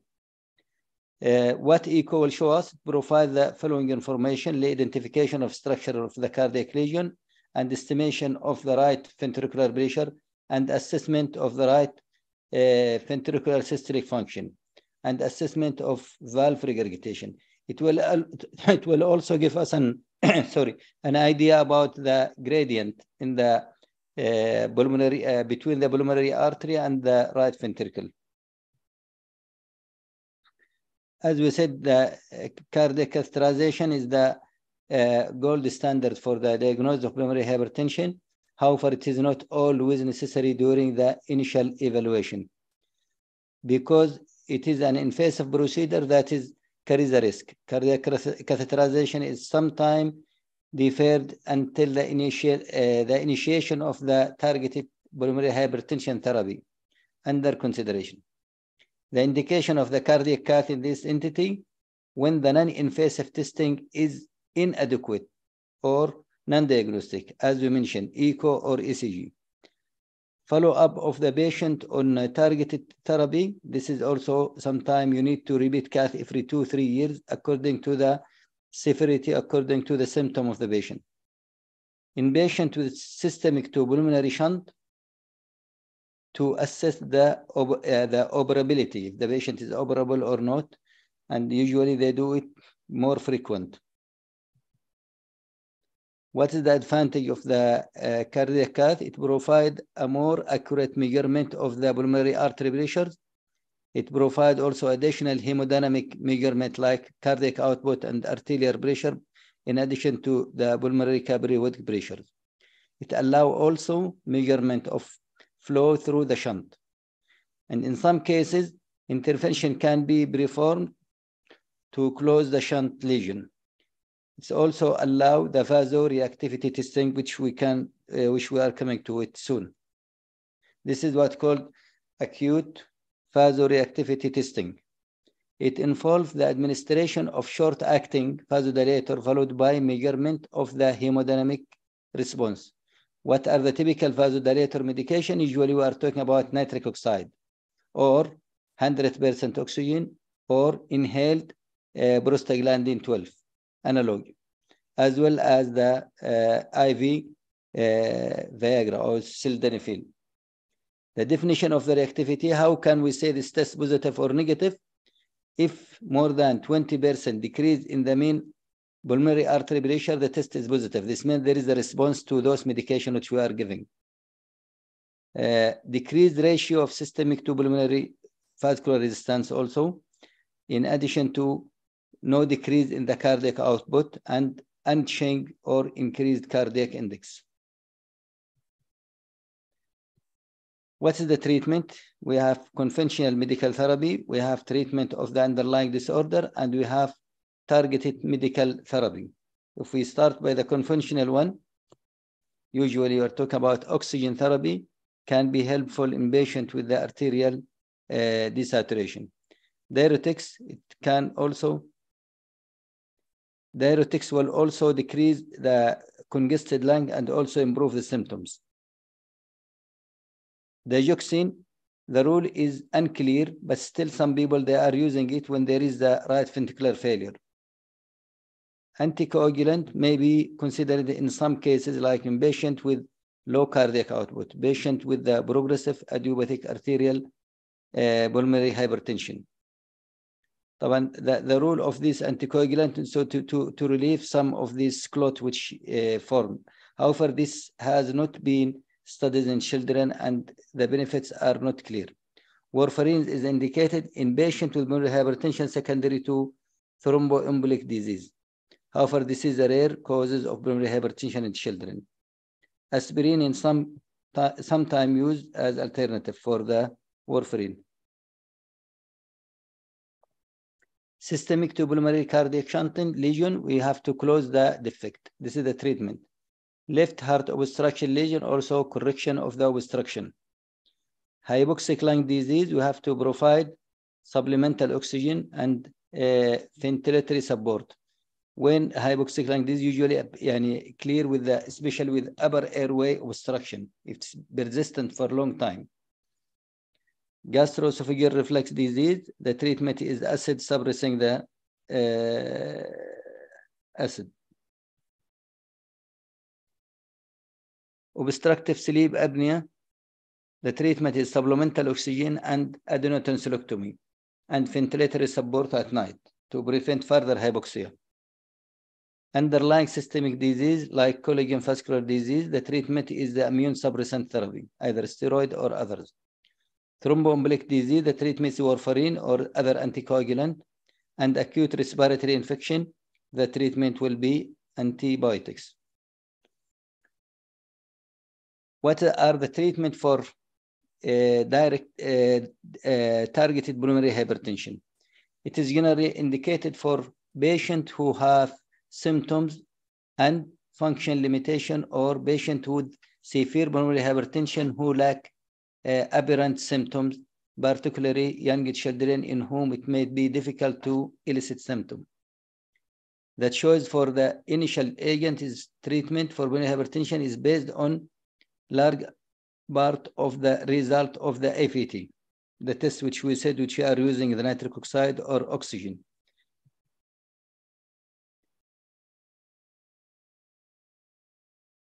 Calcium channel blockers is, is a treatment in some cases, especially in nifedipine.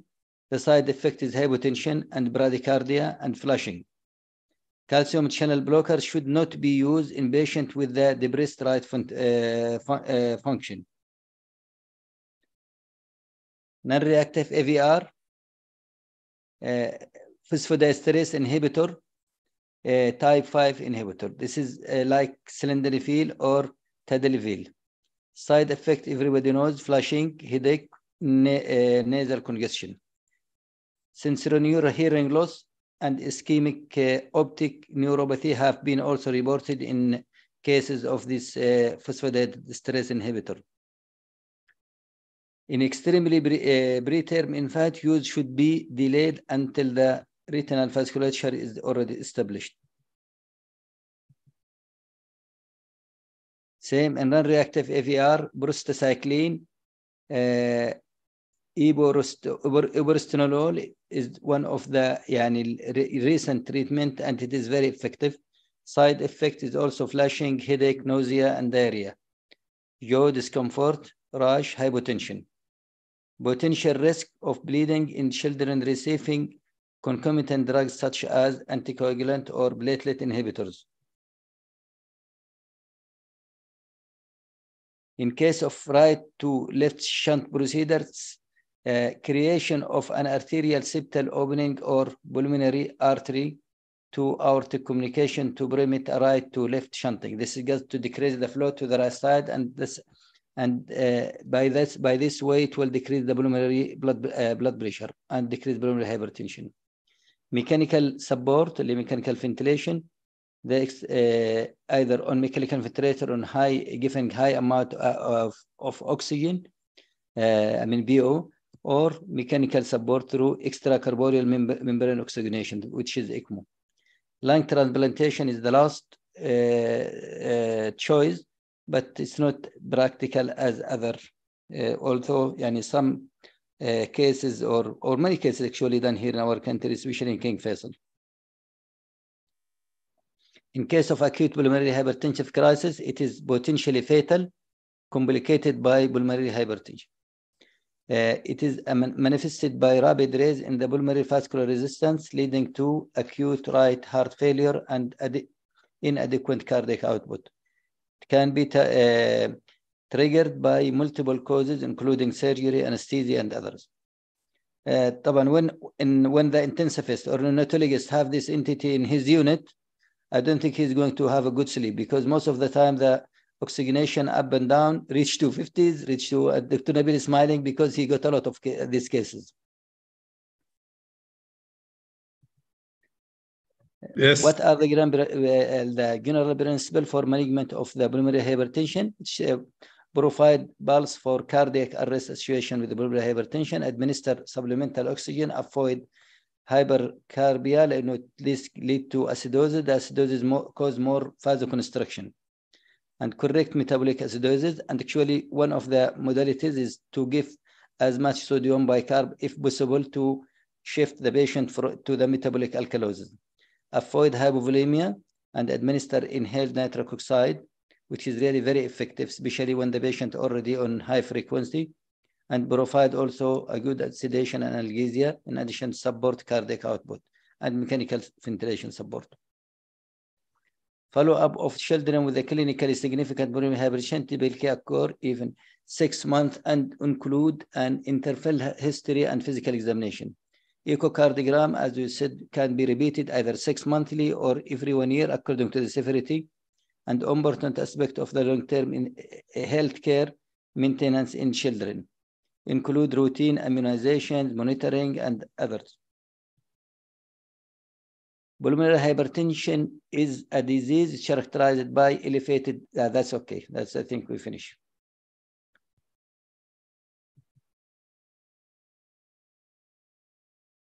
Infant and children uh, with pulmonary hypertension should be managed uh, in a center with the experience and have also facilities for cardiac cath and uh, for ECMO.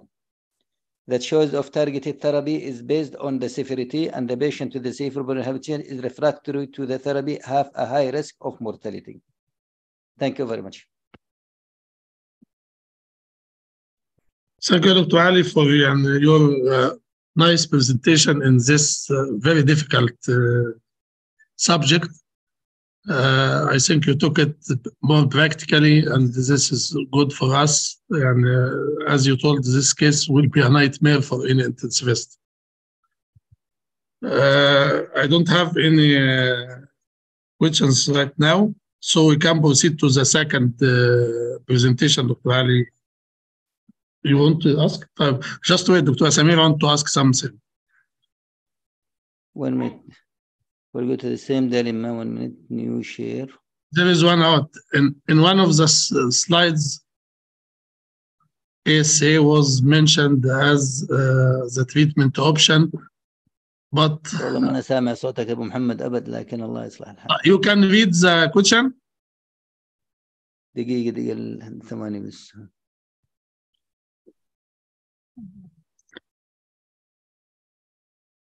هو أعتقد يا دكتور علي أنت محتاج تعلي الصوت في الكمبيوتر بتاعك. الصوت بتاعك صوت الكمبيوتر هتلاقيه واطي. عليه بس شوية هتسمعني. طيب ثواني بس خليني أدخل على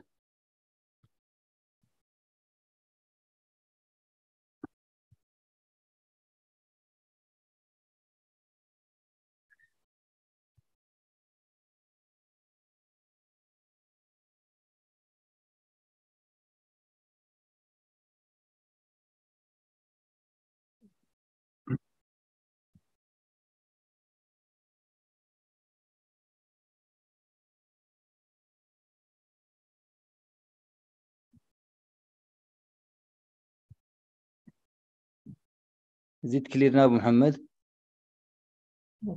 which presentation? No you are still in the same the old one. You can close the old one and open the new- yes this is a new one. But still we have uh, someone want to ask about the first presentation dr ali. Questions? yes. Not yet clear, Abu Muhammad? now is okay. Now the presentation is okay but someone want to ask about the the first presentation. تفضل. can you read there? There is I couldn't hear anything. صراحة صوت ما في عندي أبدا. علي الصوت اللي عندك يا دكتور علي. الصوت بتاع الكمبيوتر هو اللي واطي. مم. الصوت نفسه الصوت علي الصوت مش مش المايك. المايك كويس?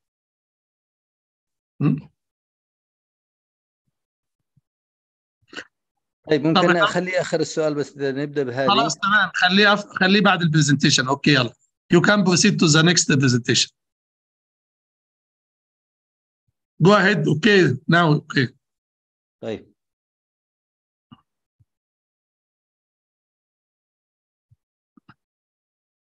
طيب آه، بيدياتريك multi-system inflammatory disease. This is an entity which developed actually after the uh, occurrence of the COVID-19 actually the first few cases which I'm going to you are going to see appear almost four to five months after the first case of COVID was uh, uh, discovered. The objective will be as introduction and definition, diagnosis and differential diagnosis, treatment and mechanism, as well as complication and prognosis. It is a new, the introduction for this one is an unusual childhood illness appear months behind the COVID-19. It increased, this COVID-19 increased the risk of Kawasaki disease in almost 30 times. There was a prolonged course of illnesses and the observation all over the world. As we can see in the first uh, four months after COVID, in the coming, yani you see in Australia, they discover few cases in France and in Canada. Also, the same thing in Portugal. Actually, in uh, Britain, I think they discover 14 cases immediate in the fourth month after the uh, COVID. Okay. What is the definition of the uh? Is that children or adolescents between 0 to 19 years, some of them, some other definitions said up, yani below 21 years. Uh, the condition, it should, there should be a fever which is there for more than three days, and actually it should be above 38, 38 to 38.5. And two of the following, either rash, bilateral non-purulent conjunctivitis, and you can see most of these will be like those presentation of uh, Kawasaki, hypotension and shock or shock, and the features of the myocardial, sorry, features of my- myocardial uh, dysfunction like pericarditis, valvulitis, and uh, coronary abnormalities. Evidence of the coagulopathy and acute gastrointestinal problem like diarrhea, vomiting, or elevated markers like ESR C-reactive protein and procalcitonin. In addition, no other obvious differential diagnosis for this one, and presence of infection by COVID two or three months before. What is the CDC definition with the Center of Disease Control? They define the case as uh, multi-inflammatory syndrome, an individual below 21 years presenting with fever, laboratory evidence of inflammation, and evidence of clinically severe illnesses. There should be no other alternative disease, and there should be a positive current or recent SARS-CoV-2, which is the virus causing the COVID-19. And also to make more confusion, this yani the same condition is called also BIMC, or pediatric inflammatory multisystem disease, either temporary or transient, according to either in Europe or in the state. This is the way they are defining the entity. The patient should have fever for 38 plus, more three to four days, and any one of the symptoms. The GI symptom, as you said, diarrhea, vomiting, abdominal pain, skin rashes, conjunctivitis, oral uh, change, and cough. One of these inflammatory issues, either CRP, procalcitonin, ferritin, or pro-BNP. And one, any one of this, either Kawasaki, uh, one of the Kawasaki presentation, like, uh, uh, and incomplete Kawasaki symptom, like uh, uh, anemia and platelet more than 450, or cardiogenic and distributive shock, and evidence of single or multi-organ. Any of these, presence of them as combination or a few of them can give you the, the diagnosis.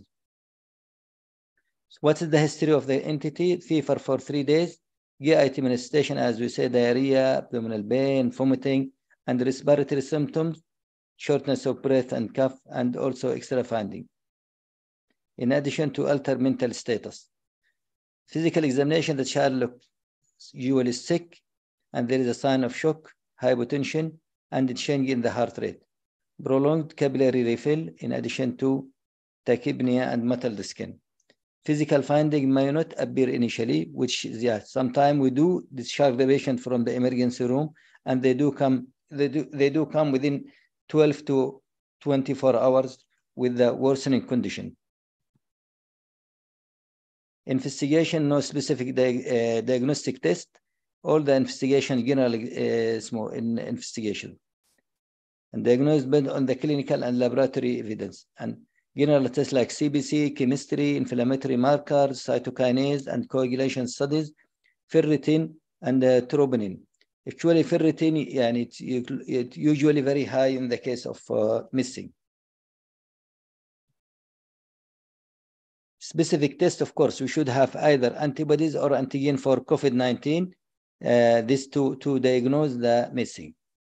ECG can also show some finding and serial monitoring of the laboratory markers is needed.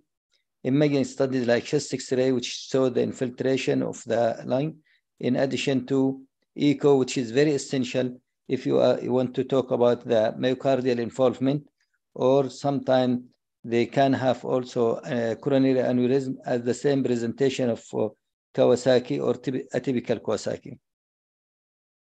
What are the differential for this entity? As we said, Kawasaki, scarlet, toxic shock syndrome, septic shock, and measles.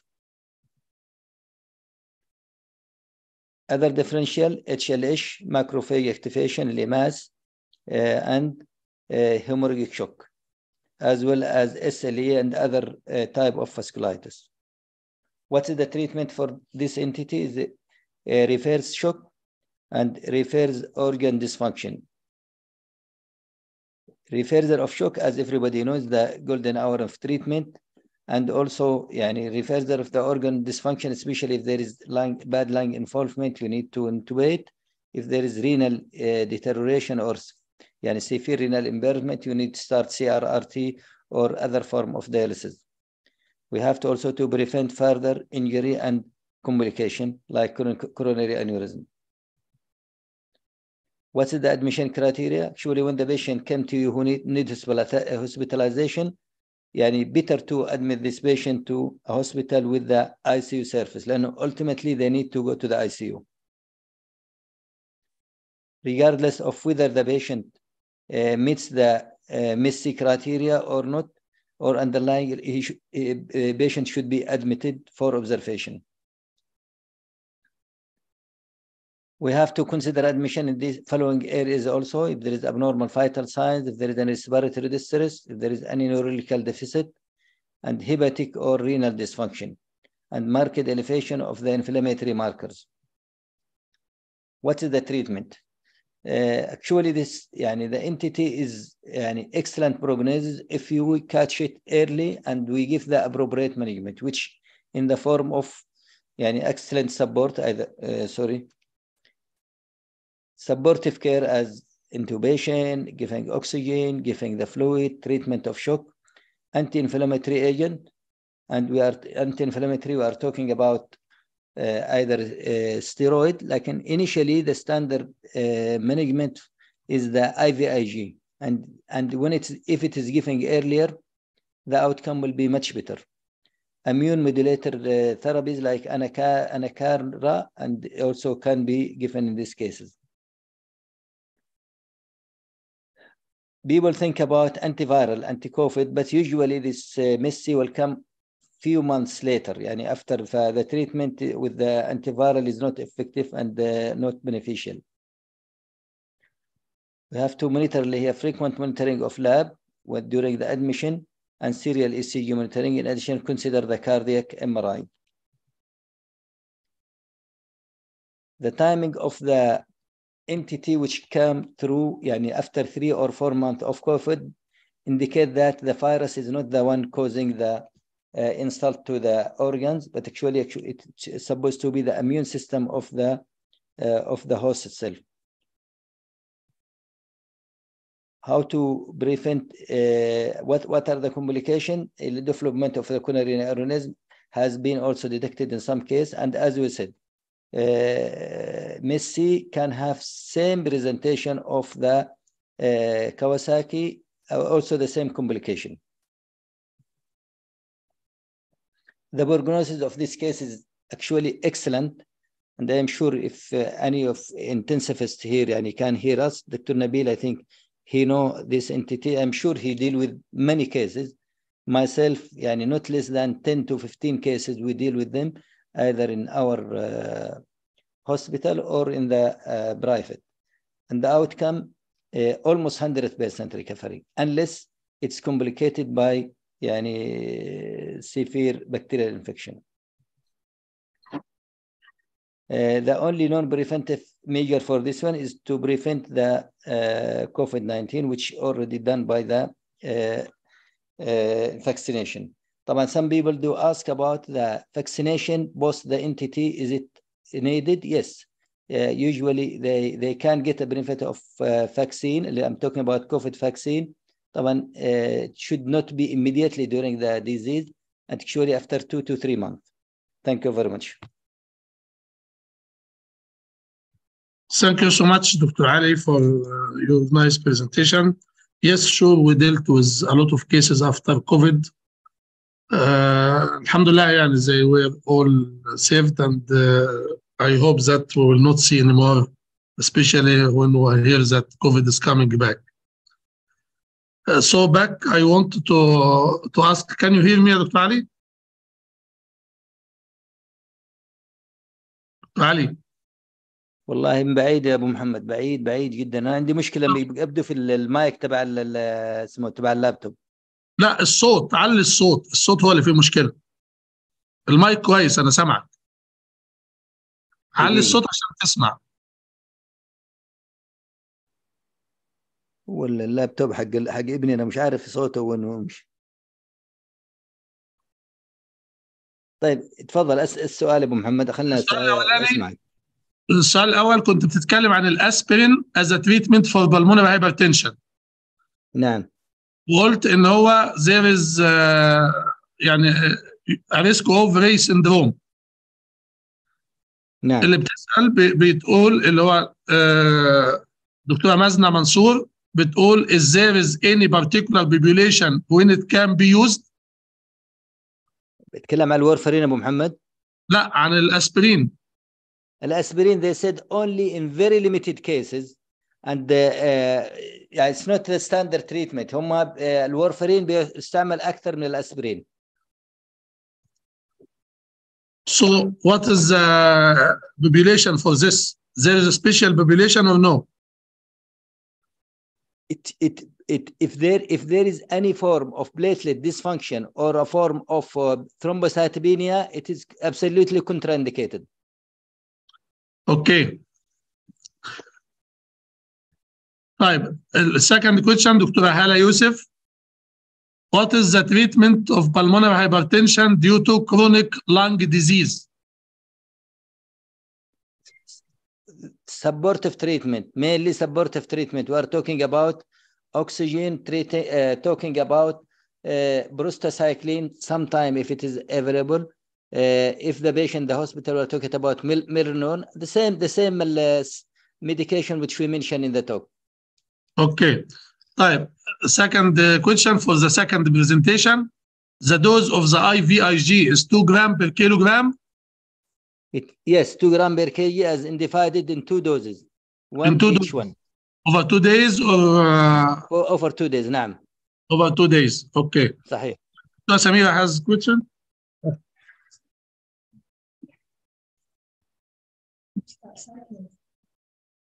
ال- البروستاسايكل انالوج في التريتمنت of pulmonary hypertension. Have you tried it? You have experience with this? Can you repeat again, uh, Dr. Nabil? البروستاسايكلين انالوج Yeah. in the treatment of pulmonary hypertension. Do you have a personal experience with this? No, we do No. we do read about it. No, we do not uh, use it in our. You are not using it. Okay. No. طيب. Hmm? اه طيب. about the pro-BNP يا دكتور علي. when we will do we'll find it sometimes 5000 4000 3000 we don't understand exactly what is the significance of the pro-BNP and for يعني how we will follow up uh, during the treatment. Yeah normal up to 1 to 2000 but uh, we, we I saw some cases reaching to 30000 improvement and improvement in this number means there is the yani the, the myocardium is improving. Ah, uh -huh, so it's an, an indicator that the myocardium is improving. Yes. Okay. That will be not reach to 30, 40,000. And when we reach down to five, 6,000, this is the usual. This is the, yeah, the, the normal uh, level. The normal level طب, uh, it has any any relation with the prognosis?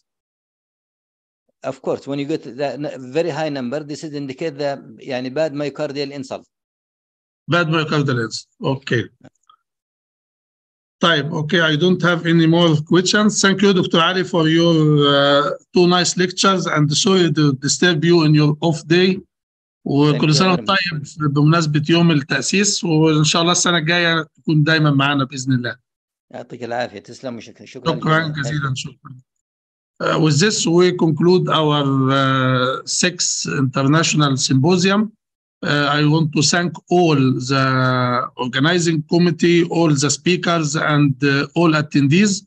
And I hope that it was a fruitful uh, webinar and uh, we get benefit uh, from hearing uh, different experiences from uh, other countries, from USA, from Egypt, from KSA.